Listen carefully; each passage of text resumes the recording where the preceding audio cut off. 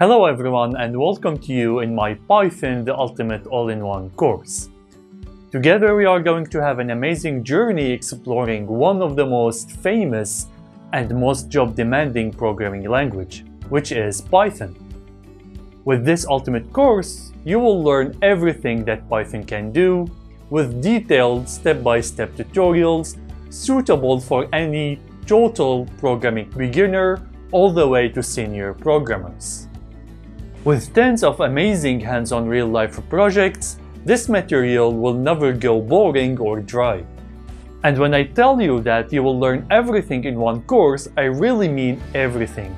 From the basics of Python language, scripting, to image and video processing, data analysis, machine learning, web design, automation, games, and even GUI interfaces, meaning that you will learn all of those big words that you hear around the industry.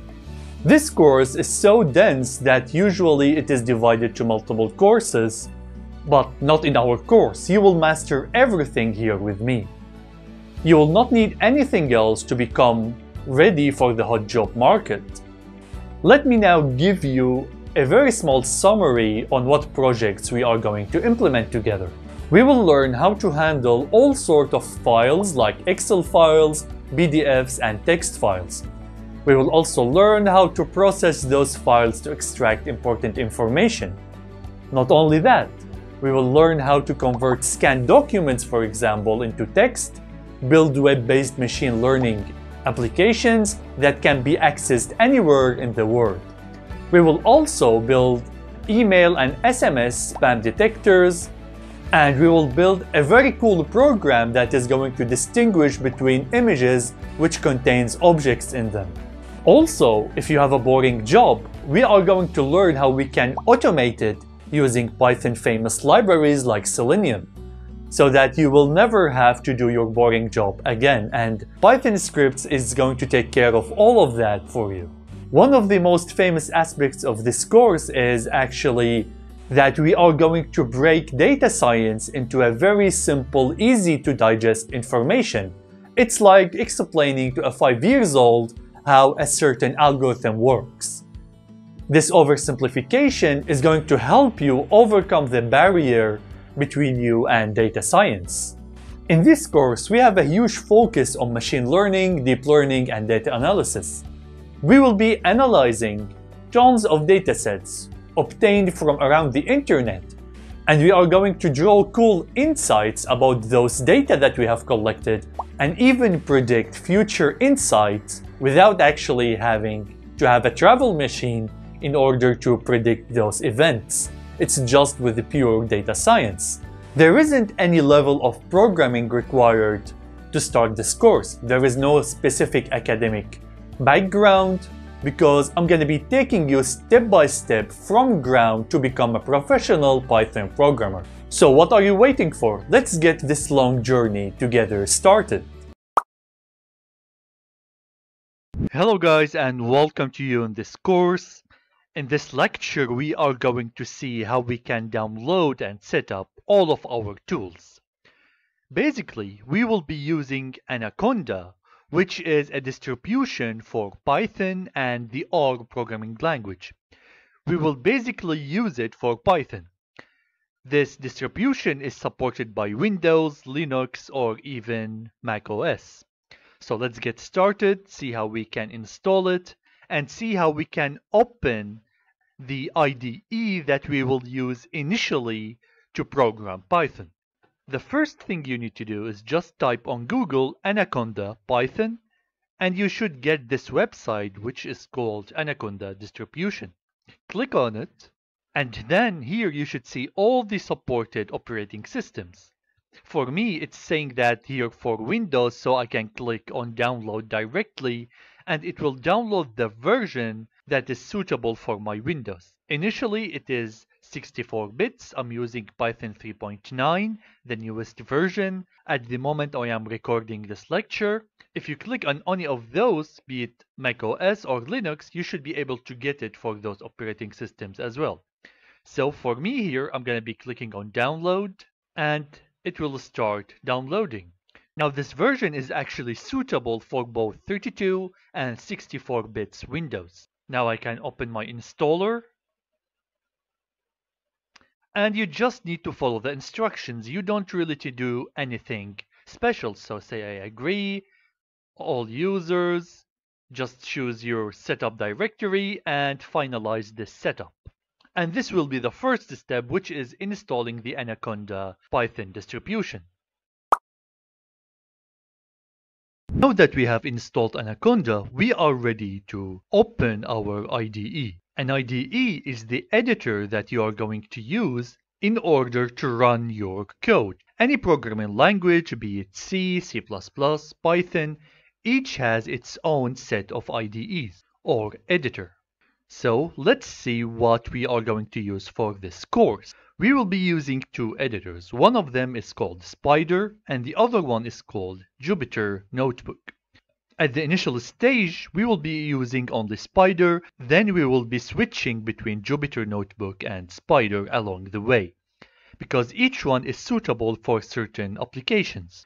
Now let's see how we can open our Spyder IDE. You need to press the Windows Start button and type Anaconda prompt.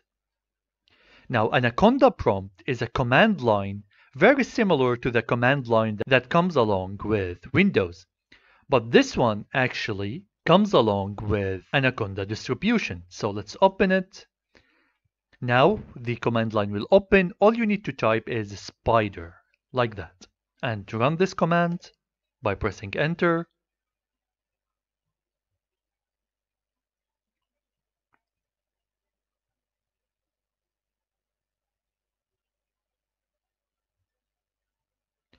Now the IDE is initializing. Alright, so this is our IDE, the Spyder IDE. Now we will write our code here and after we are done, we will be pressing this run file button and the code will be executing. You can save all of your files by just clicking on file and then save as and then you can simply just choose a directory to store your Python program. And that's it. Now we are ready to start coding some Python. So let's get started. In the next couple sections, we will be preparing and installing our tools and environment to start programming with Python. Then we will be talking about the most basic Python functions like variables, user input, and of course random number generators. This simple section will help you break the first barrier between you and programming. At the end, we will be building a very simple command line game to warm up and apply what we have learned. I'm really excited to start this journey with you guys, so let's get started. So let's dig into our first tutorial. The first one, we're going to talk about variables if you ever took any math class, you would know about variables. We used to say in school something like x plus y could equal to z, right? Or we could say a plus b plus c is equal, let's say, to z, okay? There is multiple types of equations. And we could fill these letters with numbers. So we would say 1 plus 2 plus 3 is equal to z. So 1 being A, 2 being B, and 3 being C. And the result here, if we just sum them up, will be 6, right? This is what variables is about. We can write equations or store numbers in variables now. Those are all variables. If you take a look at here, at here, all of those are variables. Actually, if we are in Python, variables would be written the opposite way. So we would be saying z is equal to x plus y. Or we could say z is equal to a plus b plus c. And those could have values in them, okay? Now, in programming, you cannot just say z equals a plus b plus c without first defining what is the value of a and b and c. So it was, it's going to be something like that. a is equal to 2, b is equal to 3, c is equal to 6. then we would say a plus b plus c is equaling to z like that. Okay, so this is the way we can write variables. Now there are multiple types of variables that we can use. For example, we have integers. So we have the integers and they are like 1, 2, 3, 4, minus 1, 100, etc. Then we have something like floats. Okay, or we call them sometimes doubles and they are decimal numbers like 1.1, 2.5, 0 0.3, minus 0 0.7, etc. All the decimals are floats. Then we have strings. And strings are letters like S, Z. We need to put them in double quotation marks. E, and so on and so forth. Okay, so those are our main variable types. Let's go and dig into some code. So right now we have opened our IDE and we are ready to type our first code. Let us define a few variables like a is equal to 5, b is equal to 3, and c is equal to 2. Then we could say z is equal to a plus b plus c. Okay, now we can go and hit on run file and here in this screen we will see the output, but currently we are not printing out anything. Yes, inside the memory we have all of these variables stored and calculated, but if we want to see everything here, in the terminal we would say print, open a parenthesis, and simply just print whatever you want to print. In our case it's z. Run, and we can see here that it's 10. That is correct. Now, let's say I want to print other variables. Like I want to print uh, A, I want to print B, and I want to print C. If I do that, I will see that 10, 5, 3, 2. This is exactly what I want. Now, let's say I want to print this whole formula like that. Okay? So I want to say Z is equal to 10 a is equal to 3 to 5 b is equal to 3 but I wanna print it like here. I mean right now if I read this I really don't know to which variable each number here is corresponding. So to do that we can just do the following. Inside the print if you open a quotation mark you will be writing your own message. And if you put a comma you would be putting your variable. You will be printing out your variable. So here, you'll write your uh, message, then the variable will be displayed next to it regardless of its value. So in my case, my z is equal to, okay, now if I copy this whole thing and do it for every one of them, here, here, and here, and I only change z to a, b, and c, if we hit on run, we would see my z is 10, my a is 5, my b is 3, and my c is 2. Okay, now let us continue. How about we clear this out and see the types of variables we can have. So as I said, we can have an integer. A is an integer equaling to 1. B is a float equaling to 2.5. And C is a string equaling, let's say, to my string. Okay, now let's say, for example, z is equal to a plus b, and let's print z. What value would I get? As you can see, it has added the integer value with the float value directly. Well, that's good. That's really good. Now we can also print the string, print c, and as we can see here, it is printing my string. So variables hold values. Okay, all of those are values and all of those are variables.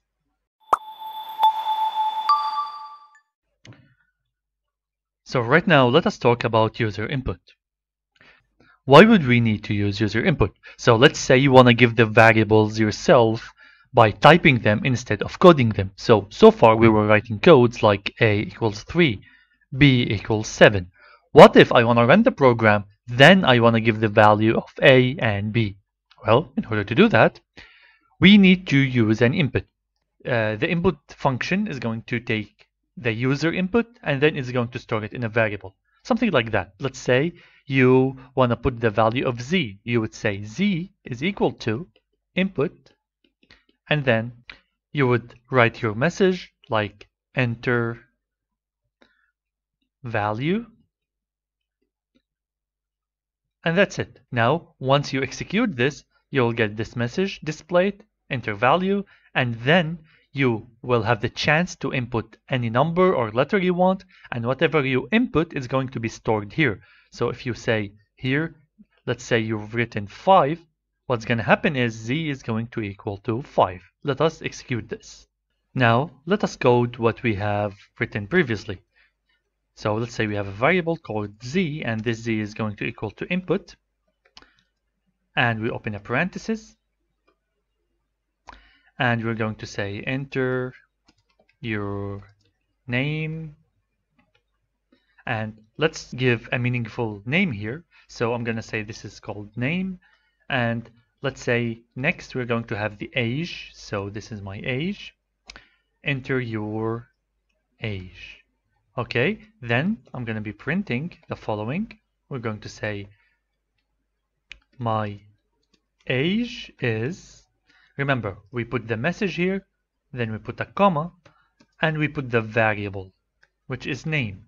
Now, whatever we have written here as a user input, it's going to be replaced here and displayed. Same thing here.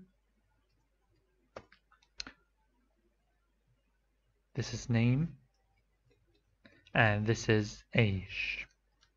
Okay, so now if we run this, as you can see here, it says enter your name exactly as you have given it. So I'm going to say my name is Mr. Hamsho.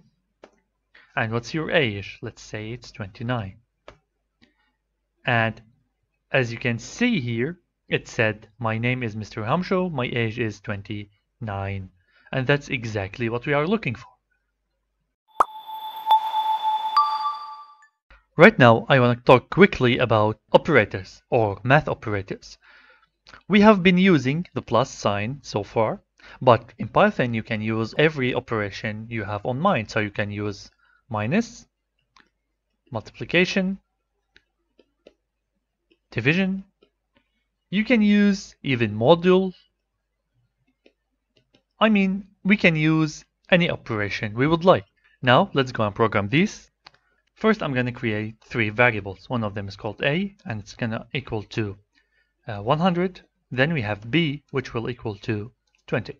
Okay, now I'm going to perform multiple operations on these and print the result. So I'm going to say z is equal to a plus b. Then I'm going to be printing z. So print z value is, and I'm going to just say z. Okay. Now I'm going to repeat this. I'm going to say this time z equals a minus b. Now, as you can see, z a equals b will be replaced by z equals a minus b because we are overwriting the z right here. So, because here it had a value, then we are assigning a new value to it. So, this value will be deleted forever. Okay, now We'll do the same for division and for multiplication. So this is my division and this is my multiplication. Now, if we run this, as you can see, we got z value is 120, which is for addition, correct. For subtraction, we got 80, correct. For division, we got 5, and as you can see, it's 5 because it was converted to float.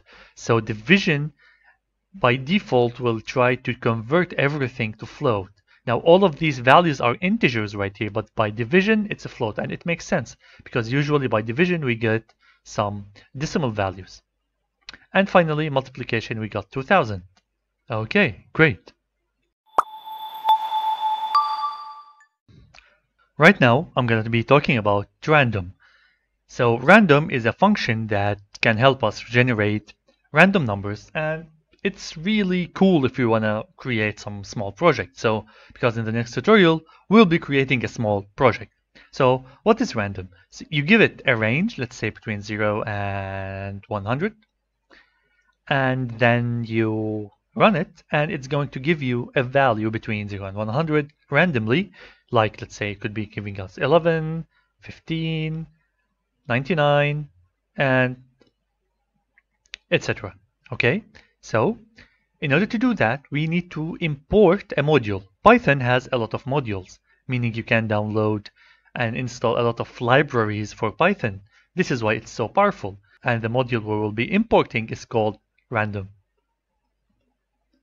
Okay, and the way to do it, first we would say the keyword import, and then we say the module name. Okay, now let us execute this. Now let us code that random we have talked about. We're going to say import random. This is the name of the library that we are importing. Now, in order to generate a number, we are going to say the following. Grant, let's say x is the variable I want to store the random number in. And we're going to say random dot rand integer. And then we will put the range. Let's say it's from between 0 to 99. Now, if we say print random number is, and we just put x, click on run, we will see that we got 14. If we run it again, we are getting a different number now. It is 86. Again, 76. Again, 51. Again, 73. See? This is what a random number generator does, and it's really cool and has tons of applications. So now we will be creating our first project. This is my project. One. You have made it so far and we still have a lot to cover. But let's do some exercise and we apply everything we have learned so far. Let's say that we want to create a small game that is going to generate numbers for every name. So let's say you're playing with your friend and you put your name and you'll let the program generate a random number between 0 and 10. And whoever gets the highest number wins. Right now, we will not be using any uh, conditional statements. We will just be printing the results and check ourselves to see who got the highest result. So we are going to have a section for user input. Then we will be getting the name for this user input. After that, we will run the random number generator. Okay, and then we are going to give the second name. And we will be copying and pasting this for as how many players as we have. Now this is very simple. And when you progress in Python, you're going to do it totally in a different way. But I just want to get your hands dirty. Think about it, pause the video, and try to solve it yourself. Okay, so let us write our project. There is no shame in leaving some codes from the previous tutorial. That's totally okay. Okay, now First thing we said that we want to input the name. So we're going to say name1 is the variable and we're going to say input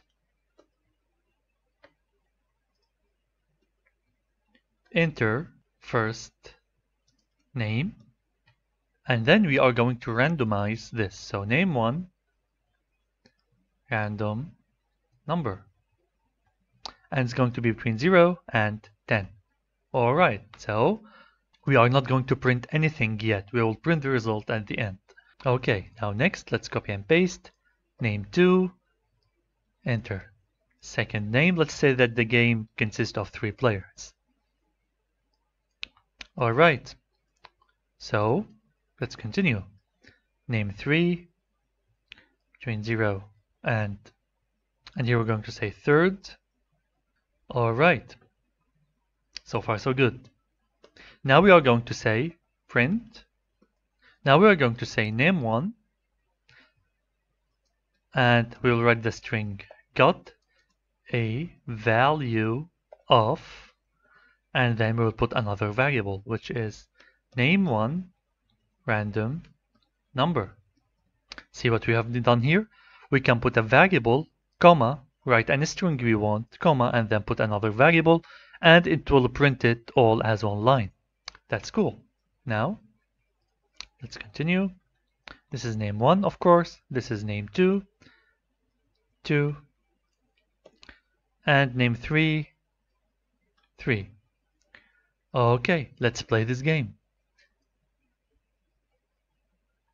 Enter the first name. Let's say the first name is Jack. Enter the second name. Second name is me, Mr. Hamsho. And finally, what is the third name? Uh, Tony. Jack got a value of 6, Mr. Hamsho got a value of 1, and Tony got a value of 3. Okay, I lost. That's totally okay. So the winner here is Jack.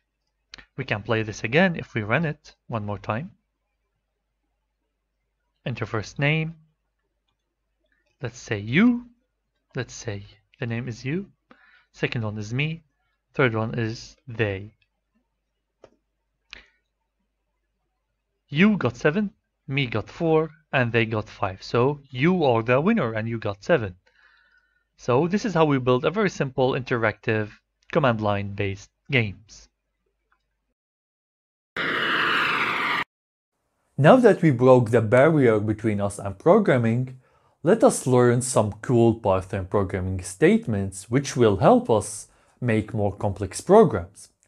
We will learn about what we call conditional statements, and by that we can add decision-making capabilities to any of our programs. So let's get started. So, right now we are going to talk about if statements.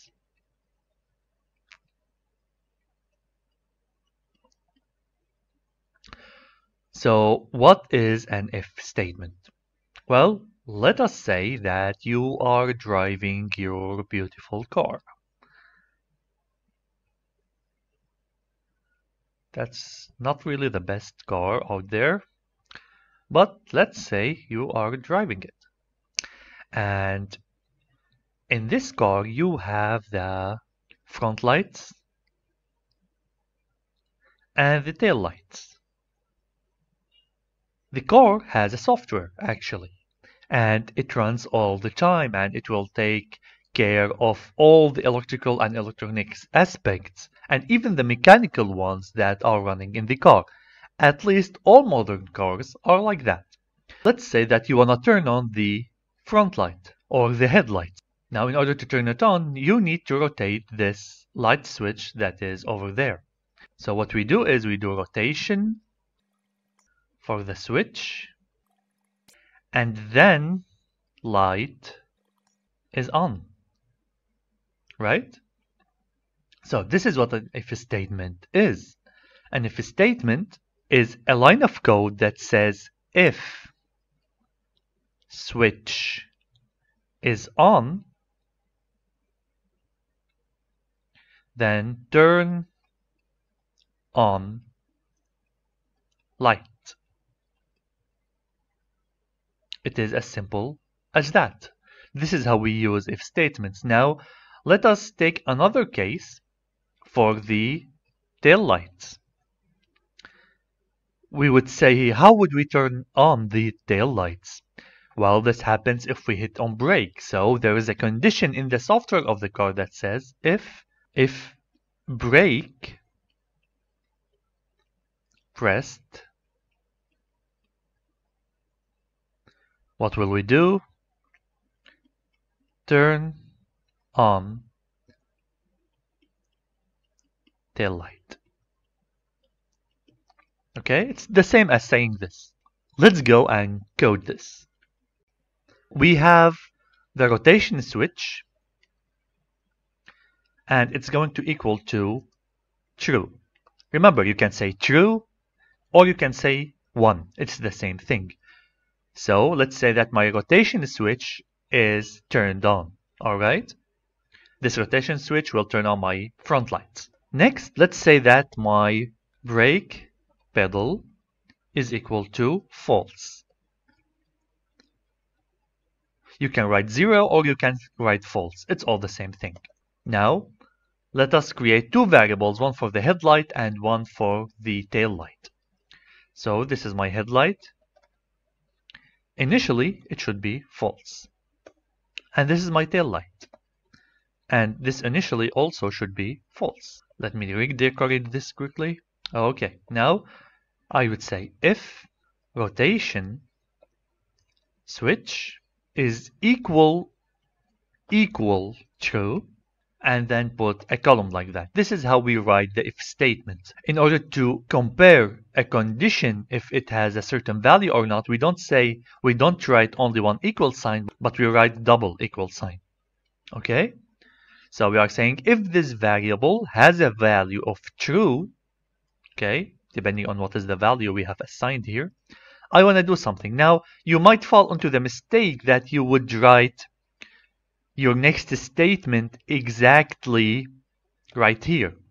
Let's say uh, headlight equals true or set headlight to true. You'll see that we have an error here saying it is expecting an indented block. What does this mean? If you have an if statement, you need to put the statements after it by adding an indent block. How to do that? You just go to the far left of the next statement and press tab. So right now, you would know that this statement is related to this if statement. Okay, so what we are saying here, if the rotation switch is activated, then set my headlight to true. We are changing the value of this headlight from false to true. Okay, now also I wanna do the same thing for the braking pedal. I would say if brake pedal equals equals true, add a column like that, then make sure you go there, press tab. Okay, and we would say tail light is equal to true. Okay, now we can simply print the final results. I want to print what is the status of my headlight and tail light. So I would say here headlight is headlight. Copy this, paste it down here and say tail light is tail light. Okay, now if we run this, you will see that headlight is true, correct, and tail light is false. So we have, because the rotation switch is depressed, the headlight was activated, and this is what we are getting. But right here, we are not depressing the brake pedal. We have set it to false. It's not pressed. So it's a checking. Is the brake pedal pressed? Well, is it true? No, it's actually false. So this condition is not satisfied. It means that if the condition is not satisfied, we will never execute this line right here, meaning tail light will never be true unless this is satisfied. Okay, that's it for this small section. Okay, so what do we need to do now is to program that very simplified game. We're going to define a variable called skill points. And let's say that initially this skill point equal, is equal to 15. Now we're going to use the if else. If skill points is less than 15, we are going to print you will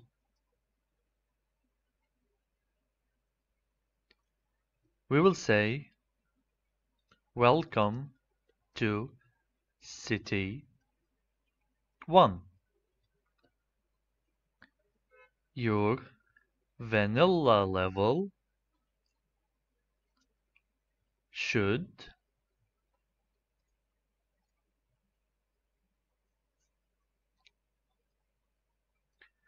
Now, if it's less than 15, we would say welcome to city 1.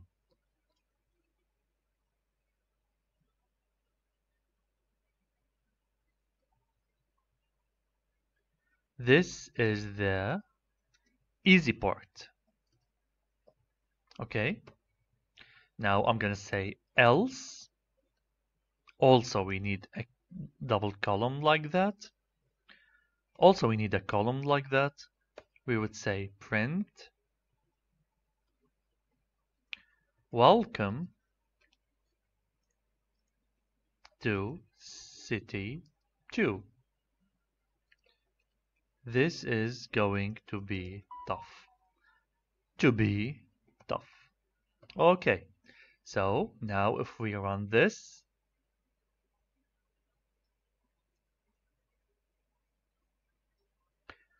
As we can see, we said, welcome to City 2, this is going to be tough. That's really what we are looking for. Now, let me show you what kind of bug we would have if we delete this else. Let's say you are walking, you are playing an interactive game, and you don't have an else condition.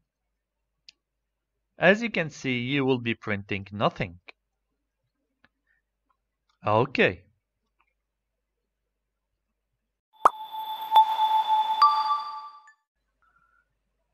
We still have few more things to talk about regarding the conditional statement. So we have talked about if, else, but we still have one more. So we have if, we have elif, and we have else. So let's say that we have multiple explicit conditions.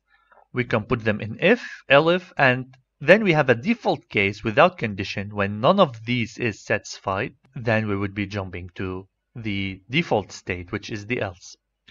So let's say that you have a remote controlled car. So this is the car. It's a toy car. You have bought from somewhere. And it has a wire.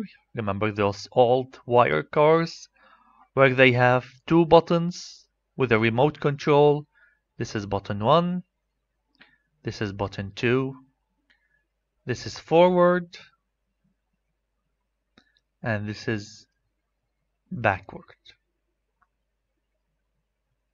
Okay, so how would we program this car to go forward or backward? Using if-else. So we have two buttons forward and backward. If we press forward, it will go forward. Now, if we press backward, meaning we will be utilizing this elif, if we press backward, we would go backward. Now, what do I mean by go forward or backward? We would turn on the motor in a forward motion, or we would turn on the motor in a backward motion. Okay, so the motor, if this is a motor, it could be rotating this way, or it could be rotating this way. If I press this, I want to rotate it forward like that. If I press the backward, I want to rotate it like that. Now, here comes the else. If I am not pressing anything, I don't want to rotate the motor at all, so I want to turn it off. Okay, this is one use case. Let us go and program this small car we have two buttons. So I'm going to say here forward button is let's say equal to true meaning it's pressed and let's say that my backward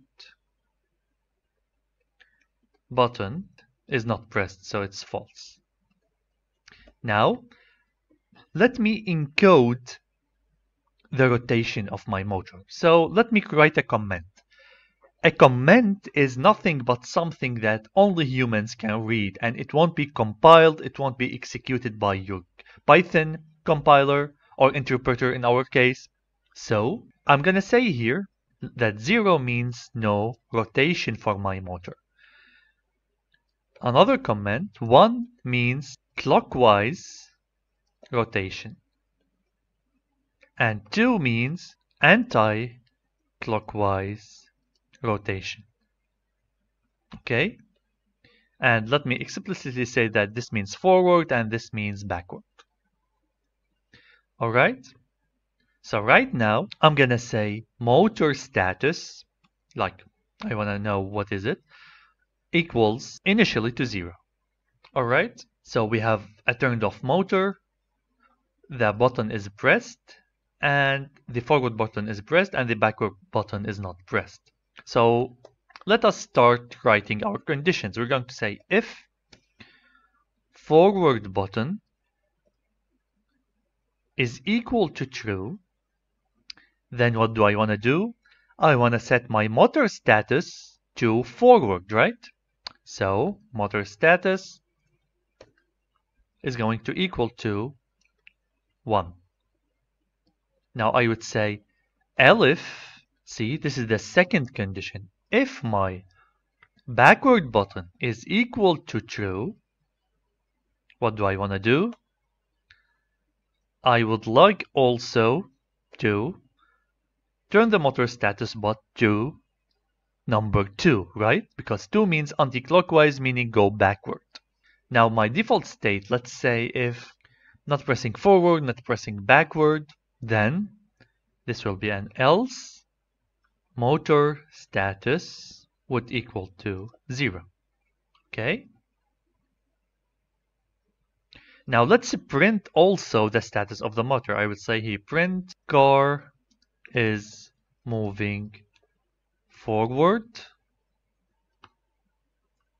Here we would say car is moving backward.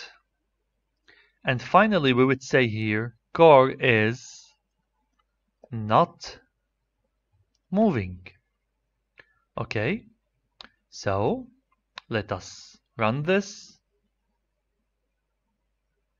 As you can see, it's saying car is moving forward because we are pressing this button. Now let us press this button instead. This will be true. This will be false. We see that car is moving backward. That is correct. Now let's say that both of them are false, meaning we are not pressing any buttons. Car is not moving. Now let's go to a corner case where we have both of the buttons are pressed and we are getting car is moving forward. Why is that? Because the first condition is satisfied. Remember, Python executes everything line by line. So the first condition is, is forward button pressed? Yes. So it's suppressed, so it won't be looking at any of those anymore, because only one of these will be executed, whoever has the condition satisfied first. So in our case, forward button is pressed, actually yes. So we will be moving forward. We did not really check the back the backward button because, well, this is the first one. This is the winner between the if statements.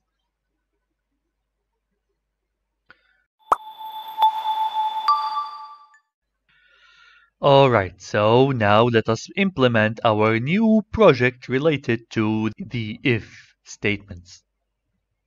Project. Alright, so let's create a simple program that will determine the letter you will get depending on the grade you have. So let's say you are an instructor in a school or a teacher and let's say there is the following letters there is A, there is AA, there is BA, there is BB, there is CB, there is CC, there is DC, and we have a DD. Okay? Let's say that to get an AA, your grade needs to be higher than 90. To get a BA, your grade needs to be higher than 85. To get a BB, you need a grade higher than 80. A CB is 75, a CC is 70, a DC is 65, and then we have a DD, which is a 60, and we have a final grade, which is an F. An F is when it is less than 60. So our goal is we input a number, a grade, and it will output these letters. Okay, we input a number and we output this letter. Let's go and write this in code. Alright, let us program our grading. So first we need a variable called grade and it's going to take the input from the user. We'll say input, enter the grade. Okay. Now let us utilize the if statements. We'll say first if grade is larger than 90 then I, I'm gonna print you got an AA. Congrats. Okay, now let us just continue. Next line, instead of if, we will be using elif. If it is higher than 85, then you would say here you got a BA. Now, you would think, okay, 85, higher than 85 could also mean 90. But remember, we are executing this in sequence. So if this one wins, we will never get to this anyway. Alright? This is why it's totally okay to do this. Now, if I change this to if as well, here is the problem that's gonna come out. Now, we will see two problems here actually, but bear with me. If I run this, and the grade, let's say it is 95, I'm gonna get an error. And it's saying this operation, this one, does not is not supported between instances of string and integer. What does this mean? What is the type of this? It's an integer, right? But what is the type of the input? So you are putting input, you are taking, the program is taking your input and storing it in grade. But the input here is a string actually, and it is not a number. Input always gives back a string. So you're saying here, is some text larger than 90? Well, this makes no sense actually. Because here it needs to be a number or an integer, a float, any number in order to be able to compare it. This is where casting comes in. Now, casting is just converting a value from one type to another. How to do that? Let's say this is a string and I want to convert it to integer. I would simply just do integer, open a parenthesis on the whole instruction and close it here. Now, this should resolve the issue. Let me just remove this for one second and run this. Enter your grade, it's 95. And as you can see, we have no errors anymore because we have casted it. This is casting, converting from one type to another.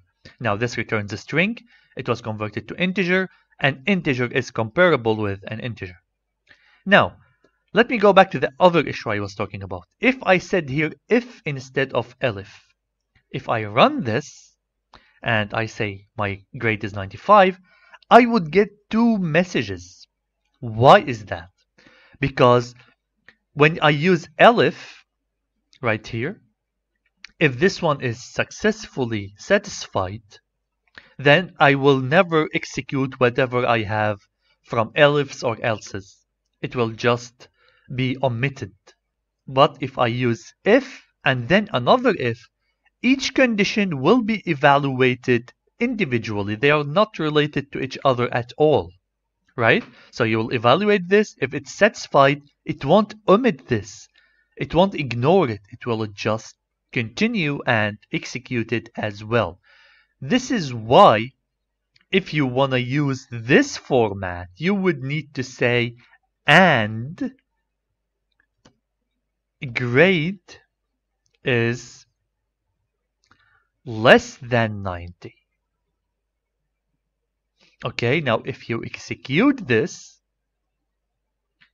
and you put 95 here, you will only get 1 because now this condition is not satisfied because we are now specifying a range.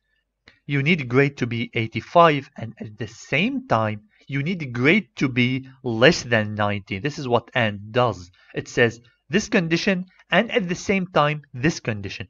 Okay, now I'm not gonna get into this. We don't want to do that. We will just say elif.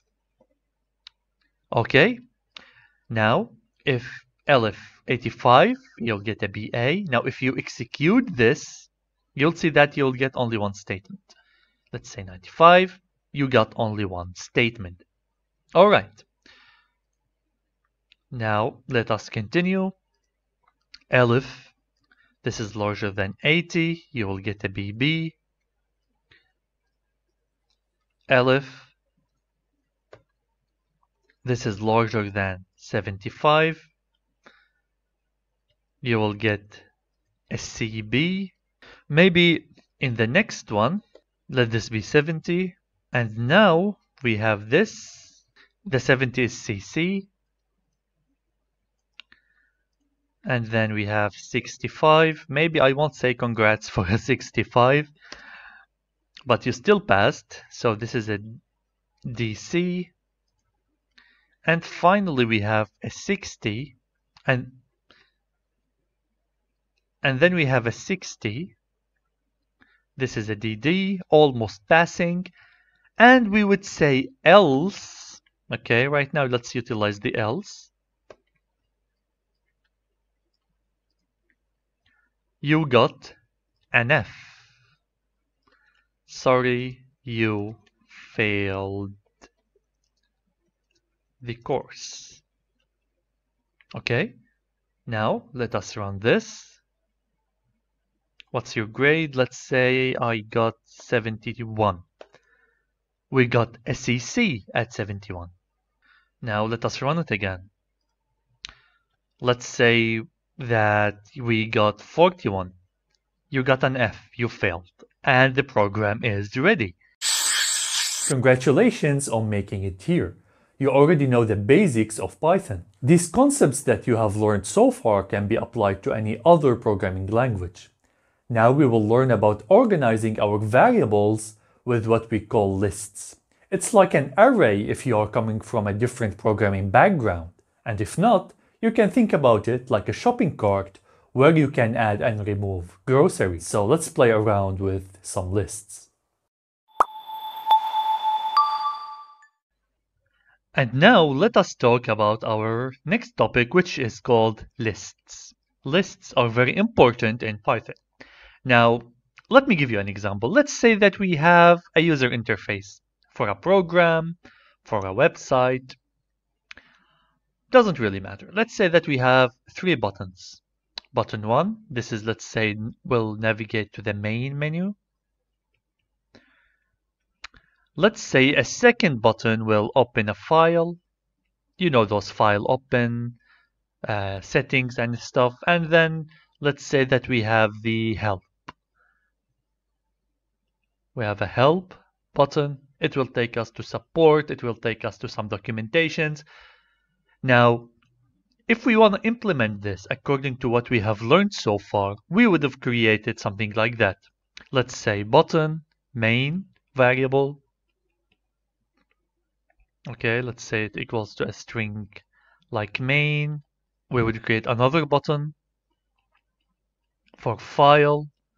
It will equal to file and then we will create another one let's say it's called help and it equals to help. Okay?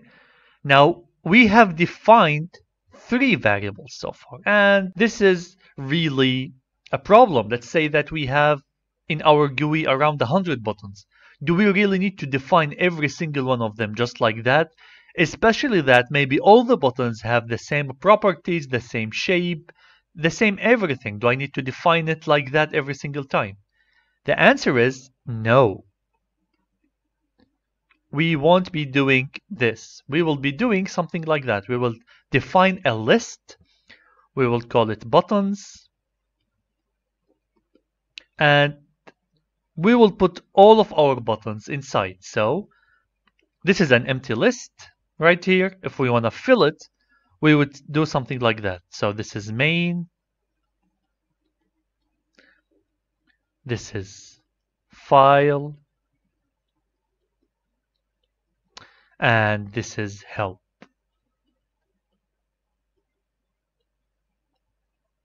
Make sense?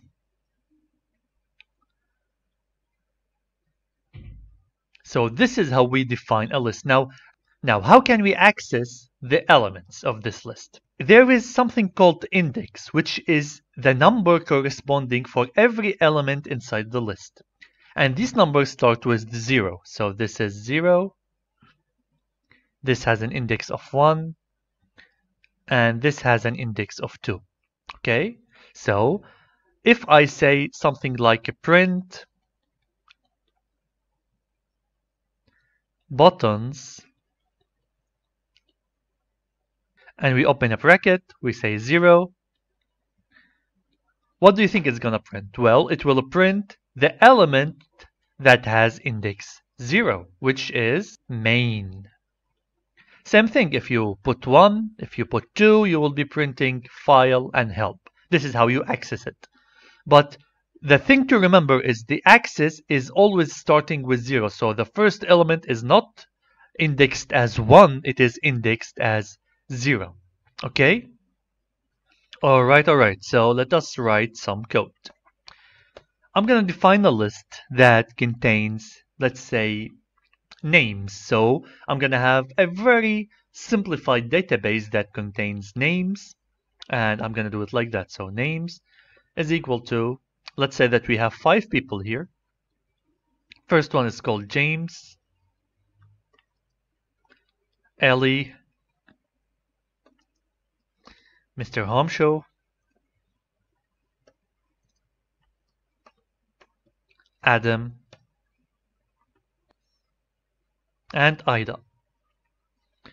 Okay, so this is called a list and you see that the definition of a list is done by opening a bracket and putting all of our elements. Now, how about we create another list for the ages of each of these, okay?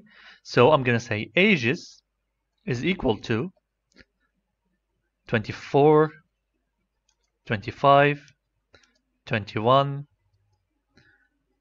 48 and 17 okay so as you can see list can take numbers it can take strings. You can put any type actually whatever type in python inside a list.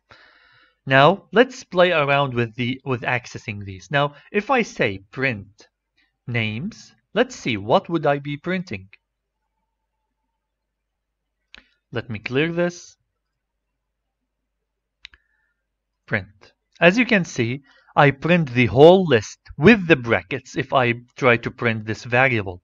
Now, if I try to print ages, I will just get the same thing.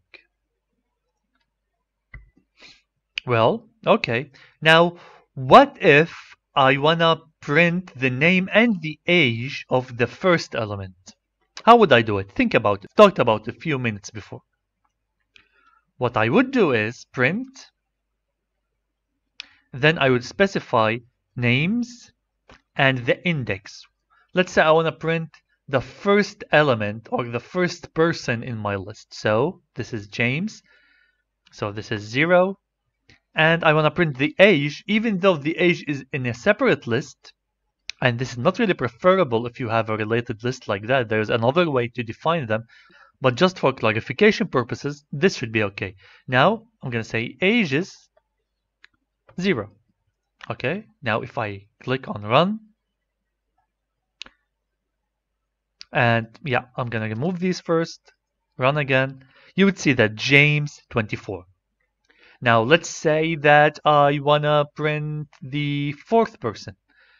Remember, this is the fourth person. What is the index of the fourth person? Well, we start from 0, so 0, 1, 2, 3. So the fourth person in our list has an index of 3. Okay, so if we put 3 here, what should we get? We should be getting Adam and 48. We got Adam and 48. See how indexing work? Now let's say that I put an index that does not exist. 6. You would get an error called list index out of range. It's important to remember this error because you might face it when you program in Python. When, you, when there is an error called list index out of range, simply this means that you're trying to access an element inside the list with an index that is out of the bound. The bound here is from 0 to 4, and we're trying to put 6. Same thing if we say 5, for example. If we try to run this, list out of range. Okay.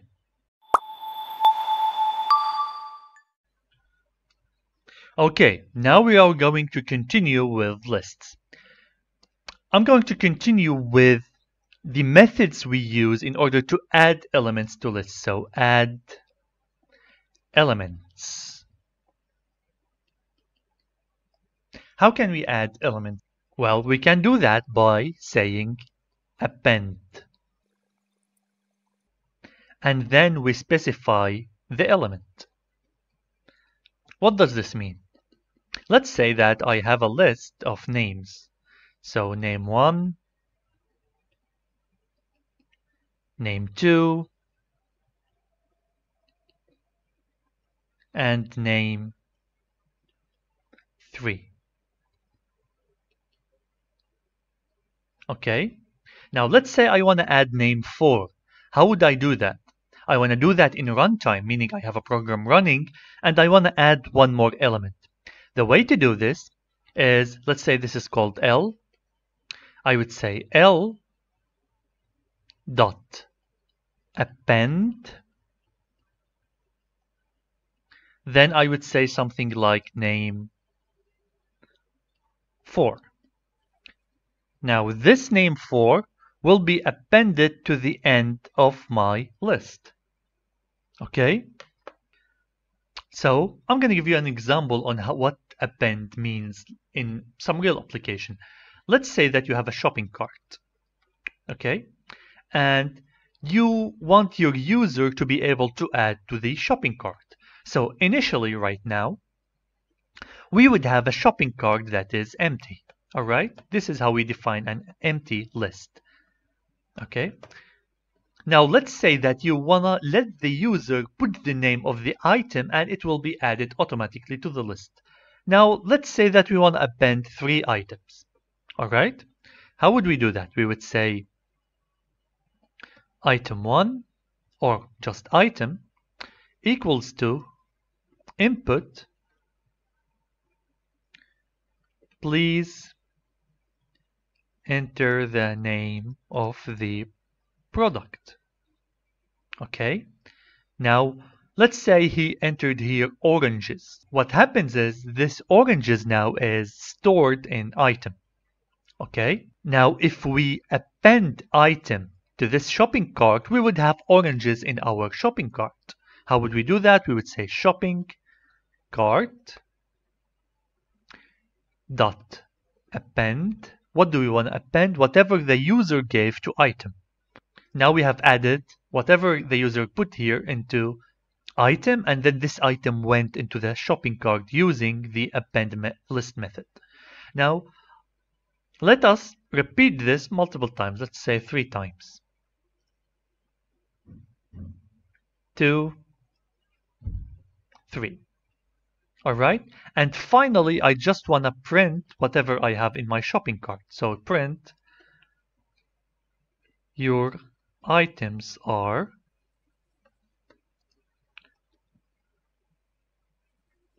shopping cart. Okay, so we will print the whole list. Now, if we hit on run, please enter the name of the first product. Let's say oranges. Now, let's continue. What's the next one? Let's say that we bought milk.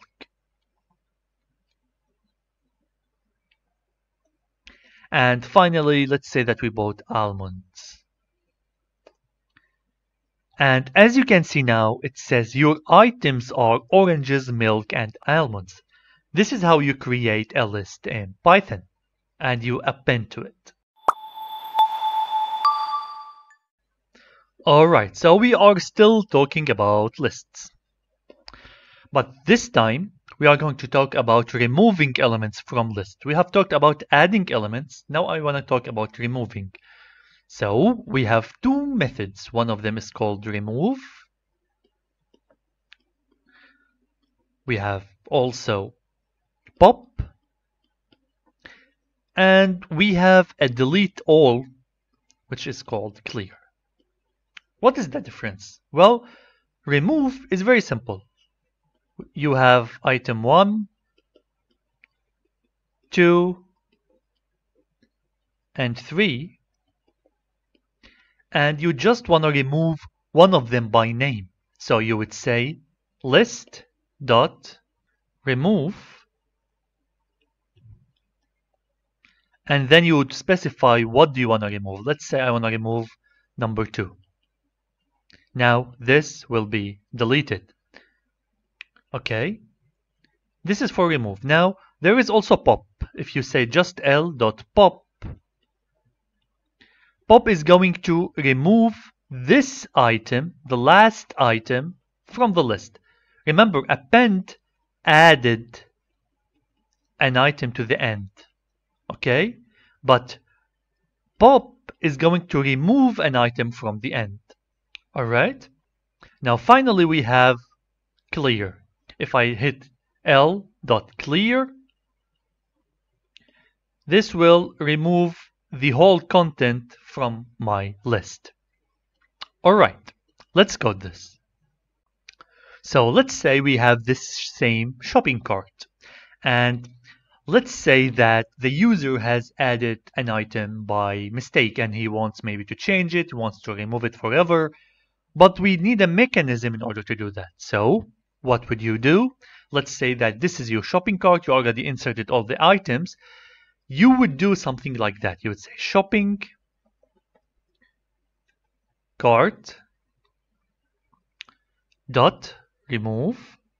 Let's say we don't want the almonds anymore. So almonds. Then let's print the shopping cart.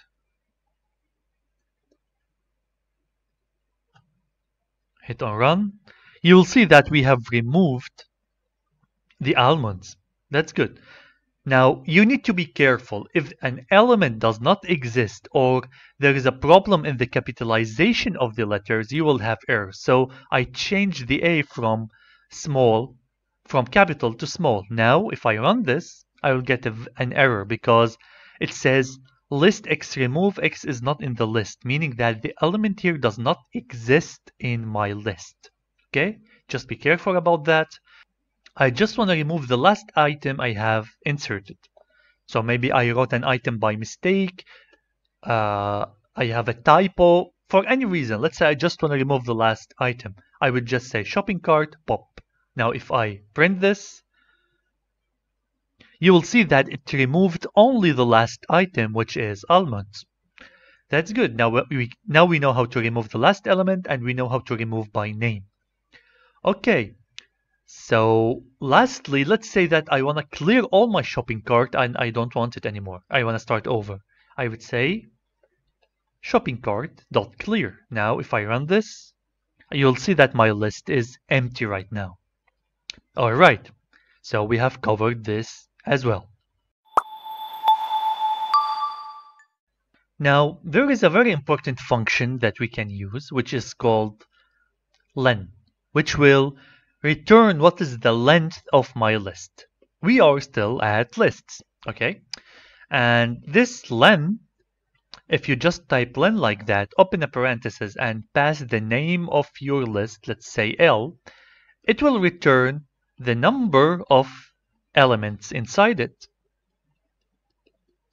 Okay, why would this be useful? Well, let's say you have a list and you are appending to it.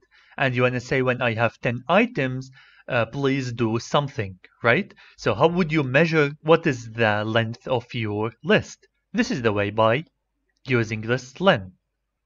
It's also important if you want to check if your list is empty, right?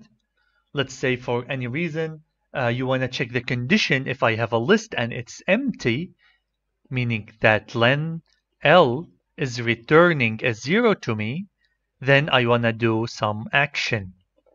Okay, the way to do that is with len as well. Let's go and see some examples. Alright, so we are back at our oranges, milk, and almonds. What I want to do is to check what is the length of my shopping cart. In order to do that, I would say simply length, create a variable, let's say, in order to store what is the length. And I'm going to say len shopping cart. Now, simply, if I print this, length, I would get 3 because I have 3 elements. Well, that's really good. Now let me clear this. So I'm going to say shopping cart dot clear, meaning my shopping cart will be empty right now. And I want to and I want to make a condition that if my list is empty, to print me some message. So I would say if len of shopping cart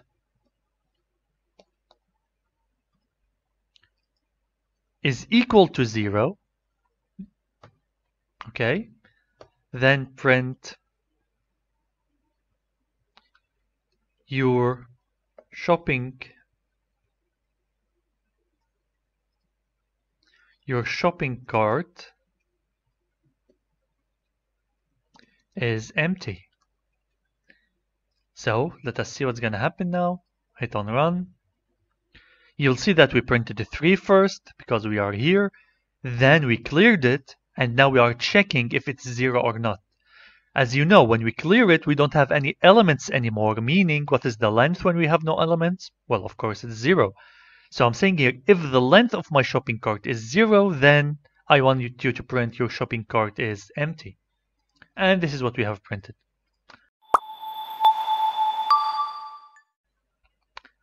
And now we are going to continue talking about lists, but this time they are nested. What is a nested list? Well, remember when I told you that list can contain any type of variables? Well, somebody thought of putting lists inside lists inside lists. Hmm. So we can put lists inside lists, and that's really useful in a lot of scenarios. So if I define a list like that, I could open a large main list and the elements are going to be lists as well. So let's say first one is one, two, three.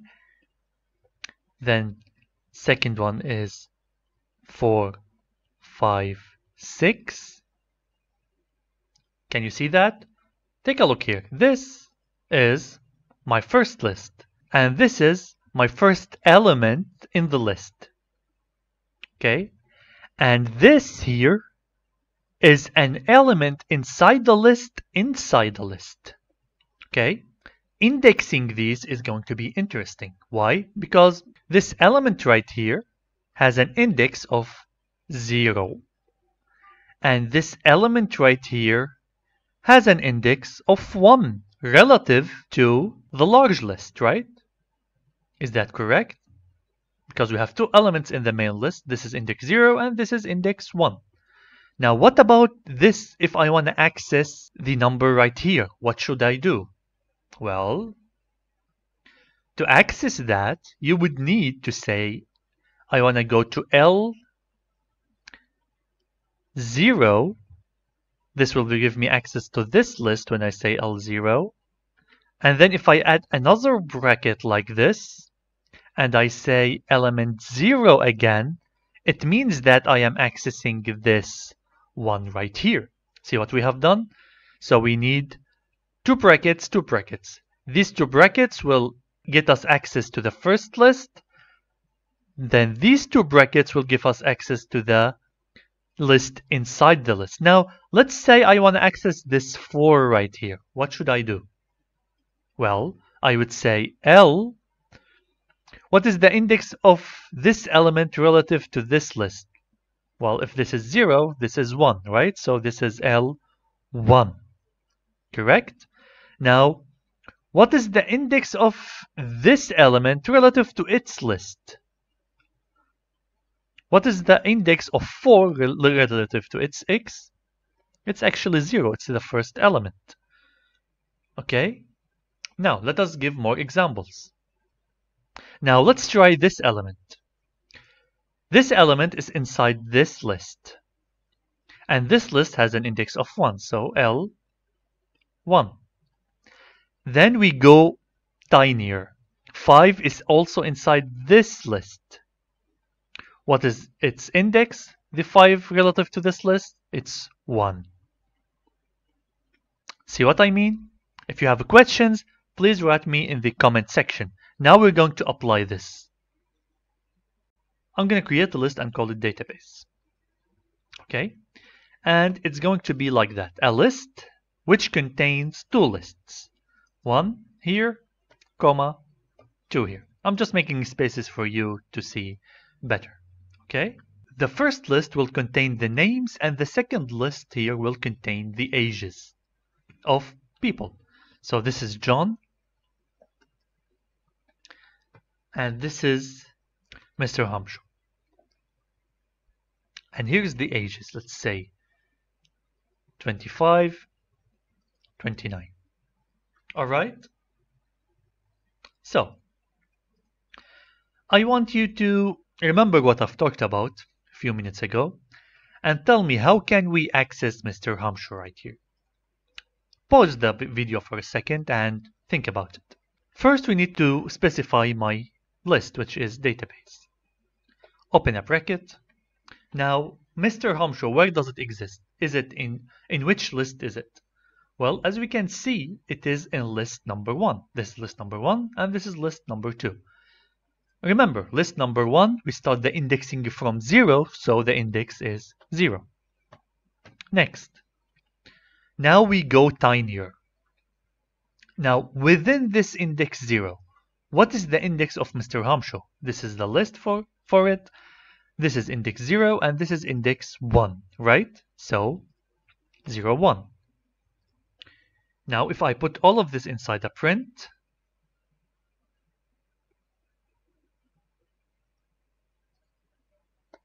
and run,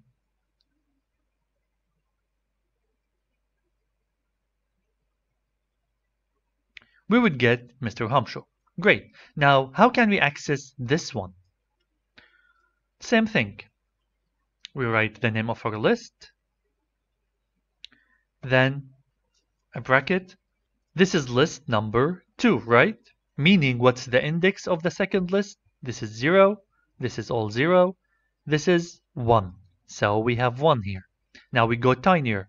Inside this number 1, where is my 29?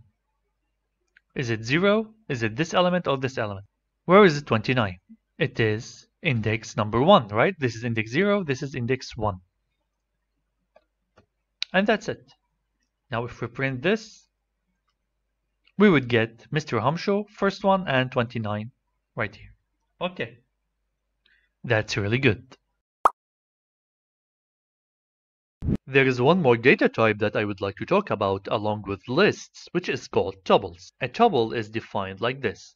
So T for tuple is equal to, we open parentheses like this, and we just pass elements to it. So A, B, and C.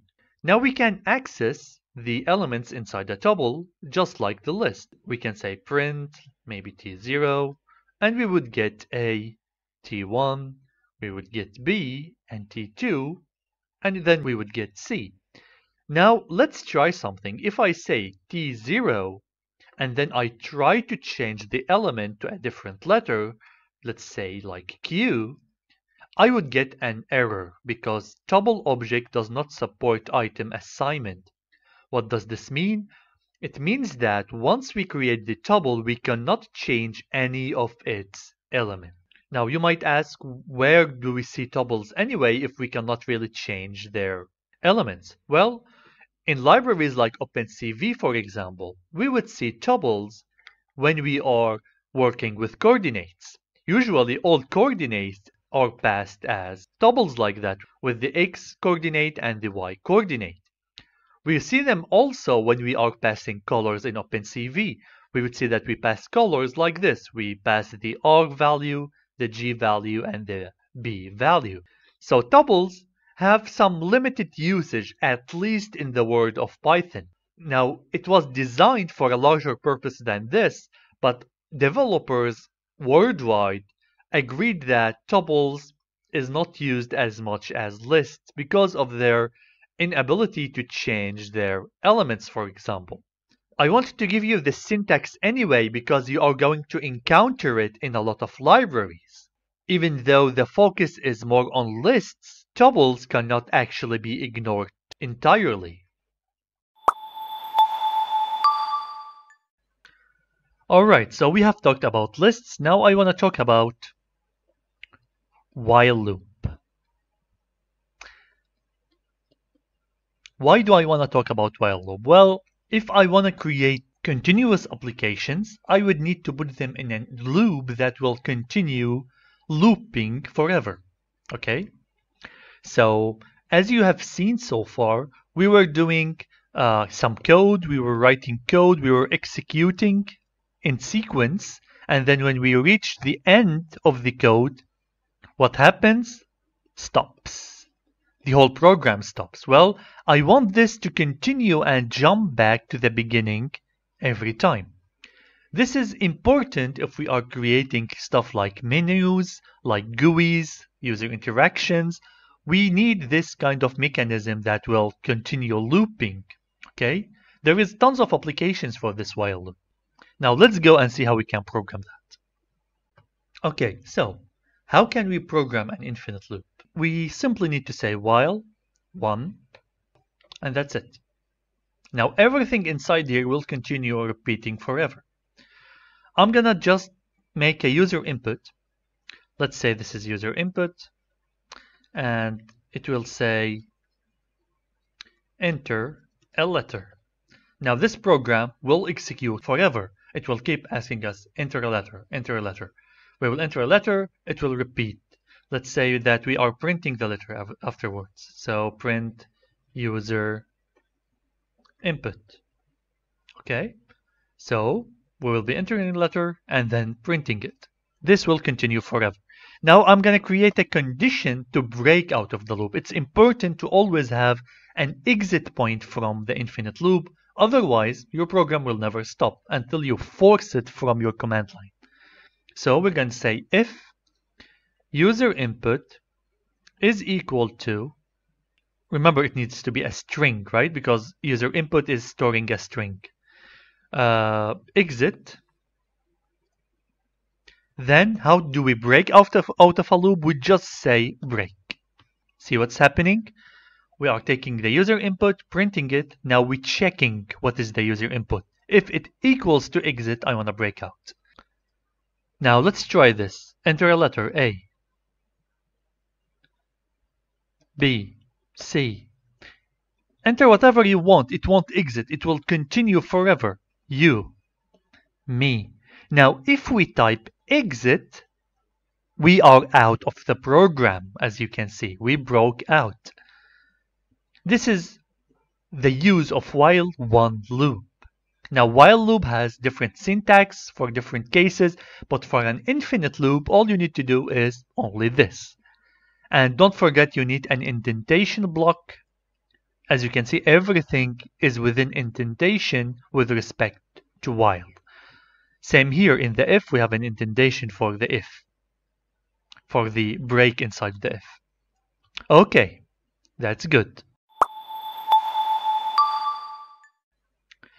Right now, I want to cover one last thing, which is not officially a Python syntax, but it is a concept that is used in many programming languages, and it's called FSM, meaning finite state machine.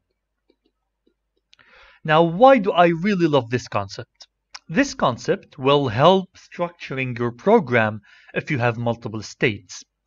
So let's say that you are playing a game and this game it has commands like walking, attacking, defending, conquering, building. It could have multiple states, right? So and every state would have certain actions that are allowed and certain actions that are not allowed. Like in attacking, you can swing your sword, but let's say you cannot walk. Let's say in defending, you also can sit and crouch, but maybe you cannot really use your sword. You can only use your shield. When you are walking, there are a set of actions that maybe you need to update, like the map coordinates. So what I mean is these are all called states. And in your program, you could have uh, multiple states, like as I said, attack, defend, etc. Now, the way to visualize this is as follows. Let's say we are in an initial state. Okay, it's called init. Now here, let's say we are controlling our character using keyboard. Let's say as long as we are not pressing anything, we are staying in the init state, right? Now, let's say that I wanna walk. So I press uh, W. Let's say we can only walk by pressing W. Okay, if I press W, then I will be turned into the walk state. And maybe here I can do multiple stuff like updating the map coordinates, like changing the graphics, etc. Okay, now let's say that I am in init. What else can I do? Let's say I can attack when I am not doing anything. Let's say if I press G, I could jump to a state that is called attack. Alright? I can also maybe, if I press K, I know this is a weird keyboard controlling for a game, but just for an example here, I will be defending. Okay, so we can jump from init to attack to defending to walking. Now, let's say that we added an option that will make us walk and attack at the same time. So maybe after walking, we can jump and say here there is a state that is called attack and walk. Now, in order to jump from walk to attack and walk, we need to be pressing, let's say, W and G at the same time. Now, if I want to jump from attack to walk and attack, I also would need to press W and G at the same time. Alright? Now, I can change from attack to defense as well by maybe pressing K. Same thing. From walk to defense, I could do that by pressing K. Now, I could jump from defense to walking by pressing W. And I could jump from defense to attacking by pressing K. See, this is a state machine. This is how our character moves. Now, how do we implement something like that? I'm going to just give you a very simple code. We will be using while one to repeat this forever because we want the character to keep moving. Then we will be using if statements. If keyboard key equals this, if keyboard key equals this and that, okay? This is how we program some sequence of actions that are independent or dependent on each other, okay? Alright, now let us program our finite state machine. We'll start with while one. And I'm going to do something very, very simple right now, just to make you understand the concept more. So I'm going to be having state 1. If I press W, I want to jump to state 2. Now from state 2, if I press G, I want to jump to state 3. And if I press L, I want to be jumping to state 1 one more time. Okay. So this will go in sequence. Now let's say I'm in state 2 and I want to jump to state 1. I could do that by pressing S. Okay? So how can we code this easily? We have three states. So let us define three states. We are going to say state equals to input, enter a letter. Okay. Now we will print you have entered state. We will print what we have typed in. Alright, now we just need an initial number for the state so that we, are, we can start somewhere. So initially we are in state 1. Alright, initially we are starting right here. So I'm going to say here, if state equals equals 1, so right now I am in state 1. Now, what are my options to jump from state 1? Well, I could only jump to state 2. I have no other option. If I press W, it will make me jump to state 2. Uh, you know what? I'm not going to name this state. I'm going to name this transition, transit. Because the transition is what we are entering, not the state. We are jumping between states. All right, so now I'm going to say if transition is equal to W, okay, meaning I press W, what do I want to do? I want to change the state to equal to. Okay, makes sense. We are in state 1. If I press W, I want to change the state to 2. Now, remember again, these are called transitions, and those are called states. Make sense? Transitions are whatever you press. And state is actually the state you are in, the collection of code you will do when you jump to that stage or state. Okay, so now let's say that elif, we are in state 2. What's going to happen? What routes do I have in state 2? In state 2, I could go to state 3 by pressing G, or I could go to state 1 by pressing S. Right? We could say here, if transit is equal to G, where do I want to go? Well, with G, I go to 3. Then state is going to equal to 3. Now, else if, if transit is equal to S, I need to go to 1. Then state would equal to 1. So far, so good. Now the last state. If state equals 3, where can I go? I can only jump back to state 1 if I press L. So we would say elif but on the level of these, right? elif state equals 3. What do I want to do now? Check if transit is equal L. I want to jump back to state 1. Alright? Now let us just print the state we are in at the end. So print right now you are in state state. Okay, let us test this out. Okay, we have an invalid syntax at line 22 as we can see. Yes, because we did not put the column.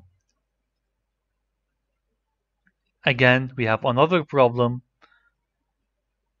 in line 26. We did not put equal equal. See, you always check here what is the problem. It says syntax error, meaning check that there is at line 26 a problem. And as you can see, we have put one equal sign for the if, and that is wrong.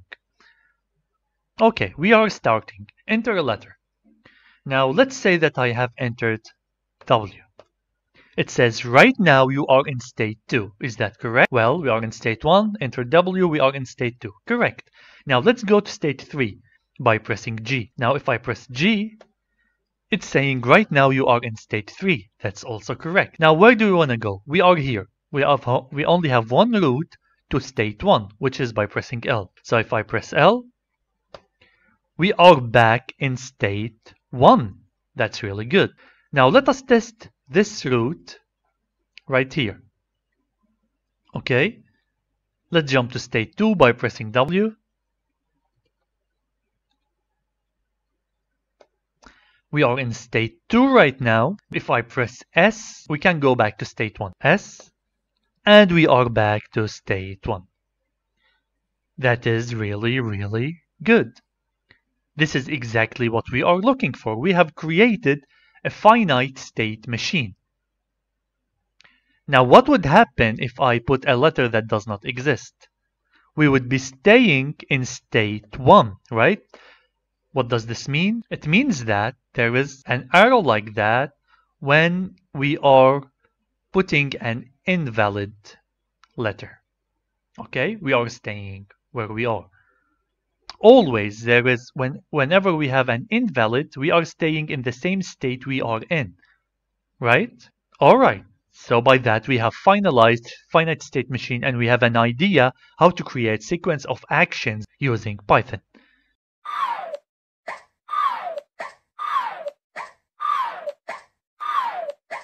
You made it here, meaning that you are halfway through Python basics. Now we will learn about loops. A loop statement will save you a lot of repetitions in your code. They are like a smart way to repeat multiple statements multiple times with a few lines of code. At the end of this section, we will learn the basics of how a picture can move on the screen. We will be utilizing some really cool techniques and we will see how moving objects on the screen take place. So let's get started. Right now we are going to be talking about loops. What are the Python loops?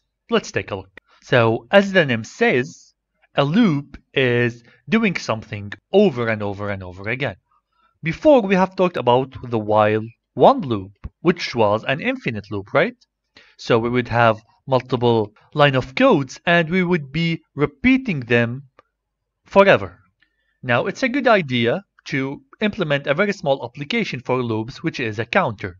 We want to be able to print 1, 2, 3, 4, 5 up until any number we say. Now, so far we have learned that we can do that by saying print 1, print 2, but this is not really practical. We want a way to do that. And the way to do that is by using something called the for loop. Let's see how we can program a for loop. Let's say that we want to print the numbers between 0 up to 100. Okay, how can we do that? We would say for and we need to specify something called a counter. This counter value will change and sweep in between a certain range. So if we say for i, then we say in range, what is the range I want to sweep between 0 and 100. We put a column like that, and all we need to do is just print i. What's happening here? As I said, this is the counter. This counter value will change for every iteration. We will be, so in the first loop, the i will be 0. It will execute this, and then its value will increase and go back here. Now i equals 1. It will execute this, so it will be printing i, which is 1 now.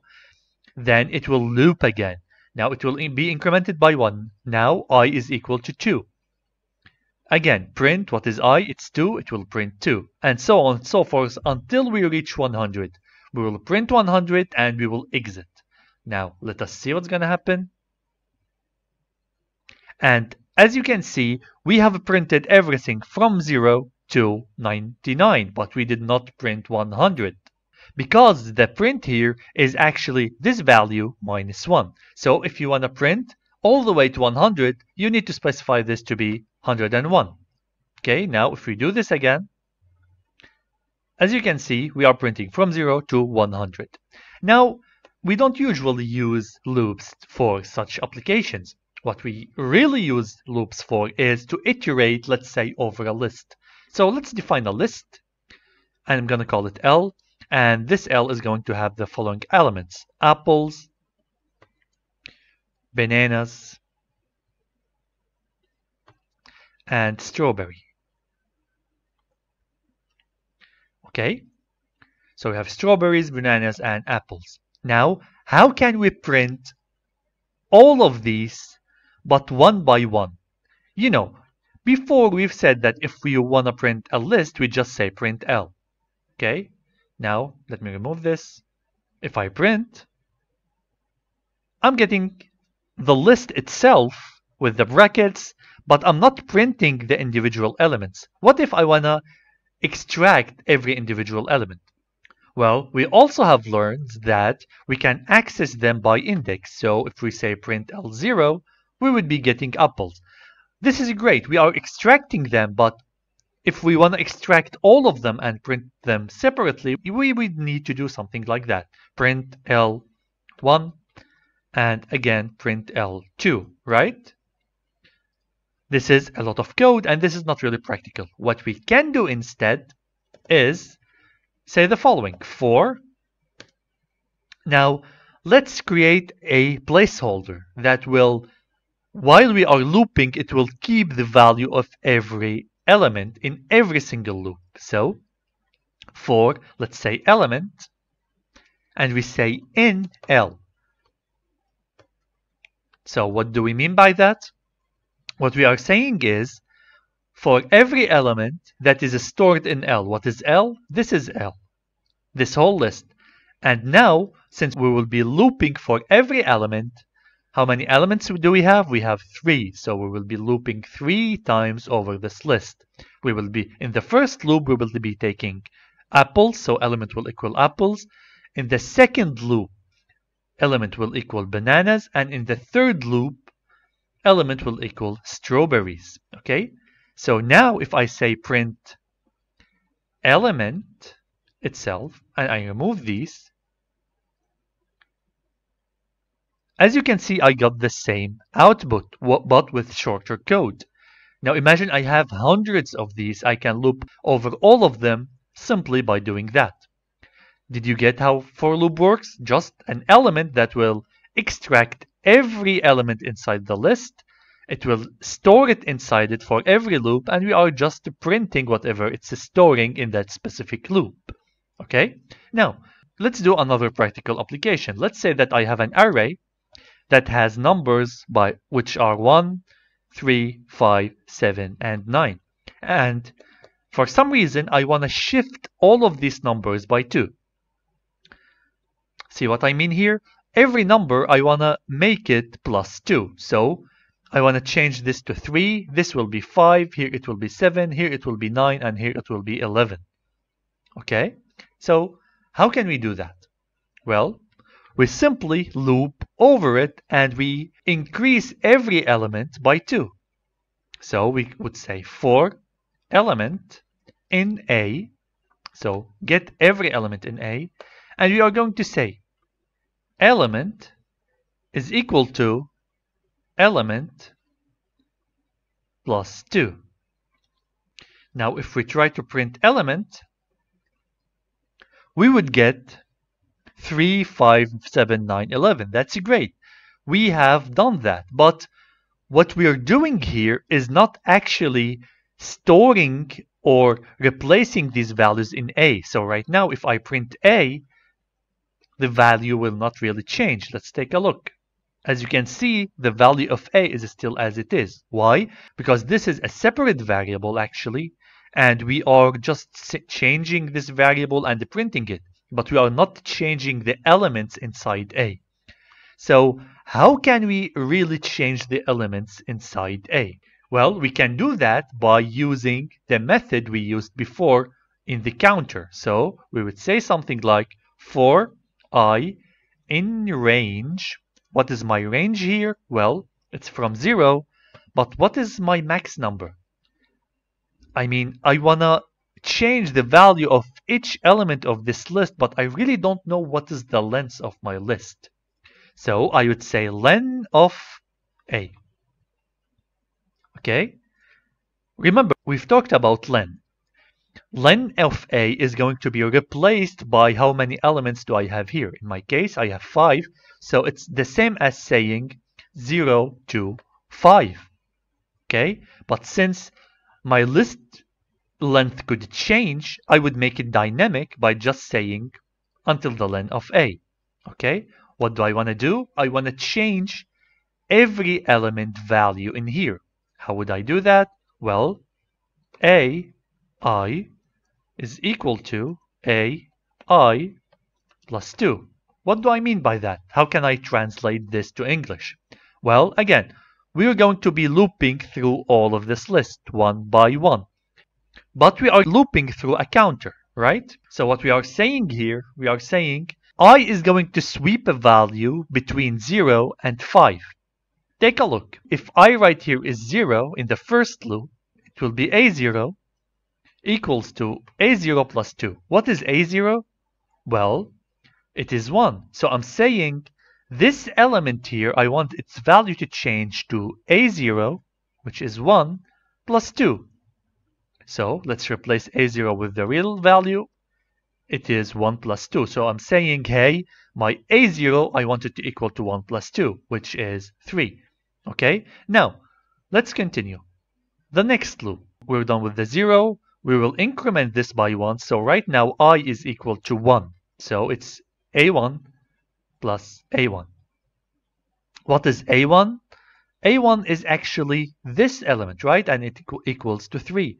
So this will be like replace a1, which is this element, with this new value, which is 5.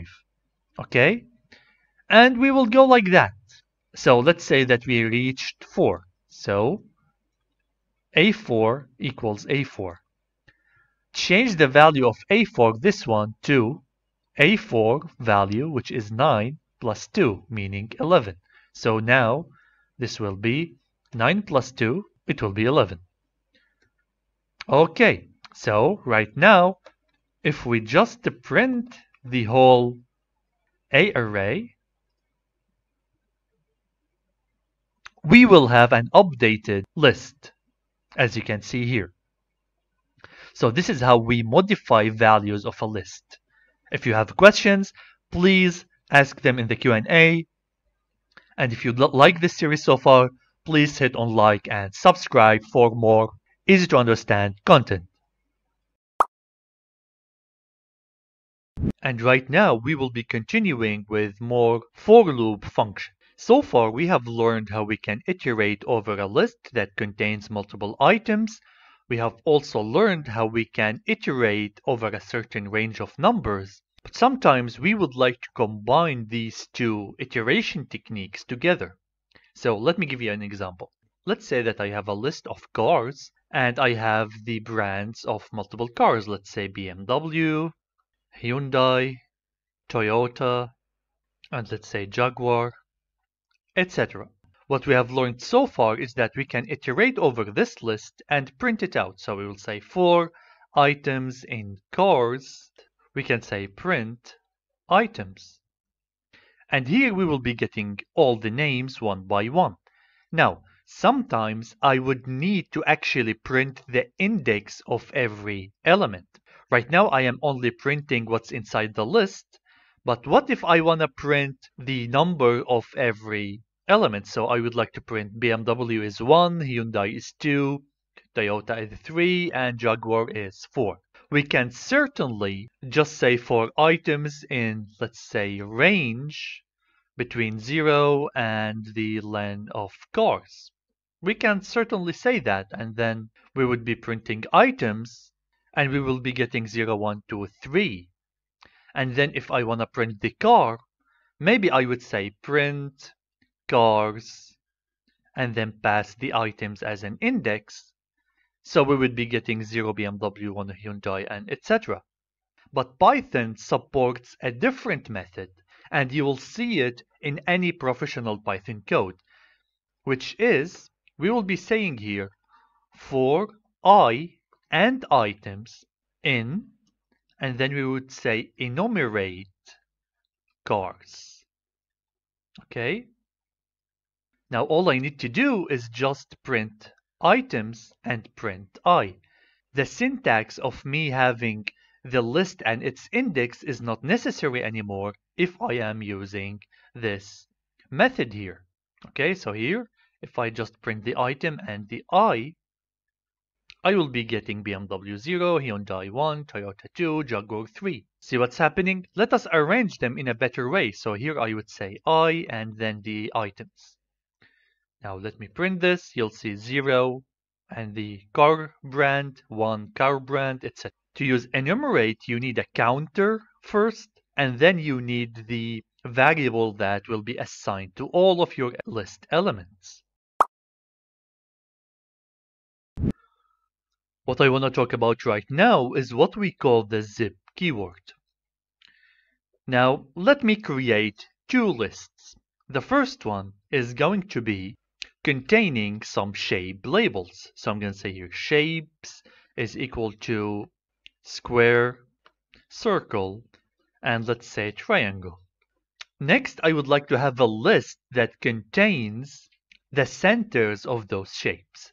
So I'm going to say centers is equal to a list that contains multiple tuples. Let's say the center of the square on the screen is at the coordinate, let's say 10 by 10. So the x is 10 and the y is 10. And then I have the circle is centered at around 50 by 50. And let's say that the triangle is centered around maybe 100 by 100. Let's say that I would like to print every shape and its center.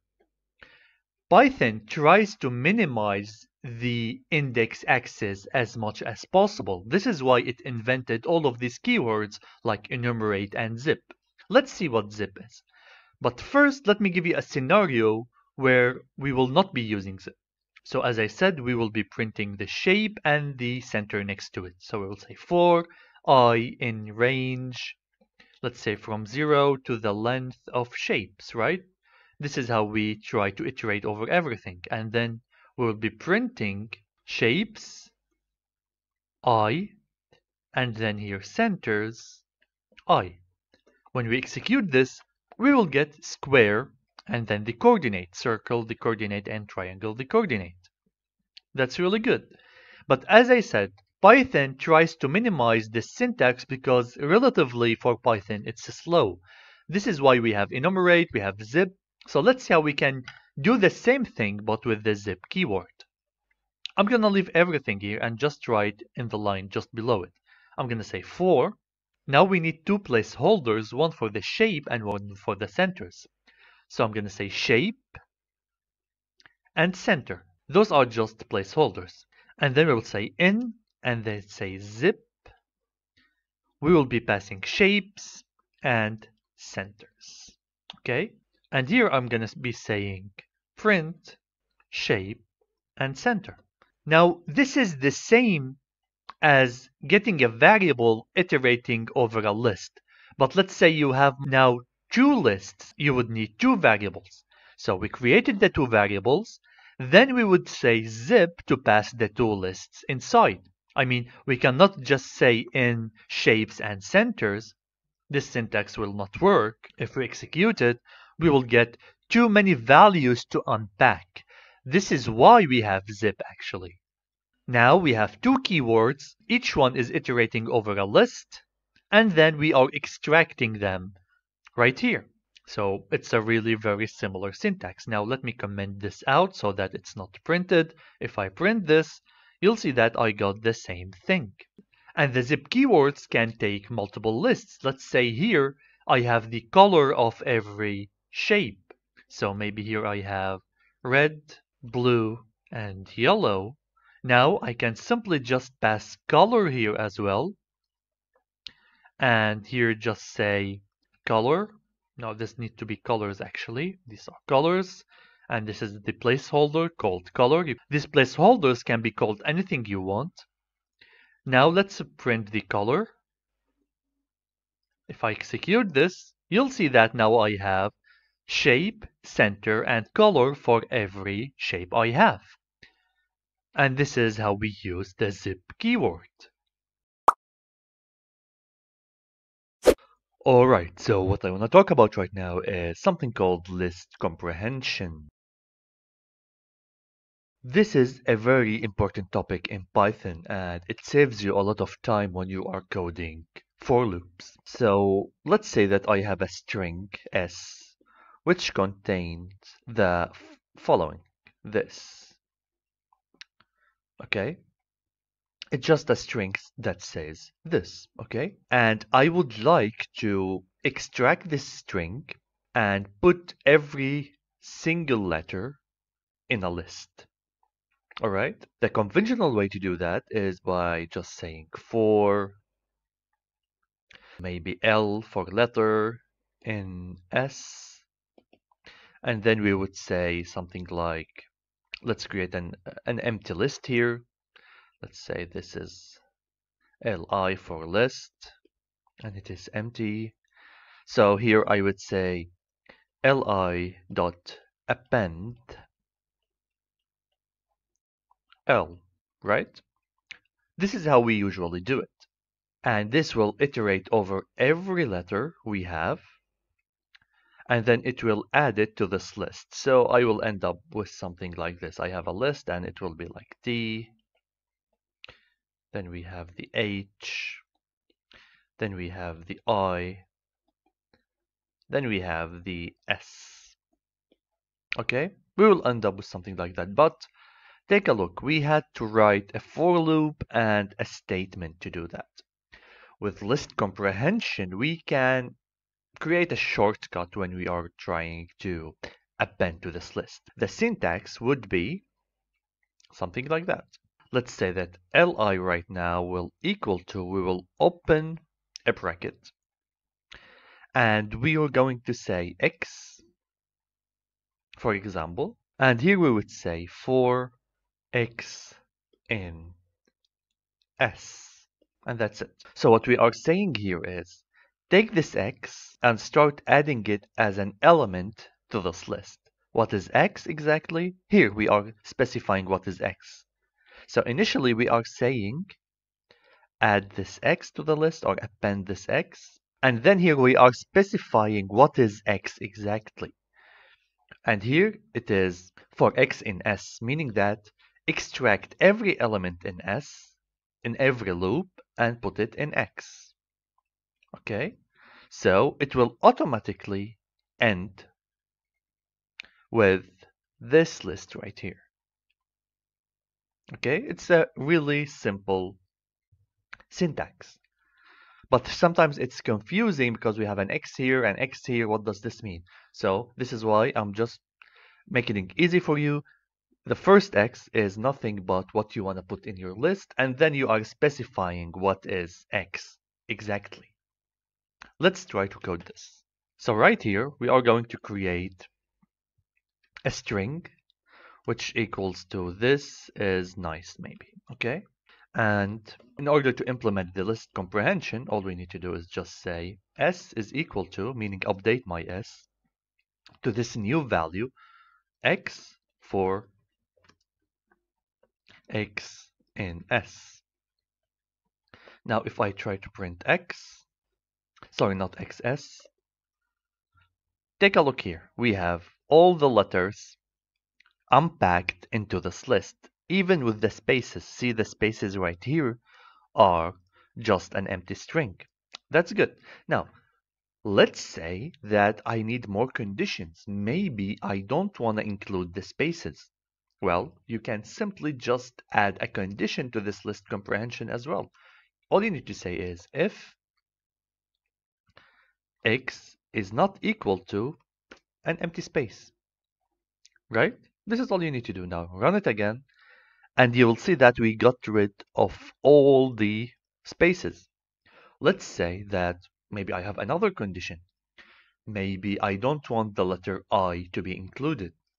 Okay, so all I need to say is and x is not equal to the letter i. Okay, we don't want any i's. And here we go. We removed the i's and the spaces, so you can add as many conditions as you need actually. That's really good. So let me sum it up one more time. I know I have repeated this multiple times. Just separate it like that for the syntax. Remove all the conditions for less confusion. Separate this to two sections create a letter here, let's say x, whatever, and this letter will be what will be packed inside this list. Then just say a simple for loop for x, the same x variable you're saying, which will be unpacked in the list, in whatever list you have. So this x in every iteration will go inside this S and extract every element. Where will this X go? It will go in here, in the list. Let me give you another example. Let's say you want to create a list with a certain range. You can easily do it like that. So we would say li of numbers that maybe let's create a list that is called like this and we'll say for and we'll say x for x in range of maybe 100 or maybe this is too much 10 okay and now all I need to do is maybe just print this list of numbers. I'm gonna remove this print for a second. And let's print it. As you can see now you got yourself an array of numbers. So that's really good.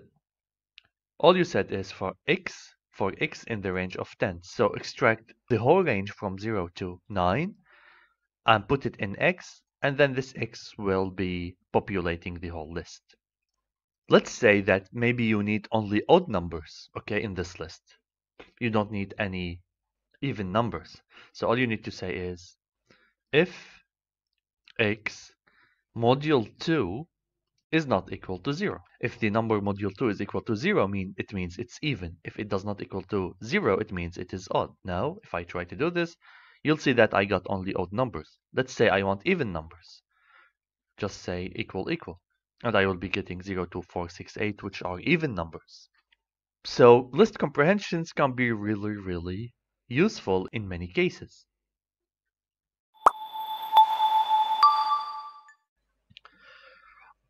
Okay, so right now we are going to start a new small project.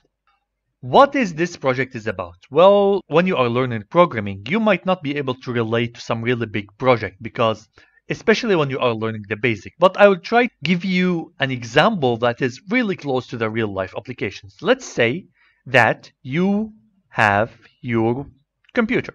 This is your monitor. Okay. And let's say that you have a drag and drop functionality. So this is an image right here. All right.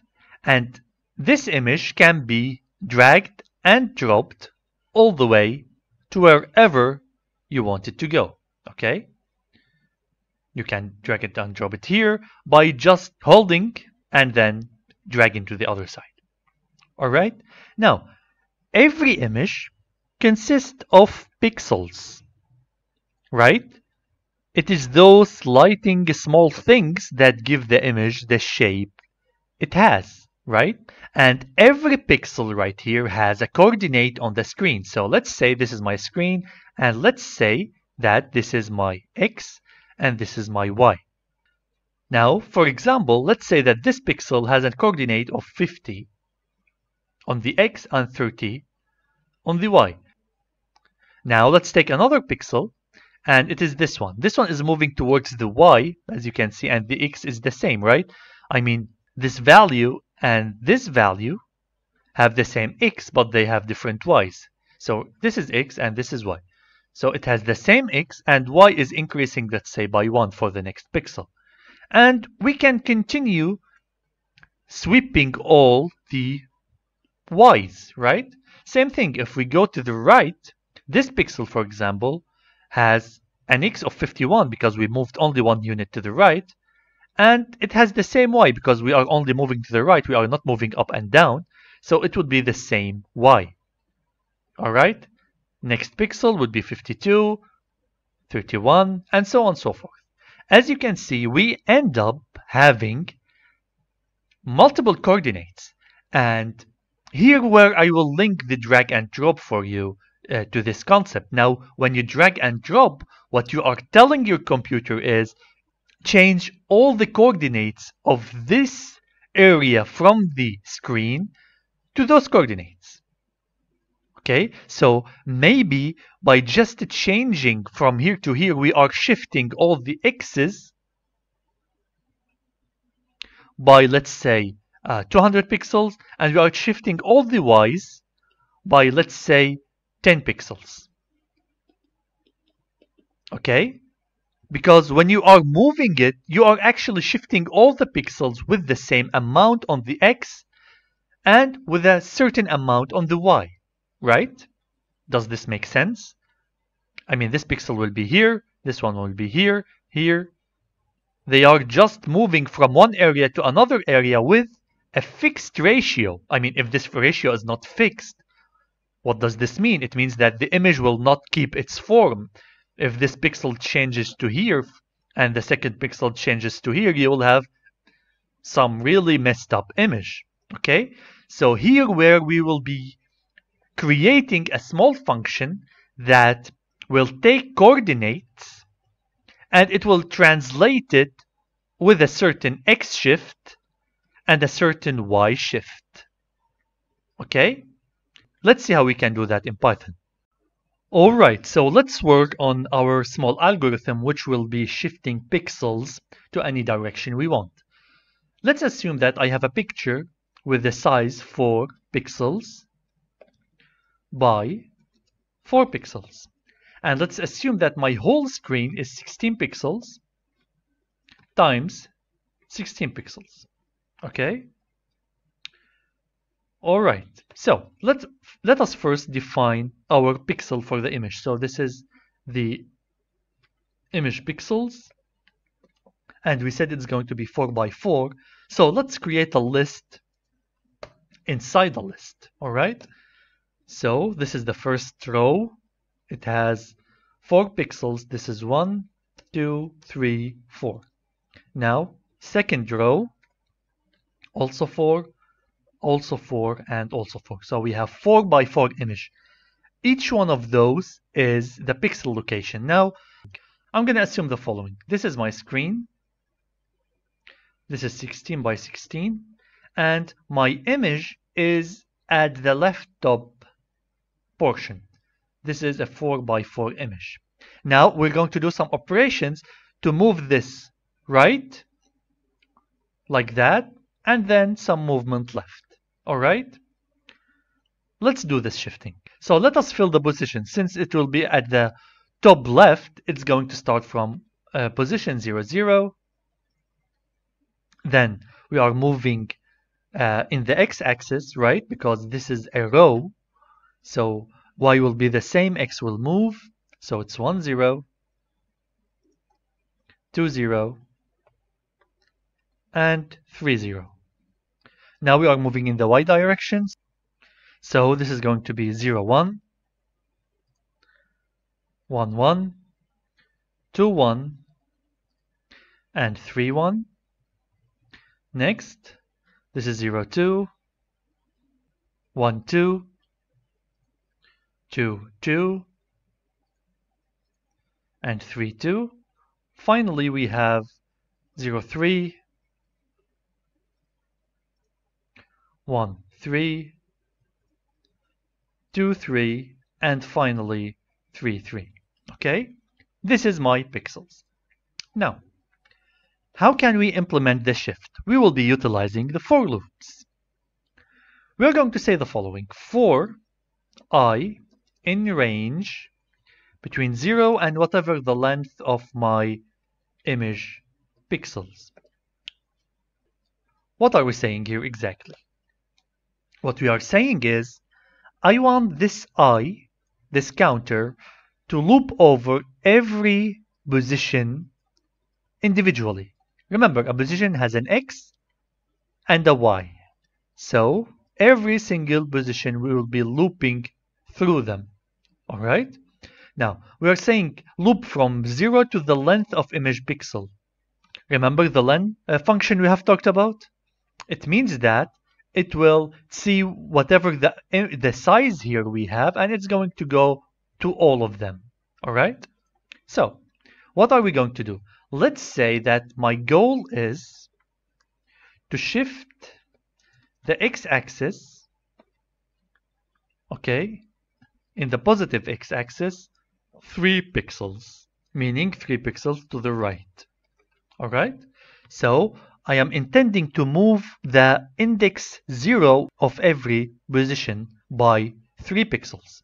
How would we do that? We need to replace this index right here for every position. How can we replace it? We need to say image pixels i And what do I want to change? Remember, I am changing the x, meaning index 0 is going to equal to image pixels i0 plus 3. So, since we are looping, this portion right here, only this portion, is related to looping through those. Now, this portion says that when, while you are looping through those, check the index 0 and replace it with, again, same. Let's say we are at the first element, index 0. What is the value of image pixel i0? Well, assuming i is 0, it means that we are at this cell and we are looking at the 0 index, meaning this one, and we are replacing it for what, to whatever value it is, which is 0 in this first element, and we are adding 3. When i equals 1, we will be jumping here, so it will be image pixels 1, 0, so it is this one, right, because this is the 1, and this is the 0, and we are adding 3 to it, so it is 1 plus 0, it's going to be 4. Alright? Now, if I simply print my image pixels. As you can see now, all the x positions was increased by 3. Can you see that? It was 0, 1, 2, 3. Now it is 3, 4, 5, 6. It was 0, 1, 2, 3. Again, again 0, 1, 2, 3. Again 3, 4, 5, 6. And so on and so forth. Now, let's say that after that I want to shift by two positions, two pixels down. So shift y-axis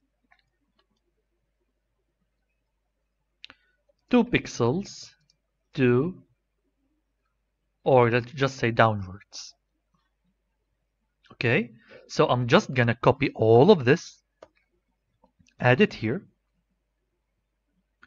and all I need to do is just to change that I want to change the y's, not the x's, right? And I'm to move it by 2 pixels. Now let's print again. Now this is the second print. As you can see now, all y's were increased by 2. So we have all 2's right here, all 3's right here, all 4's right here all fives right here. Okay, so we have completed this small exercise. Now it's time to leave the main Python space and move to the functions space.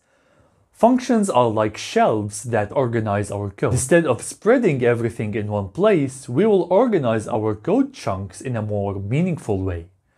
This will also help other programmers understand your code, because after you start using functions, the overall look of your code will be much better, more readable. So let's go and get started writing some functions. Alright, new topic, and it's about functions. And no, this is not the same as math functions. Okay, so let's give an example of what functions are. Functions are important in order to eliminate repetitive code in our code. Okay, so instead of writing something a billion times, we can just write it once or call it once. What do I mean by that? Let's say that I have a database of a company and this company has multiple branches. So let's say this is company branch 1, company branch 2, company branch 3. And it has an employees list. Each has an employees list. Okay, this is employee 1, 2, employee 1, 2, etc., etc. Now, let's say that I have hired a regional manager. Okay, bear with me. Now, when I look up this regional manager, I want to see it in all the databases in every branch. Okay? Because he is directing all of those branches. So when somebody looks him up in a certain branch, he should be able to see him in all of them. Now, I know this is a little bit of an exaggerated example, but bear with me. Let's say that I want to add this regional manager to all of those. Let's say that we have multiple roles that need to be included in all of the databases. Now, the way we have learned in order to add something to a database, we would say, let's say that this is my list or database. We would do append, right? And we add the name of the employee. Now we would do this for database 1, database 2, same thing, database 3, we would append the same name. Now imagine if I have around 5 roles that needs to be appended to all of these databases. Well, this is name 1, okay? I would need to do the same thing, database 1 dot append name 2. Maybe a second regional manager or a second general role. I would need to do the same thing for database 2, 3. All of them are for name 2, right? So I'm going to be creating three lines of code every time I want to add a general employee who needs to be added to all three databases. Imagine if I have 15 employees like that. Well, 15 employees times, times 3, this is around 45 lines of code. This is repetitive. This is not right. And here comes what we call functions. Now, a function, if we just define function, let's call it function 1, we could do this db1 append name we will pass name here we would do db2 dot append name and same for db3 okay? This is a scope which is called function. Now everything we have written so far we have written it in a function actually and it's called main all the code that we have written, even though it's not visible, it's written in main. Okay, everything. Now, inside this main that we were writing, we would say, instead of writing all of these three lines of code, I would only say func 1 and pass a name, and I'm done. It will jump to this piece of code every time and it will do all of those operations. Let's say I want to append a new name. All I need to say just func1 and a different name. Okay, it will jump, take this name and fill it here for me. Okay, now let us see how does this work in action. So let us code those functions we have talked about. So as I've told you, whatever we write here, this is main. Okay, so right now let us define a piece of function that we will go to every time we want to execute some code. Let's add that database functions. We're going to say definition add to database. This is the name of my function. You can call it whatever you want. And here is a parameter to pass. We are going to pass name to it. Okay, this is a parameter that we pass to the function so that we can use it in our uh, function. So what do I mean by that? Let's say that this is where we write our function and here is my main. Alright, so if I want to call this function, I would have to say add to database and just pass it a name. Let's say John. Alright, this is all I need to do.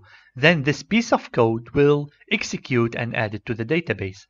Same thing, I would just do the same thing and I will say add to database Mr. Hamsho. Okay, it will go and do whatever necessary in order to add it to the database. I don't have to do all the steps every time in the main. Okay, let's see how we can implement those steps. Now, the John here is the name. The Mr. Hamsho here is going to be the name again. Okay, so let us now, just fictionally actually, and I will tell you why I'm saying fictionally, let us define the databases inside my definition, inside my function. So let's say database 1, which is for the first company branch, it has employees like uh, Kate, Moss, David. Same thing here, database 2. Let's say that it has different employees like Lee, Steve. Okay, and database 3 we have Tony and Laura. Alright, now what we are going to say is db1 dot append name. Same thing for db2, same thing for db3. I'm going to append this regional manager, let's say, to all my three databases at once. All right. So right now, whenever I call this function, all of this will be executed. Whenever I call this function, all of this will be executed with the name Mr. Hamsho or with the name John or whatever. Now let's let us print here. Print db1 is db1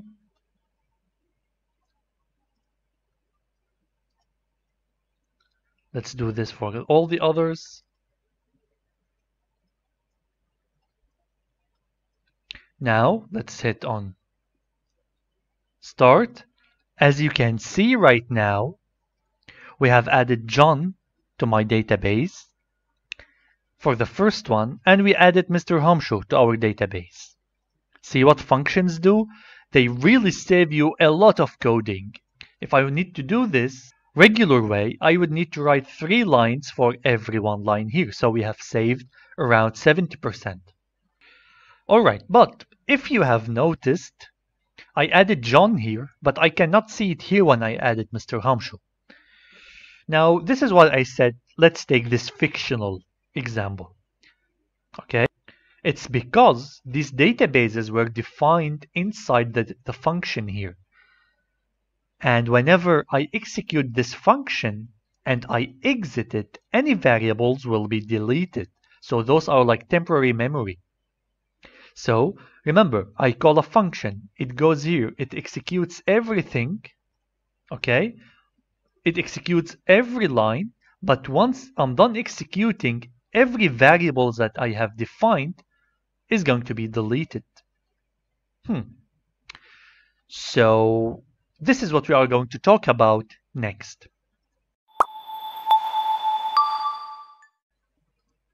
Now I'm going to talk about global variables. Well, this topic comes hand in hand with functions. It's also related to scopes. What does all of this mean? Well, remember, we can define functions. So define func1 and it could do some stuff. Then define func2 it could do some stuff. And then I have my main. Okay? Which is also doing some stuff. Now if we create a variable here this variable will be deleted after execution okay same thing here this is another variable same scenario now in main, this won't happen. If I created a variable here, it will stay. So I can say that the scope of this variable here is only function 1 and the scope of this variable here is only function 2. It means this variable here is alive only as long as function 2 is executing. By the end of execution of function, this variable will die. Okay? Now, what can we do in order to create a variable that is accessible by everybody? Let's say I want a variable that is accessible by main, by function2, by function1, by everyone. At the top, you could define something called a global variable. Okay, so if you define a variable just at top, let's say variable here, it's equal to, doesn't really matter to an empty list, let's say. Now, each function can have access to it and actually modify it. It doesn't die, it stays here. It is there forever. Okay, so, and this is called the global variable. This is called the global. However, in order for this global variable to be accessible, let's say by this function one right here, we need to write it as follows. We need to write a global var. If you don't write global, it won't understand that you are referring to this one. Okay, so if you just write variable like that, as in here, this won't actually modify the one right here. Only if you write it like that, like this way, you will be able to modify it here. Okay, so it's a condition that you add the global keyword inside the function in order to modify it. Now you don't have to do that in the main. Now let us apply this in an example.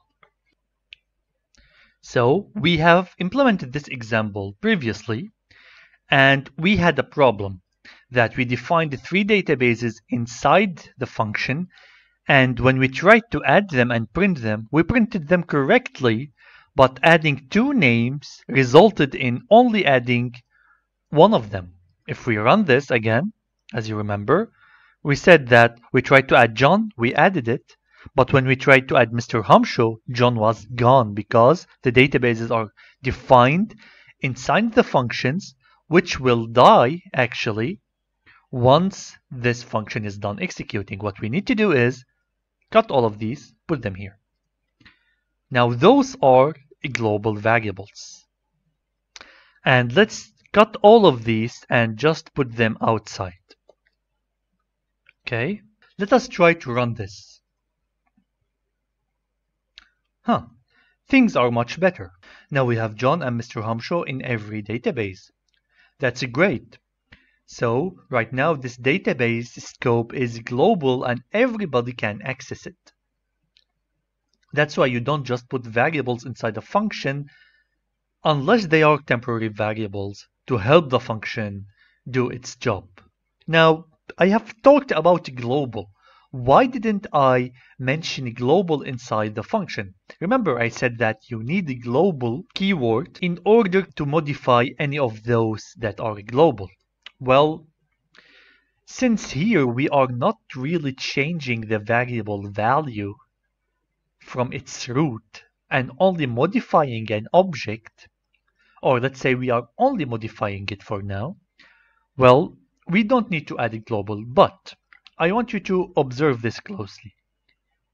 Let's say that I want database1 to equal to only that name. Okay, I want to delete everything. Will this work? Will I keep everything that I have done? Will all the names be kept? Or will they be replaced? Remember, my goal here when I do this is to replace it. I mean, I want to delete everything and just add the names I am putting here, right? So the first print should generate me all Johns. So right here, when we execute this, all of those should be John, and then when I execute this, it will be overwritten, and all of them should be Mr. Hamsho, right? Because, bear with me, because look here, add to database John, modify database and make its value only equal to a list that equals John. Same here, same here. Next, add database, add Mr. Hamsho. Again, override the whole database and just make it equal to Mr. Hamsho, Mr. Hamsho, Mr. Hamsho. So if I print those, I will get Mr. Hamsho's only. Let's see what's going to happen.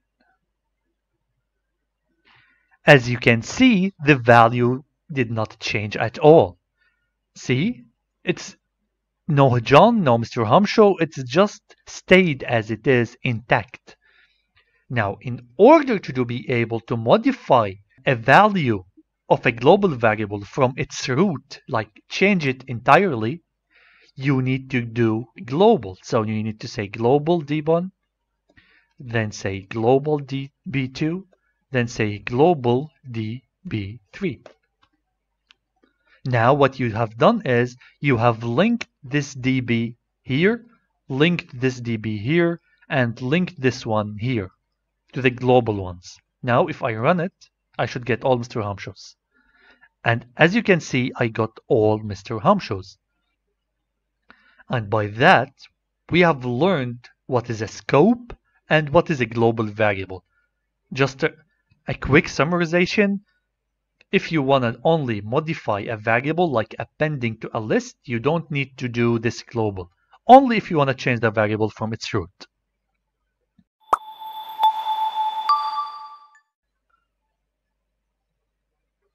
Alright, so we are continuing with functions. We are not done yet. We need to talk about return values. What are those? Well, our beautiful template here, having a define a function. It takes some argument or parameter and it does something and then we have our main. Okay. Sometimes we would like to send data from main to the function. We want the function to do something and then return a result back to my main. What could this be? Could be anything. I could create a very simple function here that maybe it will just multiply my, the number I pass by 7. So I would say, hey, argument is equal to argument times 7 plus 100. I could do an entire mathematical operation here and just say return argument. Now in my main, I have called func with number, let's say 6. And I assign it to a variable here. So what's going to happen?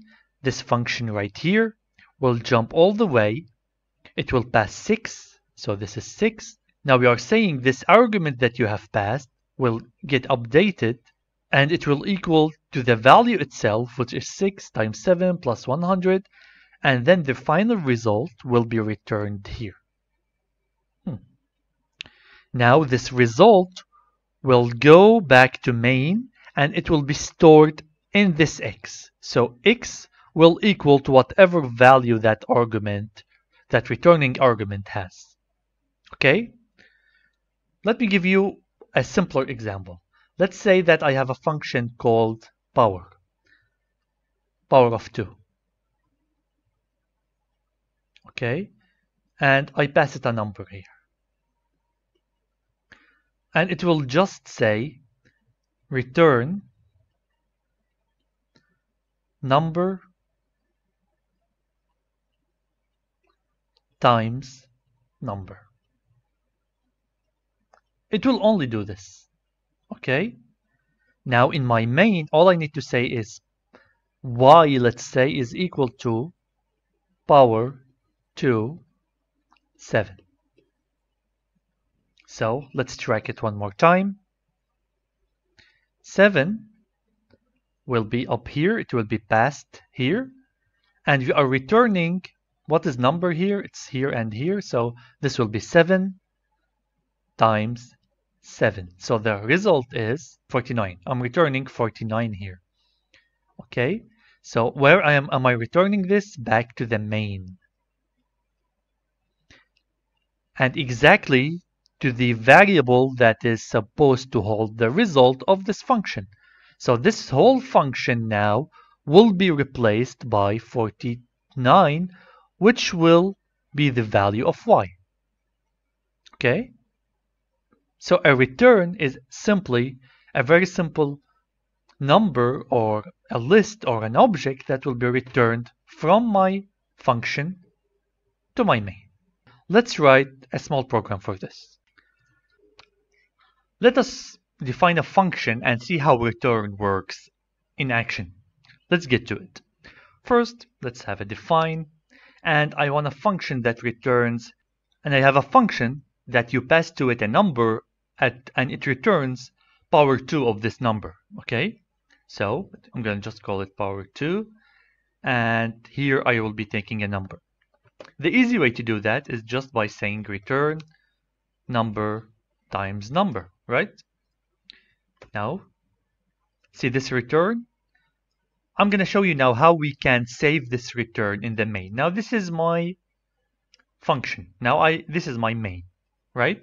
Everything in function will be under the function with a block indent like that. So if I have more code to write, I just write it all with the same block indent that is this space right here.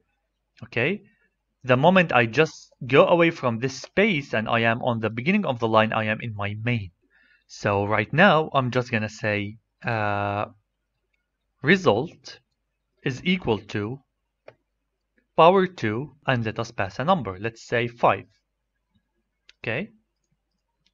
Now, if I just print result, I got 25. So what happens is this power is called. We are here and we are passing a number to it, which is num. So this 5 is actually this num.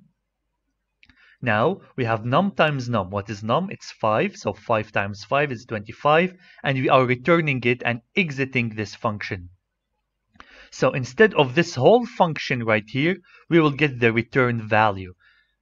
Okay, so right now, the return value is here and it will be assigned to result. Okay, so result will be 25. There is also another case where I can return multiple values. So let's say I want to return two values. First one is the power 2 and it equals to num times num. Okay. And then maybe I want to return something like the division of these two numbers. So maybe num divided by num. So all I need to do is just in return, I would say return bw2 and return diff. Okay, so the calculations are done here. Now I'm returning the result variables. Now in this case, I'm still need to, I need only to pass one number, that's correct. But returning will not be okay if we have only one variable because we have two variables to be returned. Now if I try to just run this, what I would get is the result being packed with two values, alright?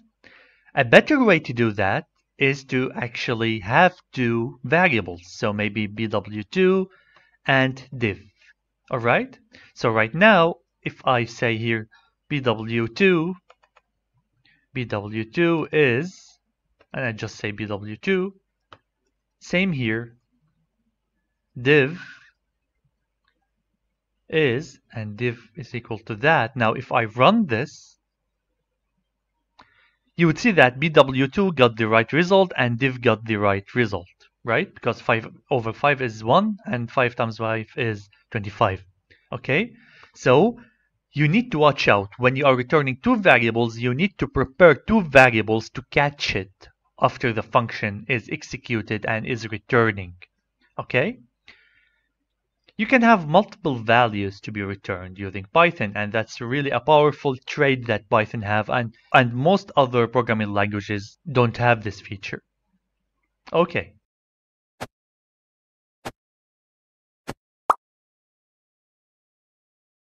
The section is going to be really, really fun because we are going to create a ping pong game that two players can play at the same time. This section is based on a library that is called Turtle. And Turtle is a very, very simple library that helps us create simple games like those we saw on the arcade in the 80s. So let's get started and code some turtle.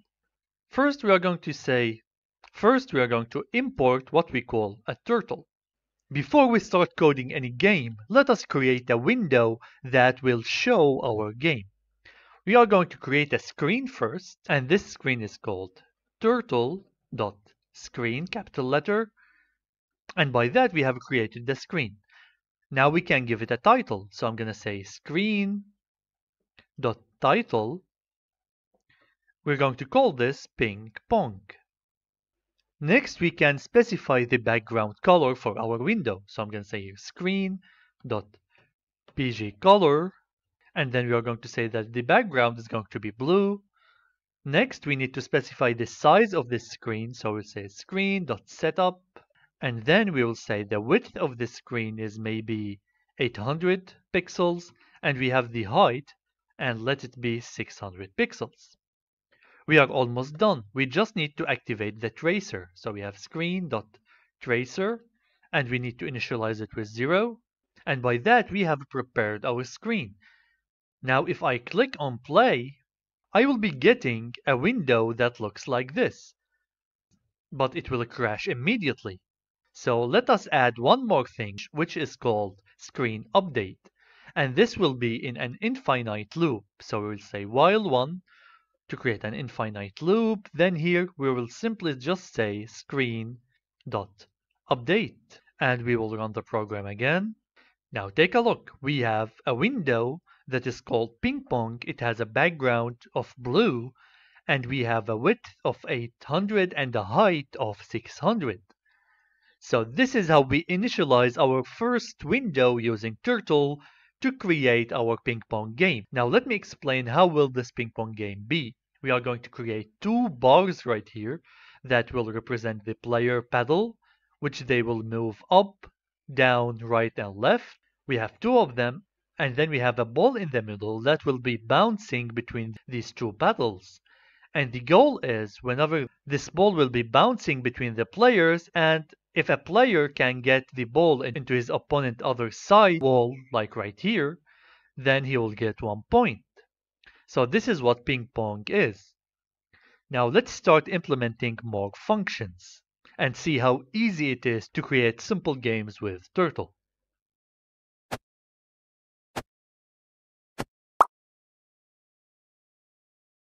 Now after we've done and created our window, let us create our first puddle.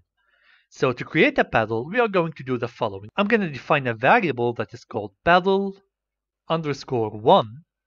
Okay, so this is for player one. And then we need to create an object that will be our paddle. The way to do that is just by saying turtle dot turtle capital letter. Now turtle is those objects that will be moving around the screen and we are creating a turtle object which will be our paddle. We can specify its shape, we can specify its color, we can specify its size and its position. So let's do all of those that I have just mentioned. First, we need to say paddle underscore one. And now we need to specify the shape. How do we do that? We just put a point, dot like that, and then just say shape. Now the shape here is going to be square. This will be my paddle one. Now, how about we choose its color? So I'm going to say paddle underscore one dot color, and the color here is going to be white. Okay? What's next? We need to specify the shape size. So we're going to say paddle underscore one dot shape size, and here we can specify what is the width and the height of this square. Remember, we are trying to create a rectangle that will be our paddle. So let us simply just say stretch underscore width is equal to 5 and the stretch underscore length is equal to 1. Okay, now let's see what's happening on the screen. If I try to execute this, I will be getting a rectangle like that that is white in the middle of the screen, but it does nothing. But this one has a potential to be moving around. Why? Because we created it using a turtle object. Now don't worry about these terms like object, because we will be talking about all of this in the object-oriented programming section. But for now, just imagine that you are creating a function of that turtle and you can pass to it a shape, color, and shape size, and you can do all of this stuff with it, okay? So as you can see, it's very simple so far. Now let's add more functions. How about we change the position of this rectangle? I'm gonna close this. The program will crash here. I'm gonna close, press this X button here so that we can execute again. And now let us specify the position. If I say paddle underscore one dot go to, which will specify the position, and then just say minus 350 and 0. What does this mean? The window we have will be divided into two sections. The width will be spanning between minus 400 until 400. If you add these up in the absolute value, you will get 800, right? Because we have 400 in the minus section and we have 400 in the positive section. So the screen will be divided into two sections. The height as well will be divided into two. We have plus 300 and minus 300. Okay, so let me illustrate this really quick to you. If this is my screen like this, and I specified that I want the width to be, uh, let's say 800, and the height to be 600 like that, then I will be having an origin point, which is here at zero, and here I will be having two sections, okay? This is the zero point, this will be my minus 400, and this will be my plus 400. Okay, so here the values are increasing from 0, 1, 2, 3, all to 400. And here the values are increasing minus 1, 2, 3, all the way to minus 400. Same thing for the height. If we go like this, this is my height. This is still my 0 point. This will be plus 300. And this will be minus 300. Okay, so the screen will have one, two, three, four sections. Okay, so right now I said that I want my paddle to be at the most left, which is at the minus 350. I'm leaving about 50 pixels margin so that we can let the ball go behind the paddle in order for the second player to score on the first player. So let me execute this really quick.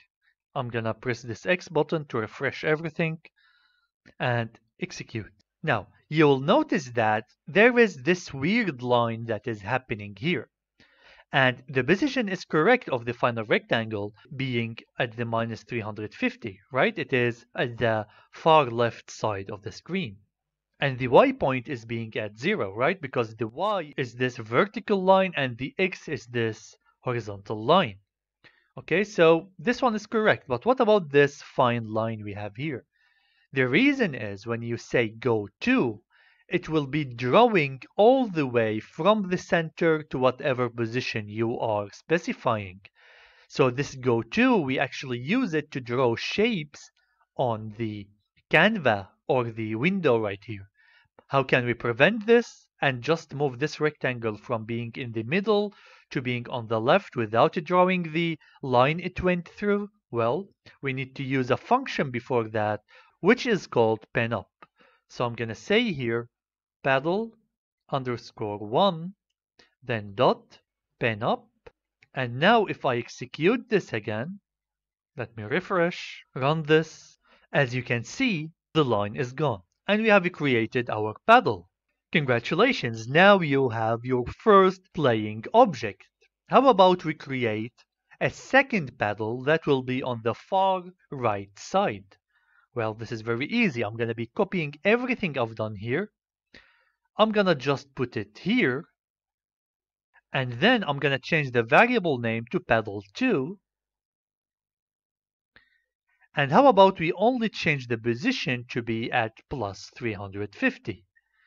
Let's close this, refresh, and run again. Now you'll see that we have two paddles on parallel sides of the screen. This is at 350, 0, meaning 350 at the x-axis and 0 at the y-axis, right? And this is at minus 350 and 0. Okay, that's really great. Next, we will be adding some functionality to move those pedals around.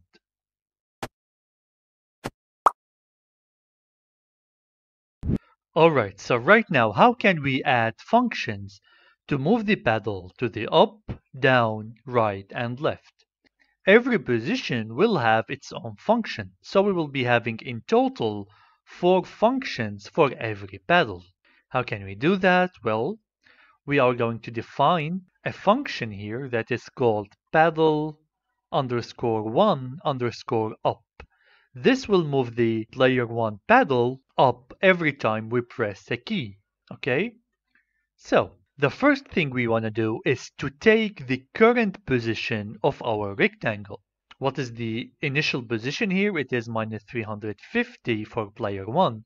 So when we call this following function, it's going to read wherever the paddle is on the screen at that reading moment. So I'm going to say here y is equal to paddle underscore 1. Then we will be calling here a function called y coordinate, meaning that I would like to read the y coordinate of that pedal. Why the y coordinate? Well, because when we want to go up and down, we are moving on the y axis. So up is a plus y and down is minus y. So first I would like to know where is it on the y-axis right now, where is my pedal? Then this will return a number. So initially this number will be 0, right? Because we are looking at the y coordinate. This minus 350 is for the x, the 0 is for the y. Okay, so what happens next? What I would like to do is, after I read it, I would like to change the y coordinate into a new coordinate. So I'm going to say y is equal to maybe y plus 10. So I'm going to be moving this 10 pixels whenever I am moving up. So this whole object here will be going up 10 pixels on the y-axis. Is that it? No, we have defined a new step. Now we need to set it or confirm it and send it to the paddle. How do we do that? We just say paddle underscore 1, then we say dot set y, meaning give y a new value. And then we pass it the y value. Okay? And that's it. By that we can move the paddle up. Now we need to link this to a key, right? Because right now, yes, we have a function that will go up, but what is the key that we should press in order to execute this function? We need to call the following. We need to say screen dot, it is the same screen we have created at first, and we will call a method here which is called on key press. Meaning whenever I press a certain key, I want you to do the following. What key is it? Well, let's say when I press W, I would like to go up. So here you specify, hey, if you see me press W, call the function pedal one up. Okay? So here I will be passing this function name pedal one up and I will be linking it to this W key. So I press W, pedal one up will be called and it will be executed. There is one more thing that we want to call which is called the screen dot listen meaning that the screen will be listening to your keyboard to see if you press any key. Now let us test this quickly. I'm gonna close the previous program, click on this X right here to refresh the environment, and then we will execute one more time. Now take a look, if I press W, we have an error here, let's take a look. Yes, this is a function actually that we did not call. We need to pass parentheses because we are calling a function right here. Now let's try again. I'm closing this. Let's refresh the environment and let's run it. Now if I press W, you'll see that the pedal is going up and this is what we expected. But here is the catch. If I continue pressing W, you'll see that the rectangle will go out of the screen. We are going to solve this issue immediately. Let's close everything, refresh the environment, and here we will be setting a condition. What is this condition? Well, we're going to say if y is larger than. So let's give the paddle a space to move to the top. What is the height here? It's 600, so meaning 300 up and 300 down. Now notice here if I say if y is larger than 300, meaning that if you see that this paddle is trying to exceed the screen, then what I would like to do is say paddle underscore 1. Then we're going to say set y to 300. What does this mean? Remembering that we are, whenever we are pressing up, we are increasing this y by 10 and setting a new y. Now if we calculate and see that y is over 300, I would like to set y to be 300 and never increase at all. Now 300 is the wrong value and I'm gonna show you why. Even though it is the limit of the screen, this is not the right way to do it and let's see why immediately. I'm gonna run this. If I try to go up, you'll see that we still exceed the screen but we stop right here. Why is that? Because we are not accounting for the height of our paddle itself. So a better way to do it is to take is to take the maximum height we can have minus some margin. Let's make this 240 instead of 300. Now let me run this again, reset the environment, and rerun. Now if I go up, you'll see that I stopped here. So I just left a small margin over there at the top, and that's it. Now we are moving up correctly. Let's reset this. Now, same way we did this for the first player, we are going to do the same thing for the second player. We will say here, paddle 2 up is equal to y equals paddle 2. Okay, same thing, y equals y plus 10. And same thing at the y right here. Everything is just the same, but here we need paddle 2 instead of paddle 1. We also need to assign a key for the second paddle. So we will say here screen on key press and then paddle 2 and here we need to say up. Up like that, meaning that when we press the upper arrow on our keyboard, the second player is going to move up. Now let's test this. Now if I press the upper arrow, you'll see that it is moving. I'm pressing the W as well at the same time and now both players are moving up and stopping at the boundaries we have specified. That's really cool. Now we have two objects moving on the screen using our keyboard. This section is all about dictionaries, and no, it's not similar to the word dictionary we know of. This is a data structure that is very similar to lists, but it can be more organized than lists. It can hold keys and value, which is super helpful when we are trying to create small databases to store our information. Don't worry, we will be explaining all of that in details, so let's get started. Let us now start a new topic, which will be dictionaries. Now, dictionaries are similar to lists, but they are more of an advanced data structure. A dictionary can have two parts. One of them is called a key and we have a value.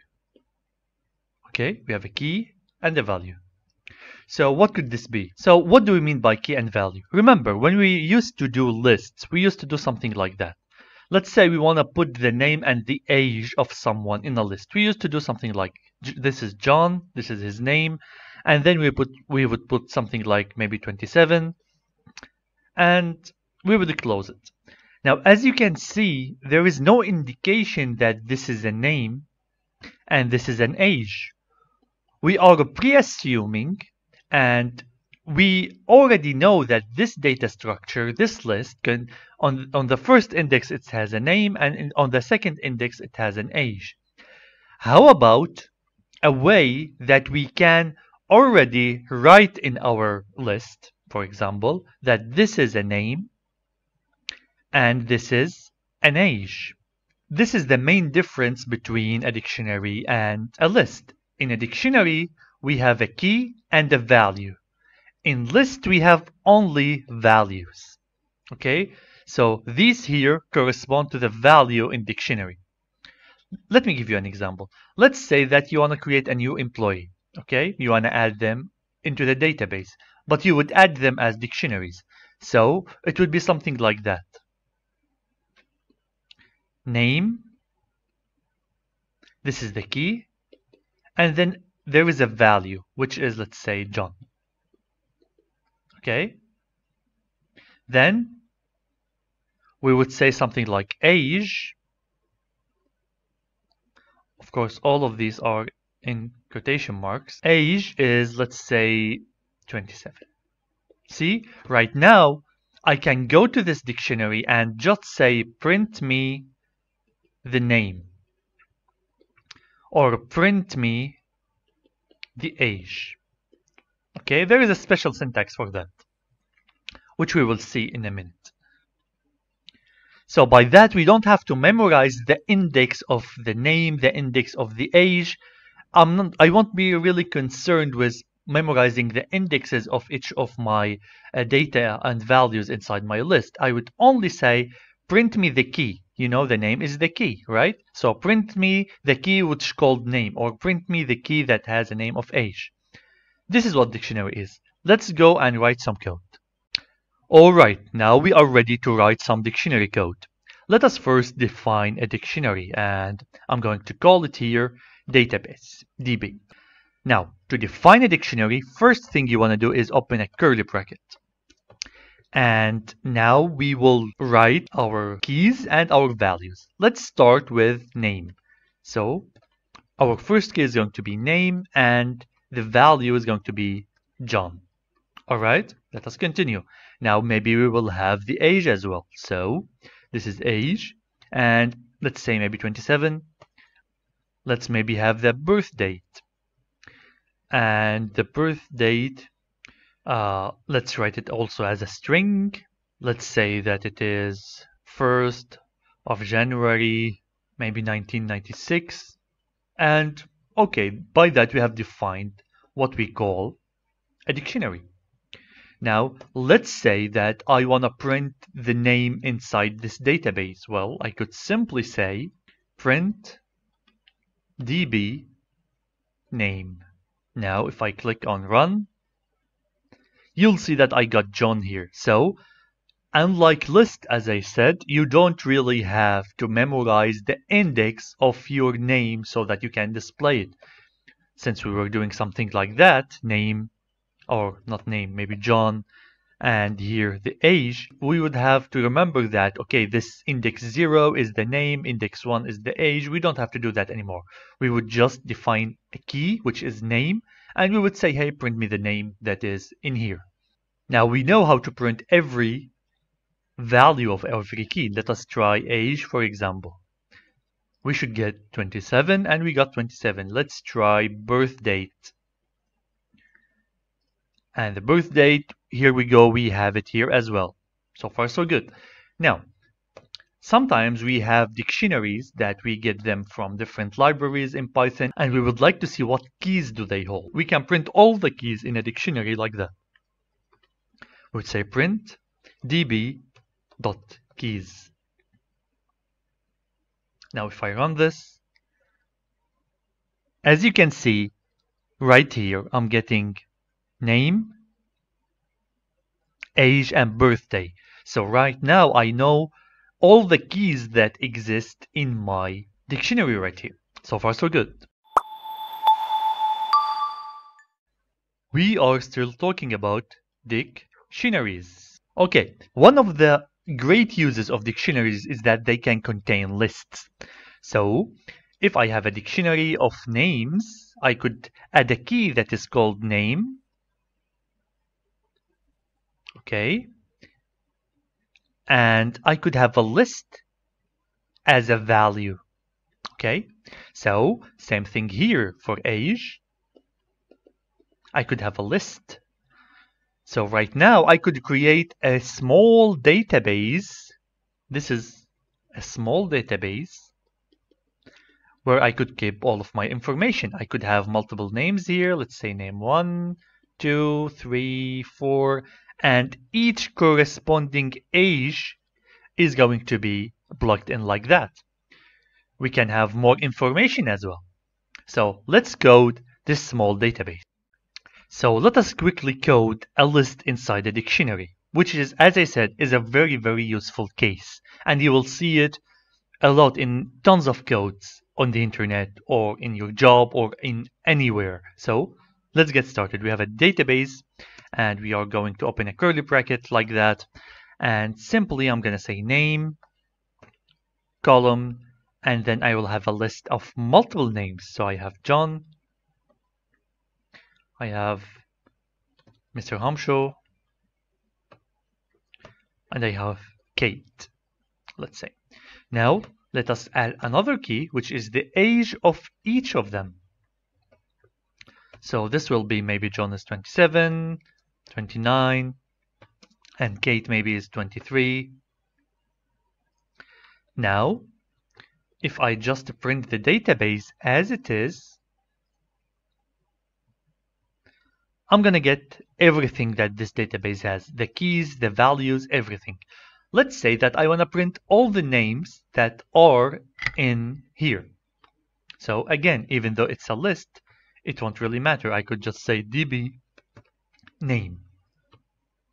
And as you can see, I got John, Mr. Hamsho, and Kate all inside the list. Now, what if I want to print a name and the age next to it? So all I need to do is name and then add the index. So I want the first name. So since this is a list, actually, it has the same indexing we have learned before. So this is index 0, index 1, index 2. So same thing now. If I just say db age 0,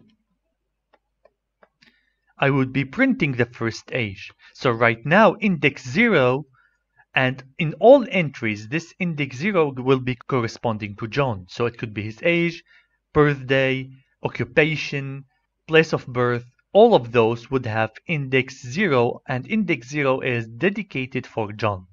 Okay, so if I run this, I would get John 27.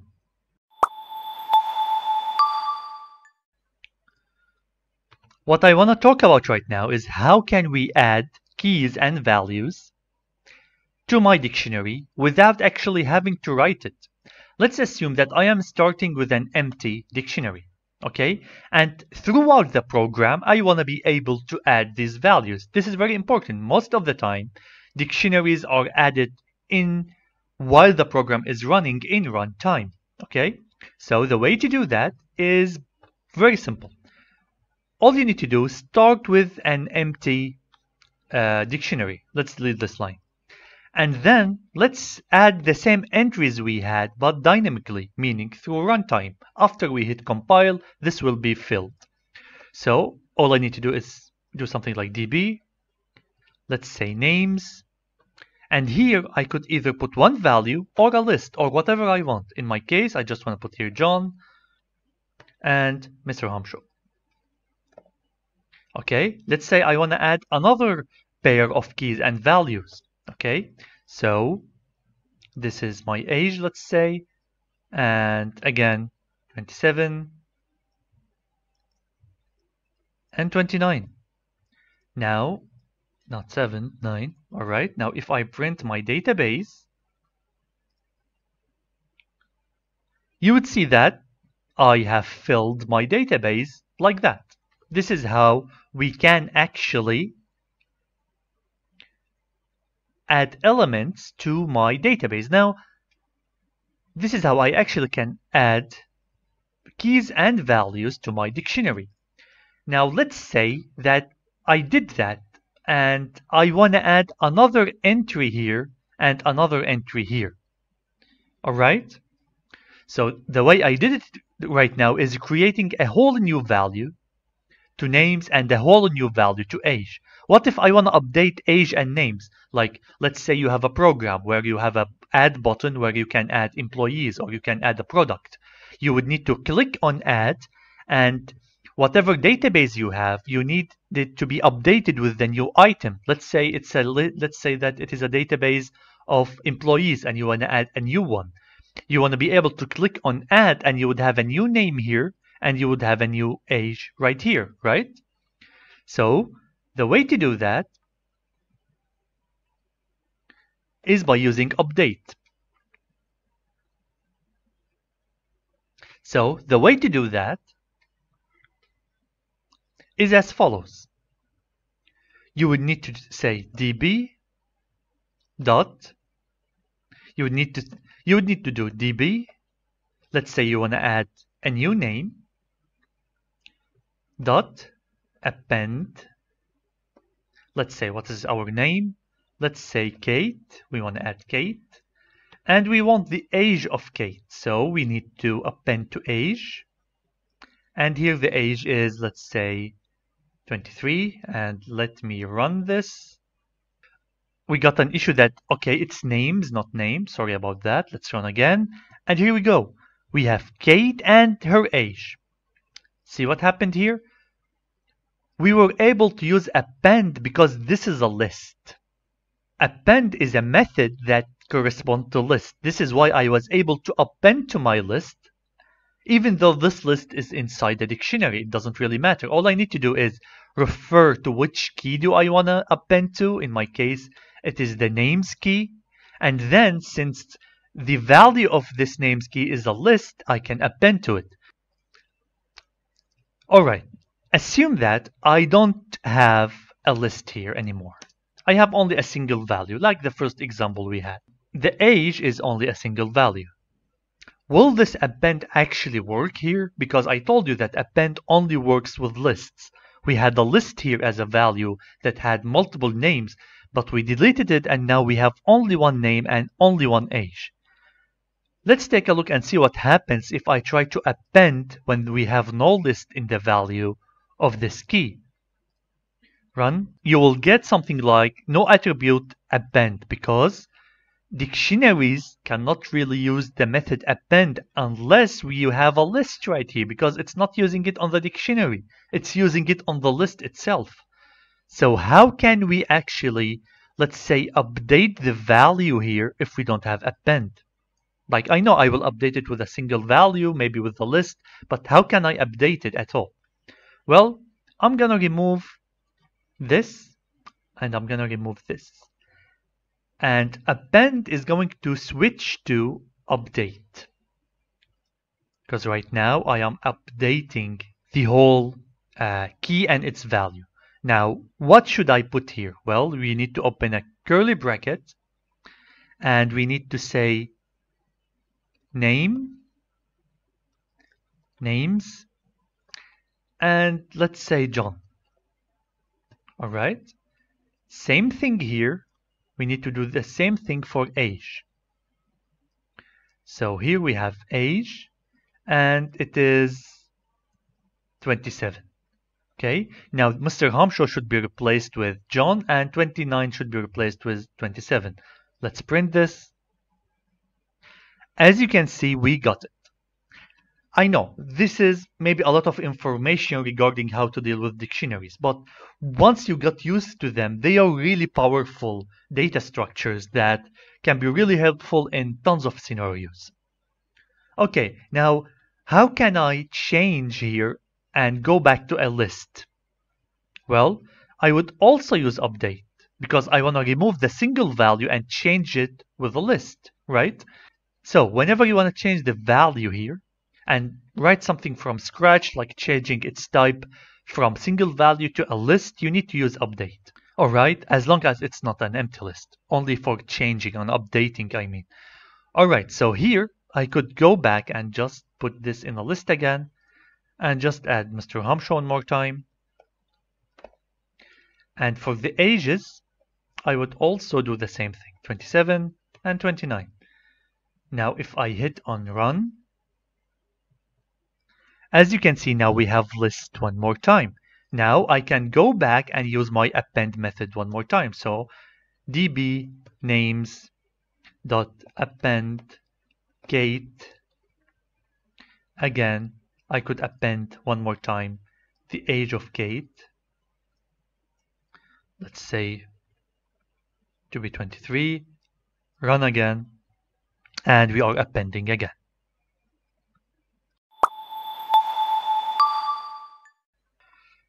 How about this? What if I want to delete one of my keys? Now we learned how we can append them, but what about deleting them?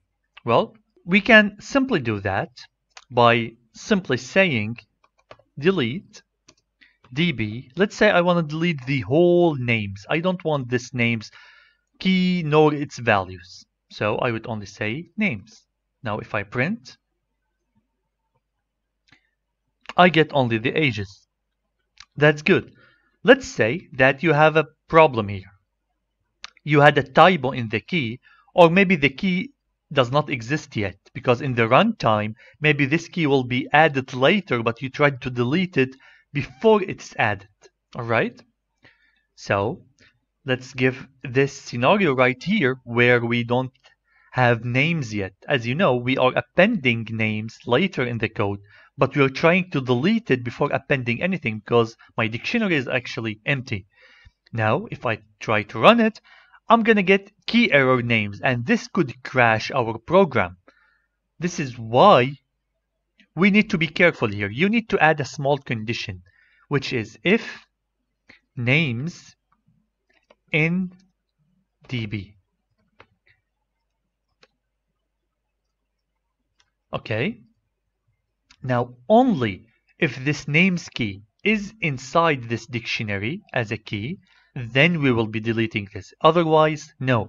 Now, if I try to run this again, we won't have any runtime errors and the program will execute even though the key does not exist. I still want to talk to you about dictionaries. But this time, I'm going to be talking about how can we delete a list element inside a dictionary. Hmm. So we've seen before that we had a dictionary that had a key, let's say it has a name, and we had a list of names, name 1, name 2, name 3, name 4. And we have learned how we can actually delete a whole key and just remove it totally. But in most cases, especially when I have lists, what I want to do is I want to delete only a certain element from my names. Let's say that we have a supermarket and a certain product is not used anymore. I mean, we are not actually bringing it in the market or buying it from the supplier anymore because maybe it's discontinued for any reason and I just want to remove it from my database. Well, of course I'm not going to go and delete the whole names, right? It makes sense that I only delete this small element. But in Python, we need to do some tricks to do that. First of all, we let's say that we are using these indexing techniques where we have, let's say, multiple data, let's say price, and item 1 has a price of $2, item 2 has a price of $3, this is for $7, 1, 2, 3, and the last one, let's say it is for $17. All right, so every element actually is connected to a price. Now what I want to do is I want to delete this whole group. Remember, this all of these has index 0. All of these have index 1. All of those here index 2. And all of those have index 3. Alright, I want to delete one of the indexes. So how can we do that? Well, we would like to get the index of a certain name. This is actually very simple. So the steps are the following. Step 1. Get the name of the element. Name of delete element. Which one do I want to delete? Alright. Now, step 2 is to search for the index of that element. Search for element index. So there is a function in Python actually that will bring me the, the index. 3. Delete this index for all keys. So let's say we have two keys. I would delete this certain index from my keys. Okay? So first, locate it. Let's say this is uh, tomato. So the name is tomato. Check which index it is using a function because maybe it's not in index 0, it could be in index 100. So the function will go search for this tomato and give you the index of it. Finally, we will apply delete index for all of our keys. Let's see how we can do that in code. Let's say I want to delete John from the database. So I need to delete John and his age. Well, the way to do that is by first locating the name. I want to delete John. So I would say db names dot index John. It means that go to db names, we went to db names, and get me John, this is John, and get me his index. His index is 0. Now I want to store this index here in a variable. Let's call it index. All right. Now we give the name, step 1. We got the index, step 2. And step 3 is to actually delete it from all the keys. So what I'm going to do is delete db names and then index. Now I want to do the same thing actually for my age. Now if I run this, John is not in the list. Okay, because here John is a capital letter. All right. Let's run. And as you can see now we have Mr. Hamsho and age. That's really great. Now you might ask, what if I have a 100 key? What can I do? Should I write delete key, index, delete key, index for every single key? Well, that's not really practical. Mm, this is why it's time to learn about iterating dictionaries using loops. Let's do that.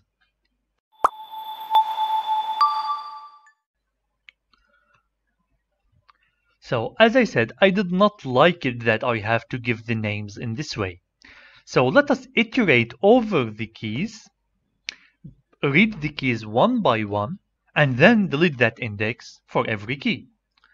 So I'm going to delete these for a second, and I'm going to say for key in db.keys. Alright, I just want to show you something. Now if I say print key,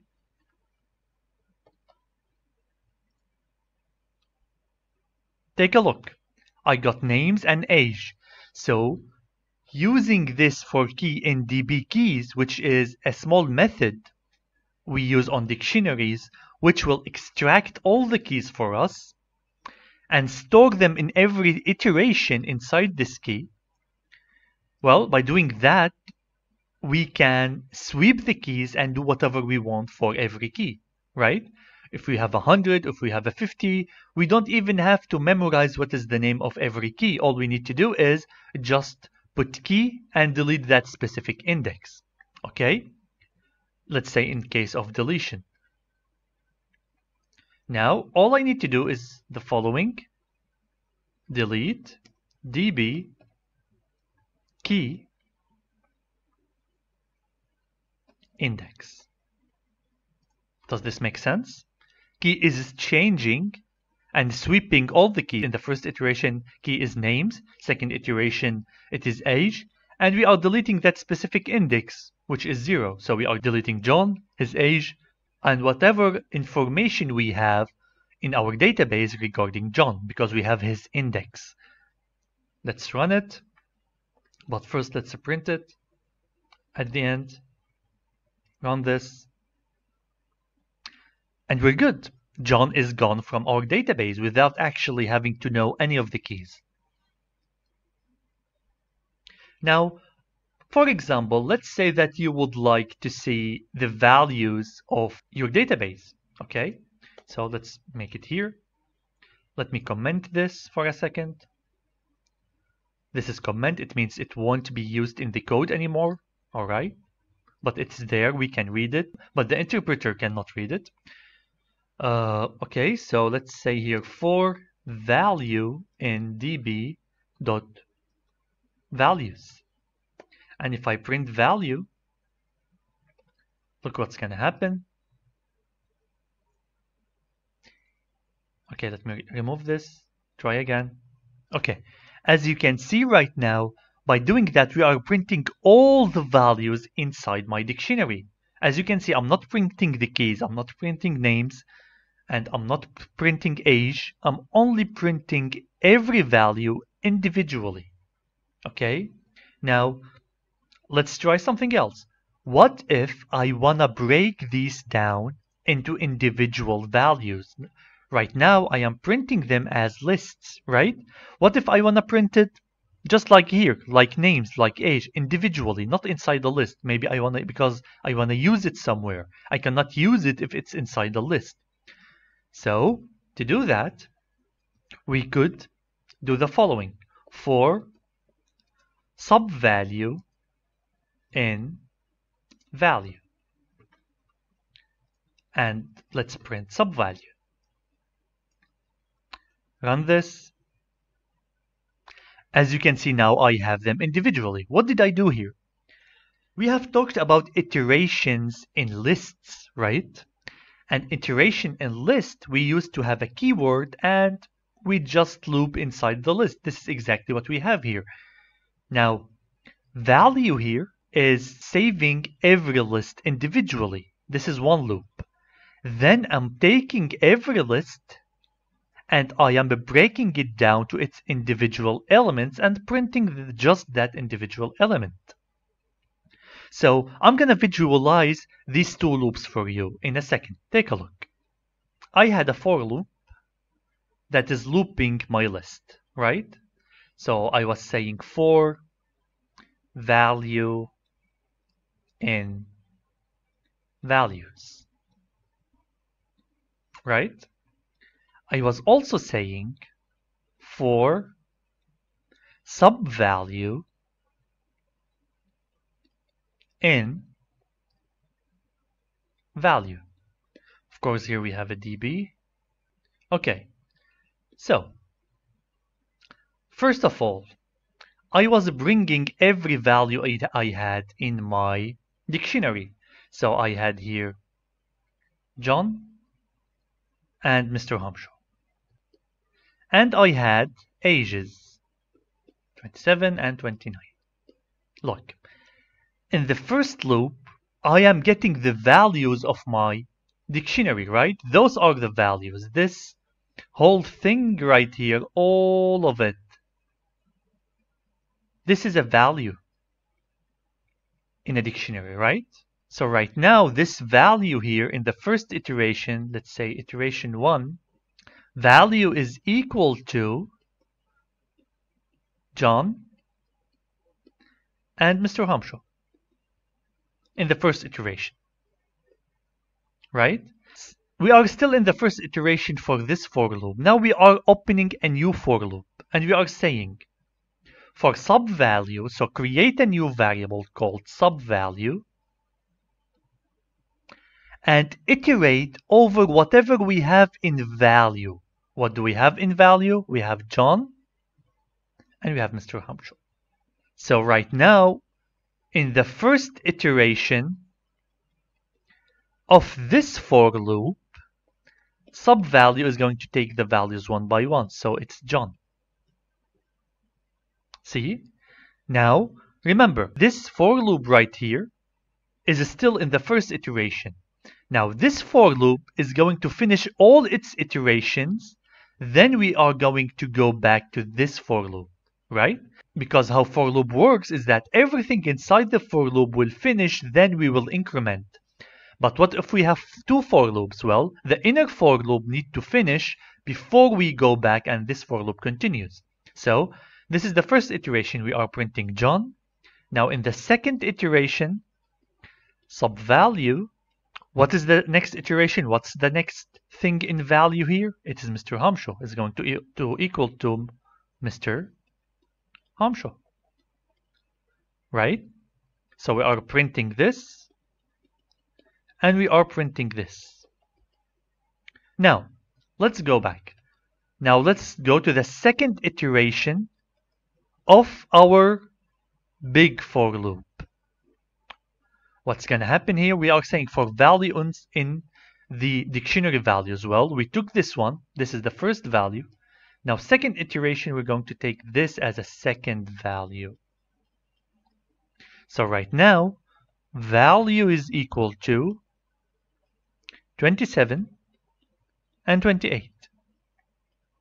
Right? Now we are going to continue and we will jump back to this for loop.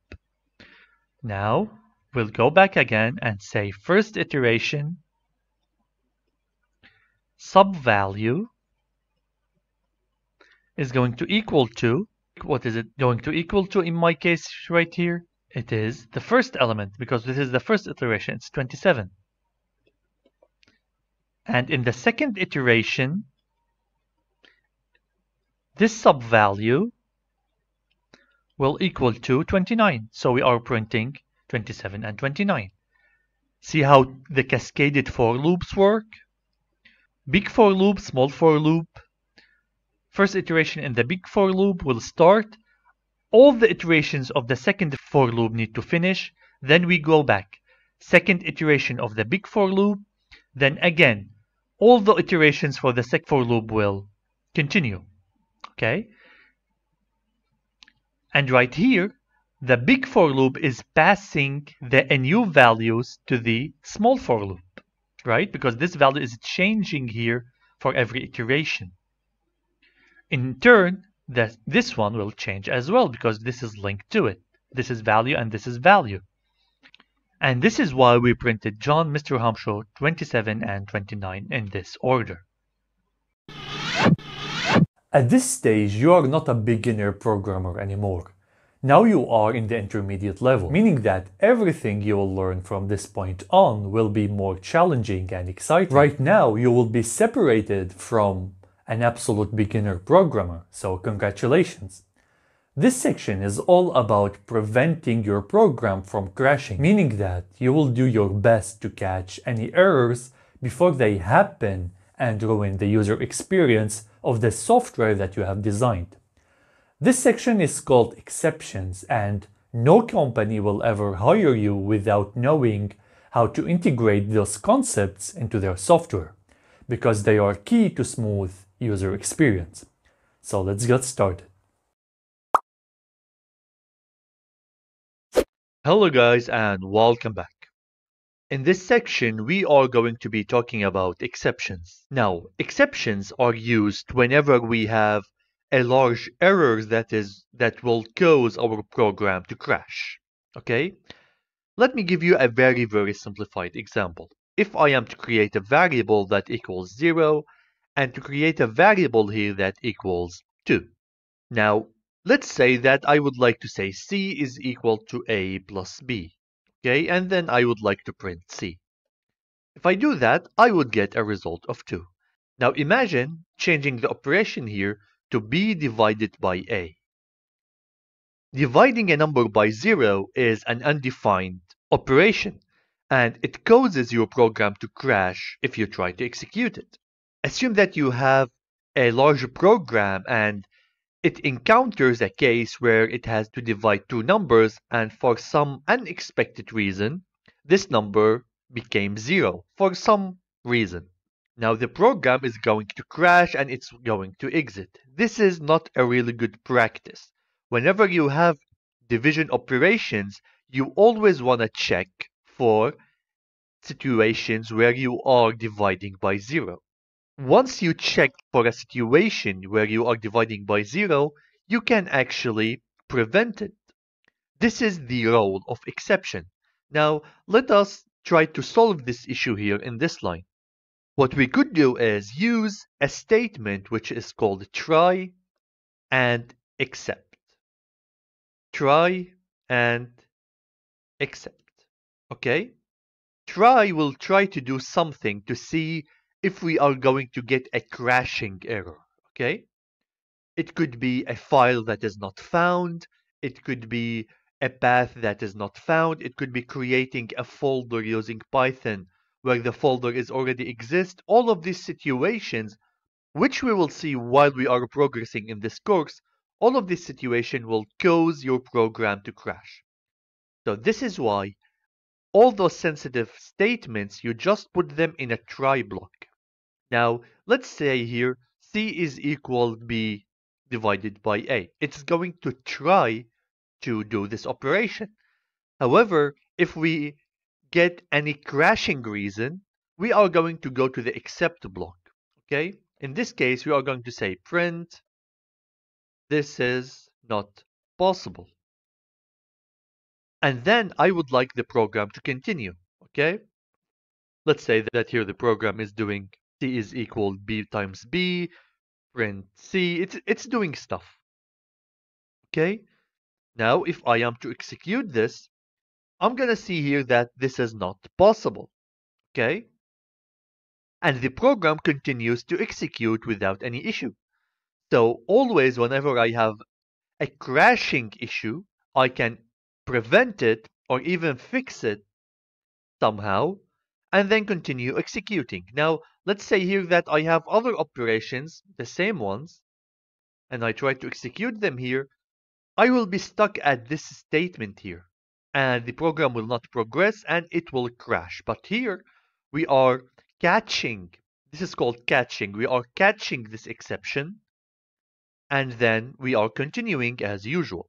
So this is the whole intuition behind try except.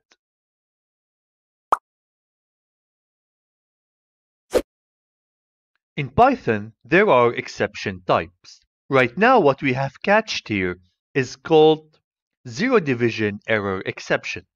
In order to distinguish it between different exceptions, like let's say name error, we need to specify this right here. So we need to say zero division error. Okay? Why I am specifying this? Because there are other types of exceptions as well. Let's say, just for example, that here I am trying to divide c is equal b divided by x, and x is not defined anywhere. This is called a name error because the variable is not defined. You might ask, where would I be in a situation where I won't be defining a variable and using it? There is tons of examples, especially when you are working with more complex structure like object-oriented programming. Sometimes you want to create an object or a variable, you can think about it like that, only in a certain cases. So if these certain cases are not met, this variable won't be created. And sometimes in your code, you might want to use that is not yet created. And in these cases, you would like to catch these issues by catching name error. We will demonstrate name error later, but for now, let's talk about this zero division error. Now we have specified that I would like to catch this zero division error specifically, okay? So if I execute this, we catched it in except. Zero division error was catched, and here this is not possible is catched. Now assume that I said here I want to catch name error. And I execute this. As you can see, we did not catch division by zero because here we were only trying to catch if we are dividing by zero. Okay, so it's really important as much as possible that you specify exactly what you are trying to catch. Okay, now if you go to the Python documentation and type exceptions, let's do that together. Let's say Python exceptions list, for example and we go into built-in exceptions, we go all the way down here, we will see all types of exceptions that Python supports, and there is a lot of them. There is one of them that's called file exist error. When we will be talking about OS library, we will be using these exceptions. When we try to create a folder, for example, and this folder already exists or this file already exists, we are going to get exceptions like those. File does not exist, file not found, file exist error, file not found error. I mean, you can read those and actually see what does Python support. Now let's talk about the name error. Let's say that we have here a is equal to 10, b is equal to 2, and then I try to say c is equal to a divided by x. Okay, now Naturally, when I execute this, I'm going to say, hey, name x is not defined. Now, simply if I say try, and then here I say except, and then I say name error, okay, and print variable is not yet oh, variable is not yet created, you'll see that I'm not crashing anymore. We can continue here the program. Let's say c equals b times b, print c. The program will continue as expected. So now it goes on like that. It's all the same. You type what type of exception you want to catch and you catch it. Or you can just try to catch a general exception. This works as well. But it's important to know the type. Why am I emphasizing the type? Because you want to know how to handle this exception, right? Let's say here that you know that you are dividing by zero. Maybe in this case, all you need to do is jump with the program to a different place, right? Like instead of dividing b divided by a, you can just bring another variable that you would like to divide in such cases, right? Because of course in the logic of your program, of your software, you already know what is the second case if this case does not work, right? Maybe you would like to initialize a with 1 in that case. So let's say here, except division equals 0, you would say a is equals 1. Then here you would say uh, something like c is equal b divided by a. And then you would like to print c. So if we continue and remove this statement, for example, you'll see that now the program continue executing with a different a value. Okay, of course we need to execute this first. Of course we need to specify here initially that a is equal to 0 and b is equal to 2. Now if I execute it, you'll see that we got this is not possible and we found a different way to execute it. This is why I'm telling you you need to know the exception type to know how to handle it. Let's say here, if the variable does not exist, maybe you would like to jump with the program to a different place. Maybe you would like to bring in a different variable, like let's say i is equal to 3. And here you would say, hey, in this case, if x is not yet created, I would like to say c is equal to a divided by i. Okay? And then you would like to just continue. And you continued with the program, but with a different branching. Now we are going to learn how to use the else keyword with exception. Okay? I'm going to copy this whole program one more time and just put it here. Right now, we are checking if the variable exists. If the variable does not exist, I would like to divide it by i. However, assume that the variable already exists and I did not go to except. Alright? I would say else I would like to do something. x is equal to 100. Okay? And here I would like to print x later. Alright? Now, if we try to execute this program, we will be getting an exception that variable is not yet created. Okay, now assume that I already have x, so x is equal to 5. Alright, now I would like to try to divide this t a by x, it will be successful, and then I would like to assign x to be 100. So if I execute this, I will get 100. What I'm saying here is try will try to execute. Alright?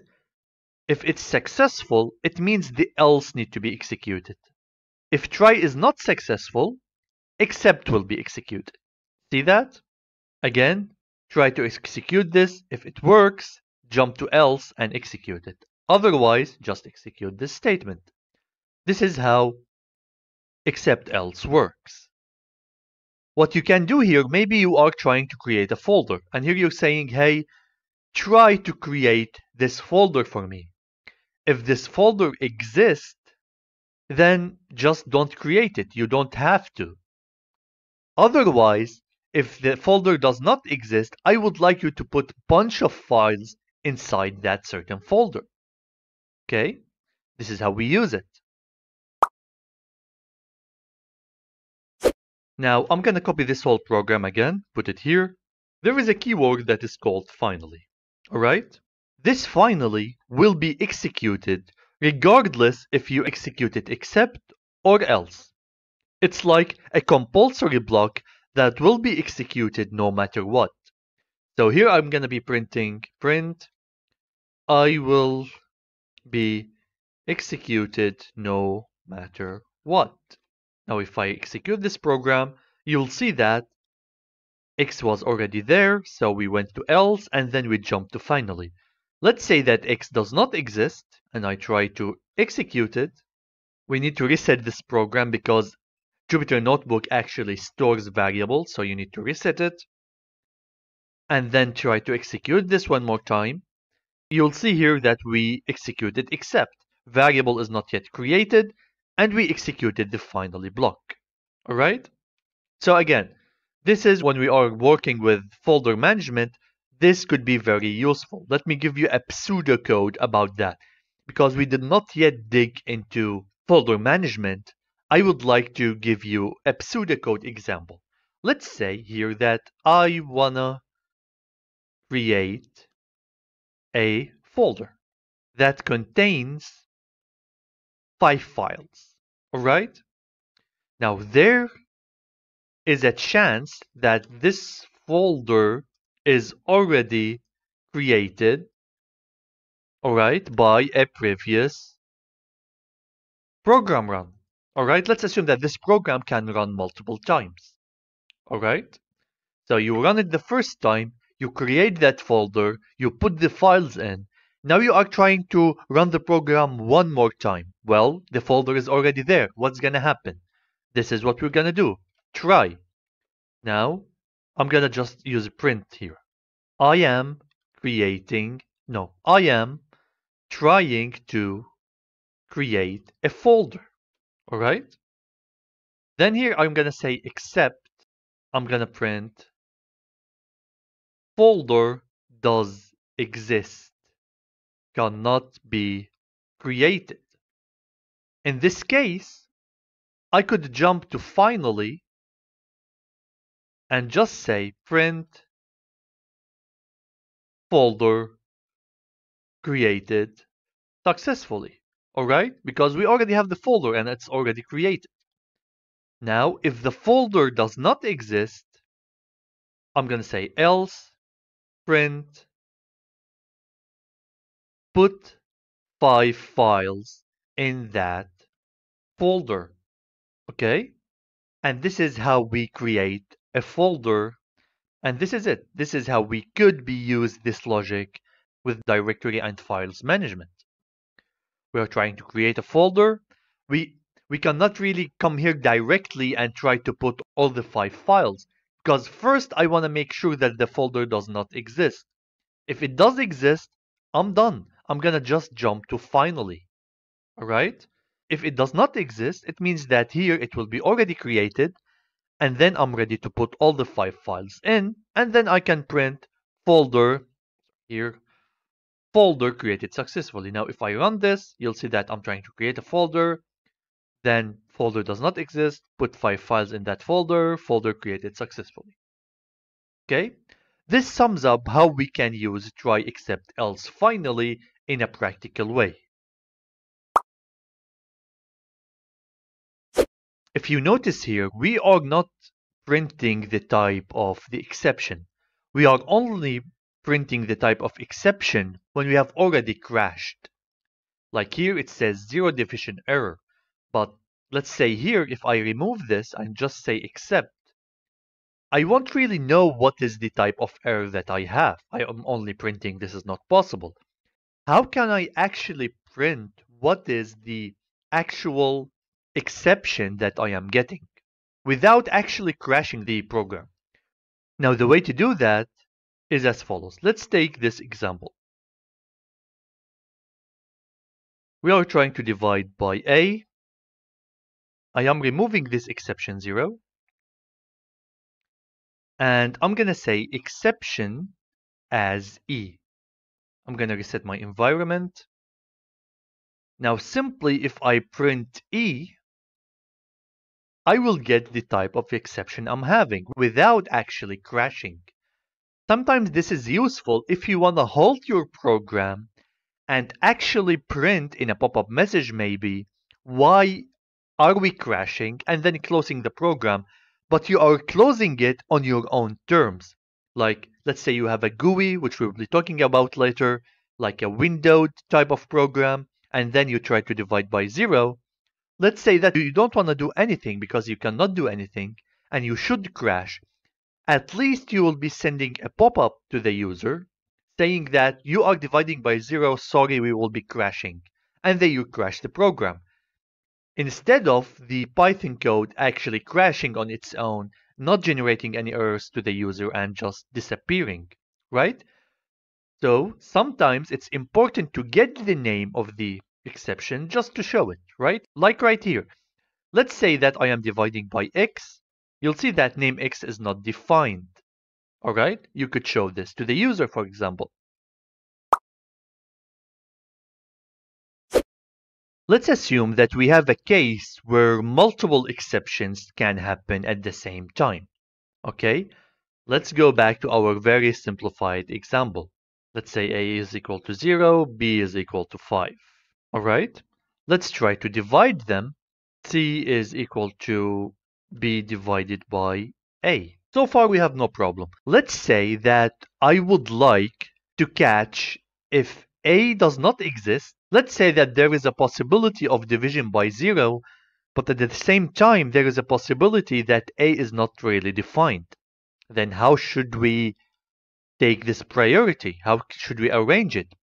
We can actually type multiple exceptions under each other. So here I could say except what do you think is a priority here? The variable does not exist or division by zero. Of course, if, the, if, if a variable does not exist, I cannot in the first place assume that it is zero and divide it, right? So priority here is name error. I want to make sure that my variable does exist. I'm going to print here variable does not exist.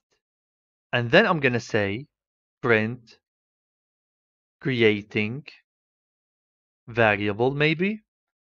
And then he will I will say a is equal to 0, a is equal to 1 maybe, and then I will say c is equal to b divided by a. All right? This is the first one.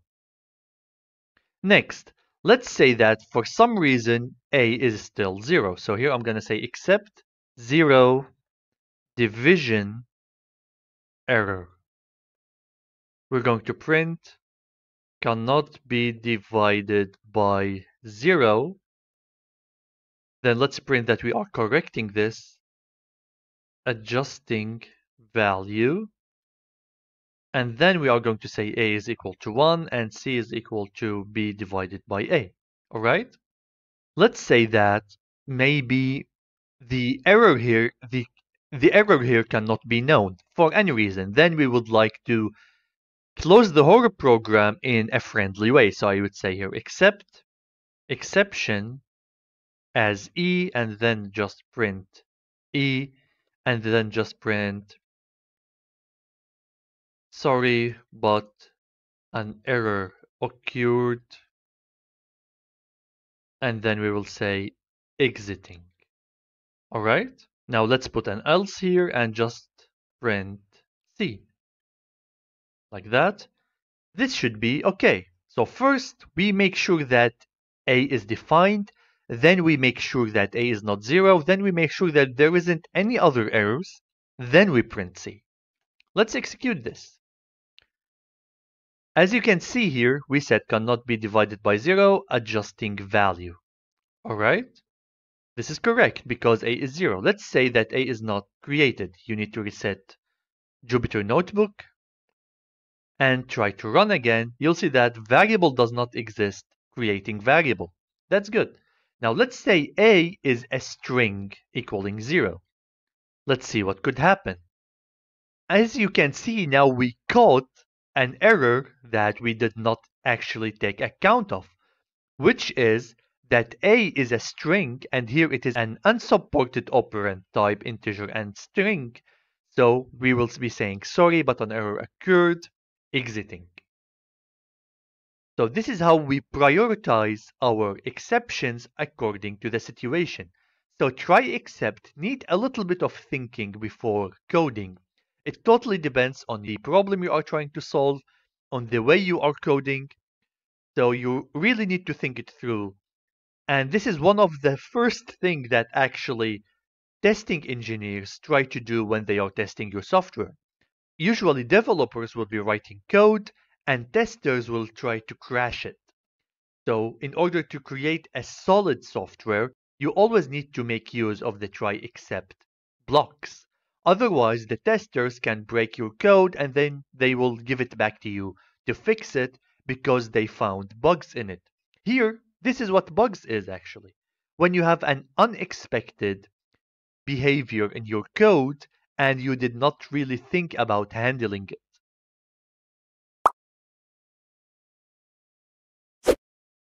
Okay, now let's get a little bit more advanced in exceptions. Sometimes we would like to create our own exceptions to use them in our program. The way to do that is by utilizing a little bit of object-oriented programming, which we have talked about in previous sections. And when we are working with customized exceptions, we would need to raise the exception ourselves because the program because Python is not actually programmed to be giving you to raise exceptions that are not built in, right? Because you just added this exception and you need to tell the program that, hey, this case is an exception, so please don't crash it and just generate an exception. Now, let me clarify what I'm talking about in few codes of line. First, let's create a customized exception. I'm going to say here class and call it whatever you want. Let's say customized or just custom exception. All right. Now this needs to inherit from the class exception built in in Python. So you all you need to do is just pass exception. Okay. And say pass here. You don't want to do anything with this class. All right. So now you have a class built in Python called exception and you are using this customized exception to inherit this base class. Okay. This is the first step. Now it's time to implement your actual exceptions. We're going to say here class. What kind of exception would we like to do? Let's say if a certain element does not exist in a list, I would like to raise an exception. Let's say that my use case requires such an exception. I'm going to say here element does not exist. This is the name of my exception. All I need to do now is pass the name of my class here, okay? Meaning inheriting from it, which is actually inheriting from exception. But I would like to create a class of my own that I would like to inherit from, okay? You could actually here write directly exception. That's totally okay. But what I would like to do is to create a class of my own, all right? So this is the first exception. We're done. All you need to say here is pass. Again, let's create another one. Let's create an exception when my first element is smaller than my second element. Okay? So I'm going to say here first element is smaller than second. All right? And again, we will be inheriting from our customized uh, exception and just say pass. What did I do here? I created two exceptions of my own. That's it. This is how we do it. Now let's use them. Let's say that I have a list that equals 1, 2, 3, 4, 5. Okay? And I want to raise an exception if number 3 is not in it. So I'm going to say here, try if not 3 in L, meaning check L. If 3 is not in it, I would like to raise an exception. I'm going to say here, raise this is the keyword. You need to trigger the exception yourself. Now you raise it. Which one? Element does not exist. Meaning we are triggering this exception. Now, after you raise it, you need to catch it. How do we catch it? Like we catch any other exception. We say except and put the name of this one here in order to take an action. Let's say the action here is only a print statement that is saying element does not exist, raising a an exception. All right, let me recap. We create an exception if an element does not exist. We have a list. We use a try except. We are trying if this element does not exist. Since this is not a built-in exception and we have created it ourselves, we need to rise it. Okay, after we rise it, we catch it, and we do whatever we want as a handling. Let's try this. Initially, we're not printing anything. So let's put an else here maybe and say success element exists. And as you can see, success element exists. Now let's remove number three from the list. You'll see that we write an exception saying element does not exist, raising an exception. So this is a customized exception. That's good. Now, how about we check if the first element is less than the second element? So here, we're saying if not 3, rise an exception. We can continue. We can say elif L0 is less than L1, then I would like to rise another exception, which is this one. I'm going to say here rise this exception and what do we do after rising? We catch it. So we'll say except. This is the exception name. Print. First element is smaller. Rising and okay. Now let's execute this. You'll see that we tried the first one and we accepted. So we just said, hey, element does not exist. There is no need to execute the second one. Now let's say that 3 is there. We will see that we raised this exception because first element is smaller than the second element. And, well, we did not print the succession. We did not print the successful operation message. Okay, so this covers all the important aspects about exceptions. This very small section will walk you through some Python built-in functions. You'll see those function a lot when you are reading professional code written by professional developers. The Lambda function, for example, is similar to a regular function, but you don't really have to define them outside of the main. They are just defined on the fly, maybe inside a loop. So let's have a look. Okay, so now I will be talking about something called Lambda functions. We have talked about functions before, but what is a Lambda function? Well, usually we would define a function like this. We would say def, let's say the function is called x, and then we will be passing some parameters to it. And then here we have some logic, right? and maybe a return value. So this is what a usual normal function is.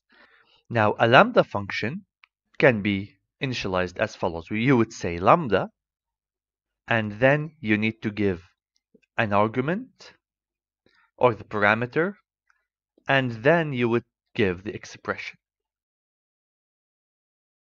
Okay, so what does this mean? Argument correspond to the parameters here we are passing to the function. And an expression is actually whatever we write right here. We don't need to do the def. We don't need to, we can create this within our program, our main program maybe. What do I mean by that? Let us take an example. If I simply create a variable here called x, and let's say that x will be holding a lambda function. So here I would be saying lambda. We, as we said, we need lambda, argument, and expression. Okay, let's say we are passing x to this lambda function. Now it's time to say the expression. What would we like to do with this x? Well, maybe I want to return x divided by 10. Okay. Now simply if I say print x 100 or 50 okay now if I run this you'll see that I got 5 so this is a lambda expression the equivalent way to do that is just by saying hey define let's say xx instead of x. And here we will be passing a parameter to it and then we will be saying return parameter divided by 10 okay? So now if I pass xx here I will be getting the same result. So this is a normal function and this is a lambda function you might ask why is this useful it will be useful when we are talking about maps, when we are talking about filters, sometimes in list comprehensions, we will be taking some examples that you would see around when you are reading Python code. Because Lambda is one of the important features in Python and it's important to learn it, so let's dig into some more realistic examples. Okay, so right now we will be talking about maps and filters which come hand in hand with Lambda functions. So this lecture is about Lambda, filters or filter function and map function. Alright, we have talked about Lambda. Now what is filter? Filter is actually a function that takes the following. It takes a function as an argument and it takes a list. And it is going to filter this list according to some criteria and according to the rules of the functions we are providing. What do I mean by that? Usually, let's say that you have a list and it contains uh, characters. Some of them are empty, and some of them contains letters maybe. And let's say you would like to get rid of all the empty entries right here. See, this is an empty string that we don't need. And this happens a lot actually when you work with text processing. So how would we filter this? We could use for loops, right, to iterate over this list, check if there's an empty entry in the list. This could be done, but we can do this actually in a way more simple way using lambda and filters. So since filter takes a function, it only makes sense to use lambda function instead of writing a separate function, right? So maybe we would write a rule like lambda, and we pass an argument to it, and we say x does not equal to an empty list, okay? We've talked about lambda that it takes an argument and an expression right? So we're saying here that, hey, I have a lambda expression and any entry in this list should not be empty, right? Now, let's say this list is maybe called uh, L. So here I would be passing L. And this will be my filter function. As you can see, it took a function and it took a list. Now this is for filter. What about map? Well, map takes the same thing.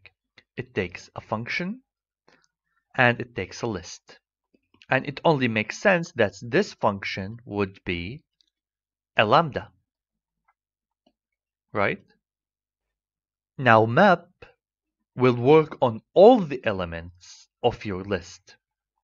See, right here, we were only working on the elements that meets a certain condition, right? So we are filtering out some elements, we are throwing out some elements, we are keeping in some elements depending on this condition. But with map, we will be working on all the elements equally. So what do I mean by that? Let's say that I have a list that is equal to numbers 2, 4, 6 maybe. And let's say that I will write a lambda expression that will multiply everything by 2. Okay, just as an example. So this will be x, x times 2. Okay, this is my expression. Now I can pass a list here, which is my L, and I can say, hey, map. So we will be iterating over all the elements and multiplying them by 2 according to my lambda function right here. See? There is tons of applications for maps and filters which when you are implementing your project, it will only make sense that you replace your for loops with those functions. So we have talked about list comprehension before, which was compressing a for loop if you want to work with lists. Same thing for maps. It is about mapping. If you have a certain array, you can change the whole elements of that array using a lambda function without using for loops. We have talked about filters, which is about filtering out your list according to a certain condition without resolving to for loops. So let us code some examples now.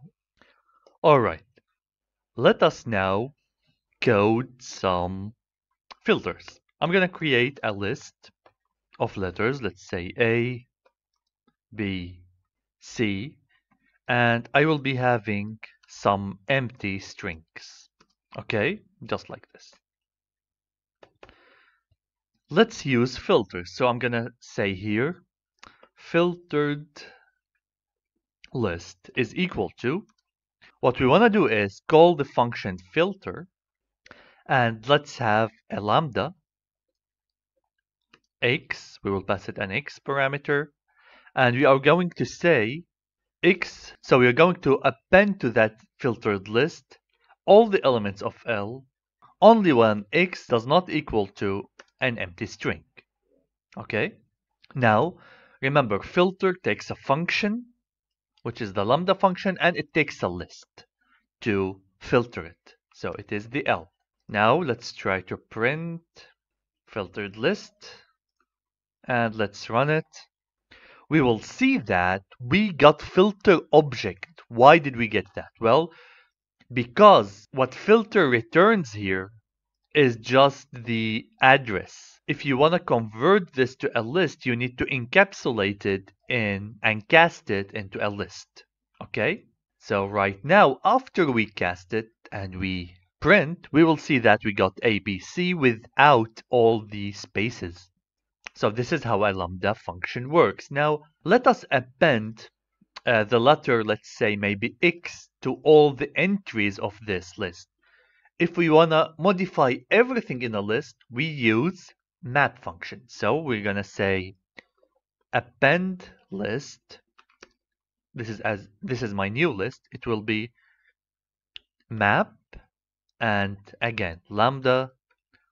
We will pass it an x parameter and we will say x plus let's append the letter d okay? Let's not append x let's append d. And then we need to pass it a list which is l. Now let us print this append list. And we, again we will be getting map object at a certain address. So again we need to cast this to a list and print you'll see that now all the entries of the list are appended the D letter. All right.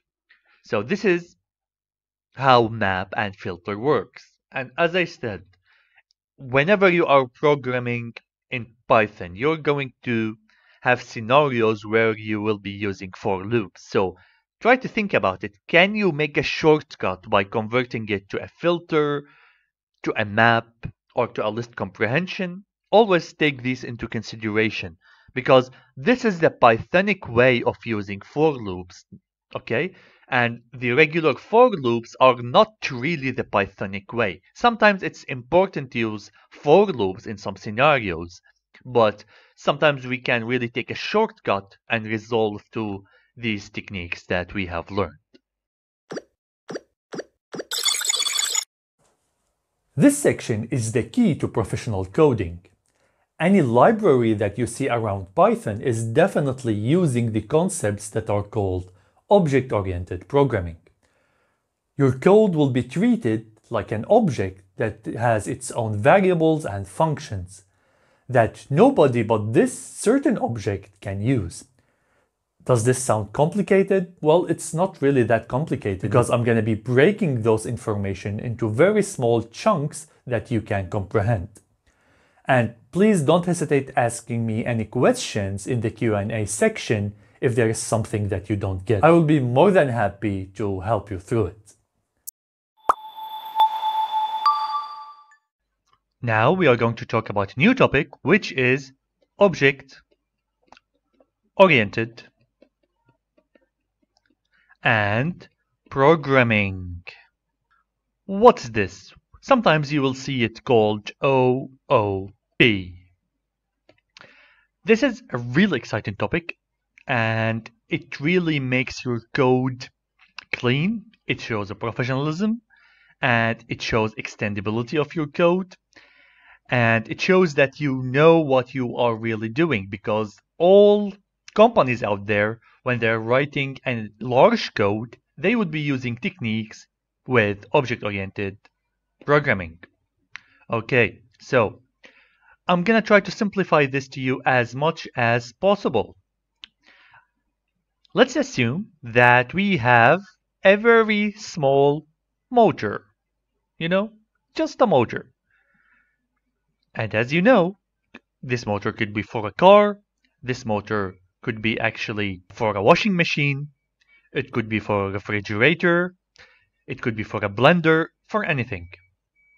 Now, a motor can either rotate clockwise or anti-clockwise, alright? And this motor has something to control its speed, okay? So you can easily change the speed of mo this motor and rise it up. Okay? So this is speed, this is time. You can just simply increase the speed, as you can see it's going up, of this motor. So this is motor control. So what are the main functions we collected right now for this motor? One, turn it on. Two, turn it off. 3 rotate clockwise which is part of the on as well right? And 4 rotate. Anti-clockwise. And number 5 is change speed. Okay? So we have five functions. What does this even have to do with object-oriented programming? I'm going to tell you in a second. Let me give you a clean page. Now we are going to create something called the class. This class has two main things. One of them is called property, and it's just a fancy name for a variable. Don't get too confused. Next is methods. And just so that you don't get confused, these functions. Okay? So it has its own functions and its own variables. So let's say we have a class called motor. This motor can have properties like on button. It could have something like an off button. It could have something like switch direction button and maybe it has a function to change speed or a method. Because maybe changing the speed needs to be a little bit special right? Okay.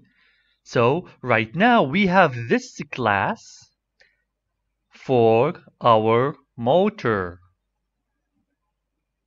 This is a general class. Now let's say that I have multiple motors I'm trying to control from my program. Okay, as simple as that. Let's say I have a washing machine motor. Let's say that I have a mixer, a blender motor. And let's say that I have a fan motor, something simple. Okay, now, instead of writing the functionality of every single one of these and calling functions and calling and creating multiple variables. Now, this class is like a type. You know how we have types like lists and dictionaries? Well, we can have types with classes. So we're going to say motor, like create me a new motor. And this motor is going to be a mixer motor. And create me another motor. And this time this is a fan motor. Okay. And let's say I want to turn on the mixer. Okay. If I want to turn on a mixer, all I need to say is now mixer motor dot on button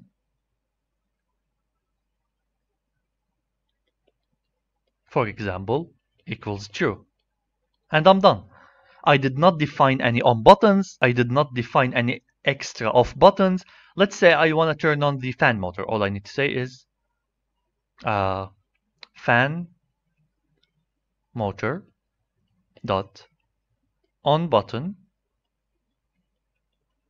equals a true. That's it. See how simple is that? Now I don't need to write multiple variables. I don't need to do anything. I just define one object. By the way, this is called object. You know we were saying object-oriented programming. This right here is an object. This is an object from the class that is called motor. Okay, so this is object-oriented programming. I have summarized to you now the most important aspects of object-oriented programming, which is classes and objects, and methods, which are functions again, and properties, which are variables. Now, let's go and implement it in a code. Alright, now we are ready to start with object-oriented programming. So, as I mentioned, we need to create something called a class and this class is going to be called motor. Now mm-hmm. we need to define something called constructor. Okay, so this constructor can help us initialize this class. We'll talk about that in a minute. So the way to do that is by saying def double underscore init double underscore. Initially, I'm going to leave it empty. So if I just type pass, it means that I have a constructor, but it won't do anything. I'm going to leave it as like that. Now, as I said, we're going to have multiple functions. One of them is called turn on. What will this do? It will turn on the motor. Also, I'm going to leave initially everything empty. Okay. So initially, I just need to print something like motor is on just to debug. I'm not going to do any functionality yet. Next, def turn off. Again, I'm just to be printing motor is off. Okay. Now I know in the examples I did not create those turn on and turn off functions when I was explaining and I created them as a variable. Actually, we will be creating a variable for the status of on off, but the one that will do the on and off are functions or methods, as they are called in object-oriented programming. Next is the speed. So we have change speed. And simply speed changed. And finally, change direction. Change rotation direction. And again, we're going to say print direction changed. Okay, so this is how we create a very simple class. Now, if I try and compile this, nothing will happen. Now, let us create a new fan motor. I'm going to say fan is equal to motor. Now fan is an object from the class motor and it has all its properties. So simply if I say fan dot turn on like that, and I hit on run, I would get a type error at the init. Well, there is the thing that I want you to understand about classes. Every class need to be passed something called self.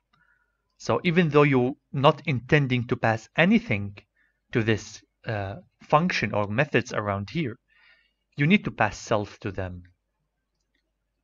like that. Now, passing self, it is, in a simple words, uh, it's like making all of these functions shareable with this class motor. So right now, through this definition init, you can access any of those functions. Through the turn on function, you can access any of those other functions. Now, those are not regular functions. I mean, if, for example, let me remove this for a second. If I say turn on, like that, and I hit on run, I'm going to get that there is no function called turn on because these functions are only defined in the scope of this class. So in the main function right here, there is no access to them unless you do the following, unless you create an object from that class, and then you can call these functions with respect to that object only. This is why self makes all of these functions instances from this class motor. In simple words, all of these functions can see this class and can see each other once you pass this self.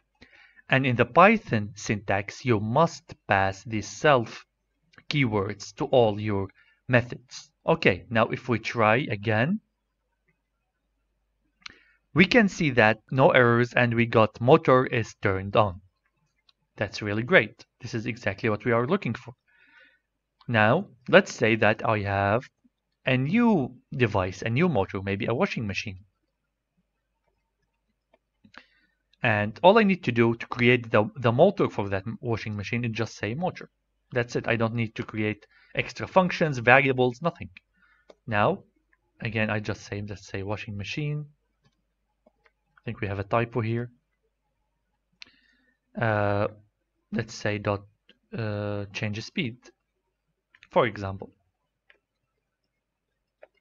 Now, if I just hit on run, nothing will happen because I forgot the parentheses. Now let's try again. Speed is changed and this speed changed for this washing machine.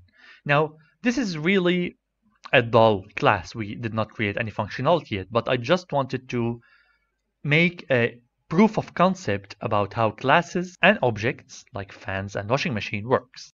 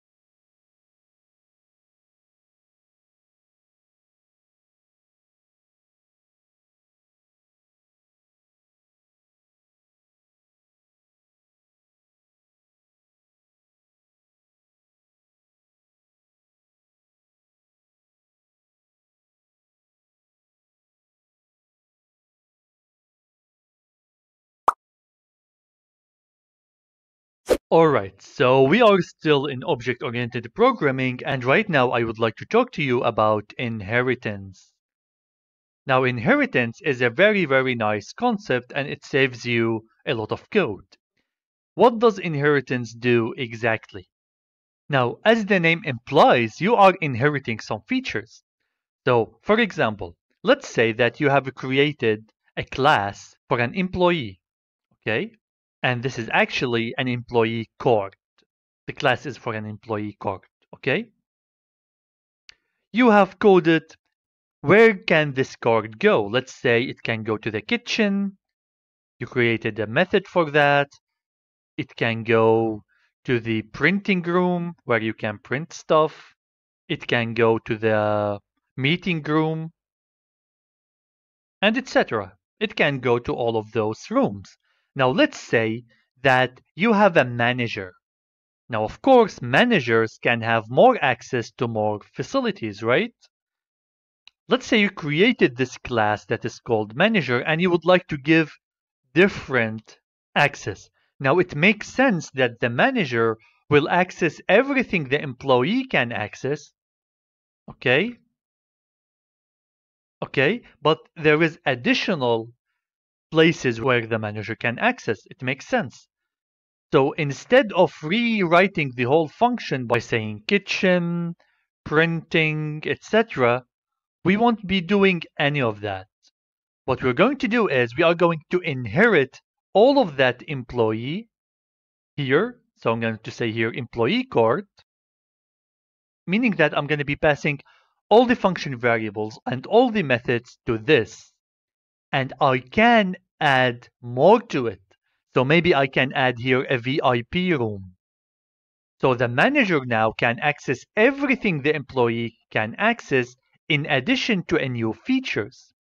So this is what inheritance is. You take a class that has certain functions, you take all of its functionality and you can also add to it. You can even override some of the functions here, like to change its functionality right? So it saves you a lot of rewriting when you have similar classes. So right now, let us code inheritance. First, I'm going to create a class called employee.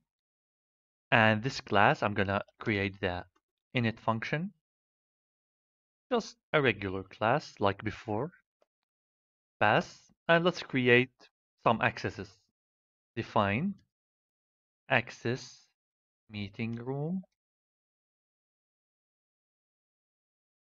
Pass. Let's leave the functionality for now. Fine. Access to kitchen and access to personal office. Let's add pass to here as well.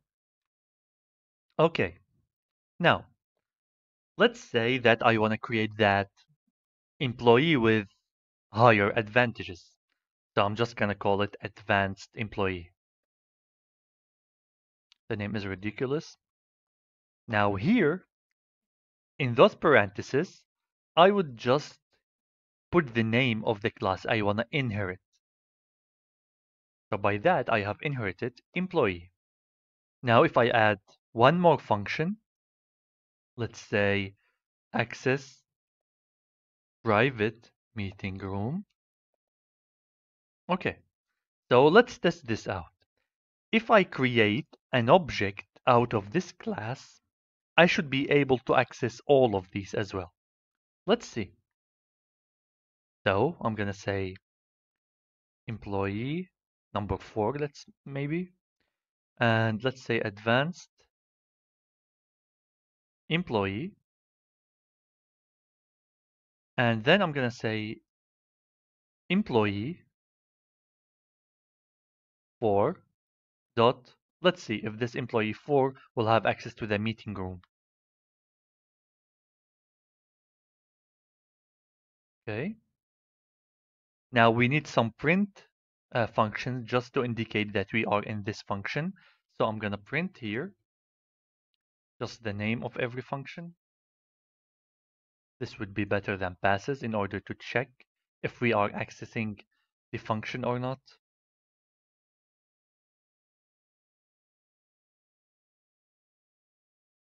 And here as well.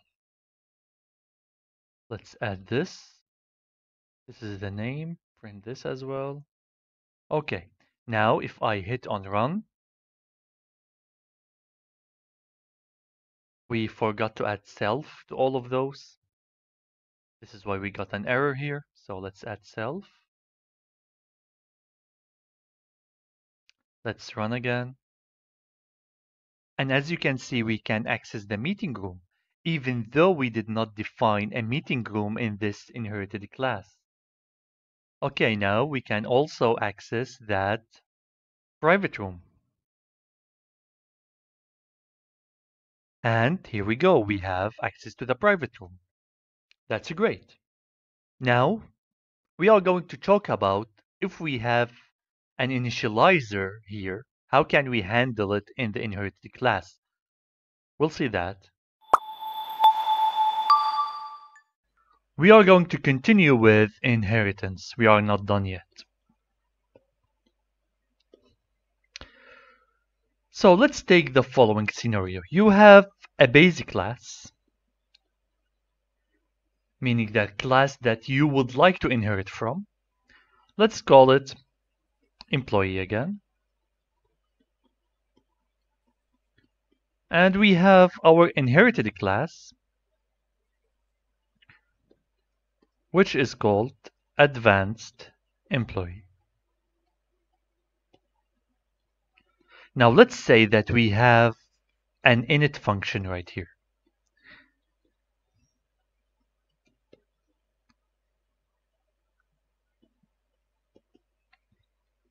And you know, in the init function, we can create class variables that we can access, right? So let's say it will be something like name, age,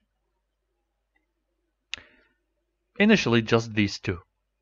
Now we said that the moment we just pass employee like that, we will be inheriting from this class, right? From the base class that we have. This is inheritance. Now, every class can have its own init. And let's say I would like to add more variables to those in my inherited class. So if I come here and just create a def, a function that is with the same name, which is the init, as my base class, which class will be taken? Which function will be used? Is it this one? Is it this one? Well, the answer is the moment you write a function that has the same name in the basic class, you'll be overriding this one. You'll be overriding the method or the function in the basic class, and you will be using the method in the inherited class. So this will win. But wait a minute, if I have like eight variables, let's say, in here, would I have to rewrite them again? All of them here? Well, you're really not supposed to rewrite everything, right? So there should be a way to do that. And the way is by using the super keyword. Now with the super keyword, if you say super init like that, what you would do is you are saying, I want everything that was in here to be also copied here. Even though I have the same function, the moment I write super and I add the name of my function, what I'm doing is I'm taking everything that was inside this init function and I am bringing it here. So by that we have overcome the problem of if we override this base function with a different init, what would happen to all the class variables? Well, we can also copy them by adding this super. Now there is a little bit more into it. Let's say that you would like to add one more class variable to this inherited one. Okay? So if I expand this a little bit, the, these parentheses would have, let's say, a, a new class variable called maybe business number.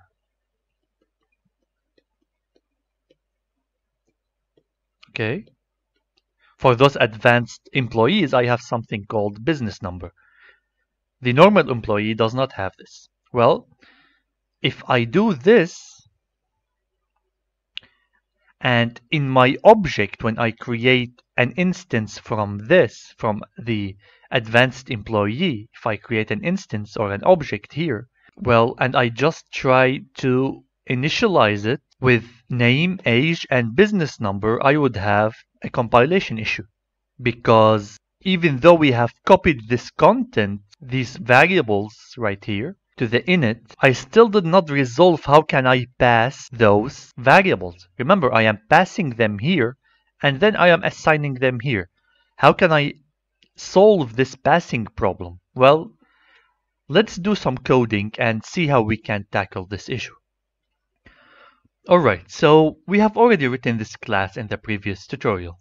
To, to sum it up, we have an employee, we have a constructor, it's still empty, and we have three um, access authorization.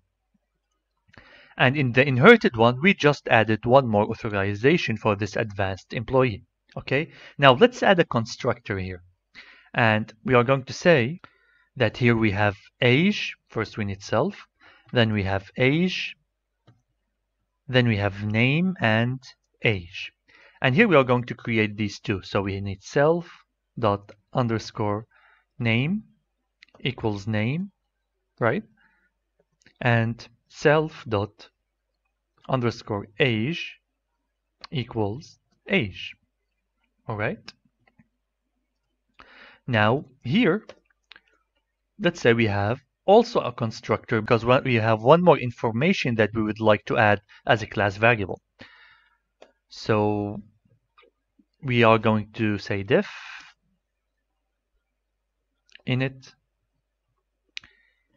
and simply here we will say self. Let's say I want to just add one more trade which is business number. Okay.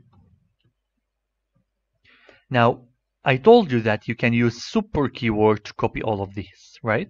So we will say super underscore super dot init. Okay. And by that, we have copied everything here. But we still have the problem of passing those here. Okay. Maybe we have copied those with the super, but we're still having a passing problem. Now, if I try to maybe compile this, first let, let me uh, get the object. So we have employee, or no, advanced employee, which will equal to advanced employee like that. Maybe just call it a employee. All right. Now let's say I try to pass the three parameters, since they are supposedly inherited, like uh, John, and age maybe 25, and then the business number, let's say it is 7891. If I try to run this, I'm going to have issues. It, will, it is saying that it was prepared to take 2, but it got 4, as you can see. Self it's always considered one, but you don't really pass it. So when you say it was supposed to take two for, for a method in a class, it means that it was supposed to take one actually because self is already taken care of. But here it's saying that four were given. So it was expecting only one. That means we did not really copy those to our inherited class. So how can we do that? You can do that simply by doing the following. You need to pass here star args and double star kwargs. Okay? You need to do that here and also here. Okay? So this, what those means, in very simple words, it means take everything that the init has, no matter how many variables are, and just copy them here. Okay, same thing here. It says take everything here and just copy them here. All right, now if I try to run this, Okay, we forgot to add that super is need parentheses as well, so let's try again. As you can see now we have no errors. Now if I try to print a employee dot let's say name and I just print it underscore name we would see we have 25. Now if we try to print the business number, take a look what's going to happen. Well, it got us the name. Why is that? Because of the order we are passing here. Okay, so here we need to put the new variables at the beginning. So this needs to go here right now. And then we have the regular order that we have over here, which is name age. So whatever new variables you have, you just put them at the beginning, then you put the others. Okay. Now, if we try to run, you'll see that we have John and the business number. Now let's try to print the age as well. Okay, we just have an indentation problem. Let's try again. We will see that we got the age.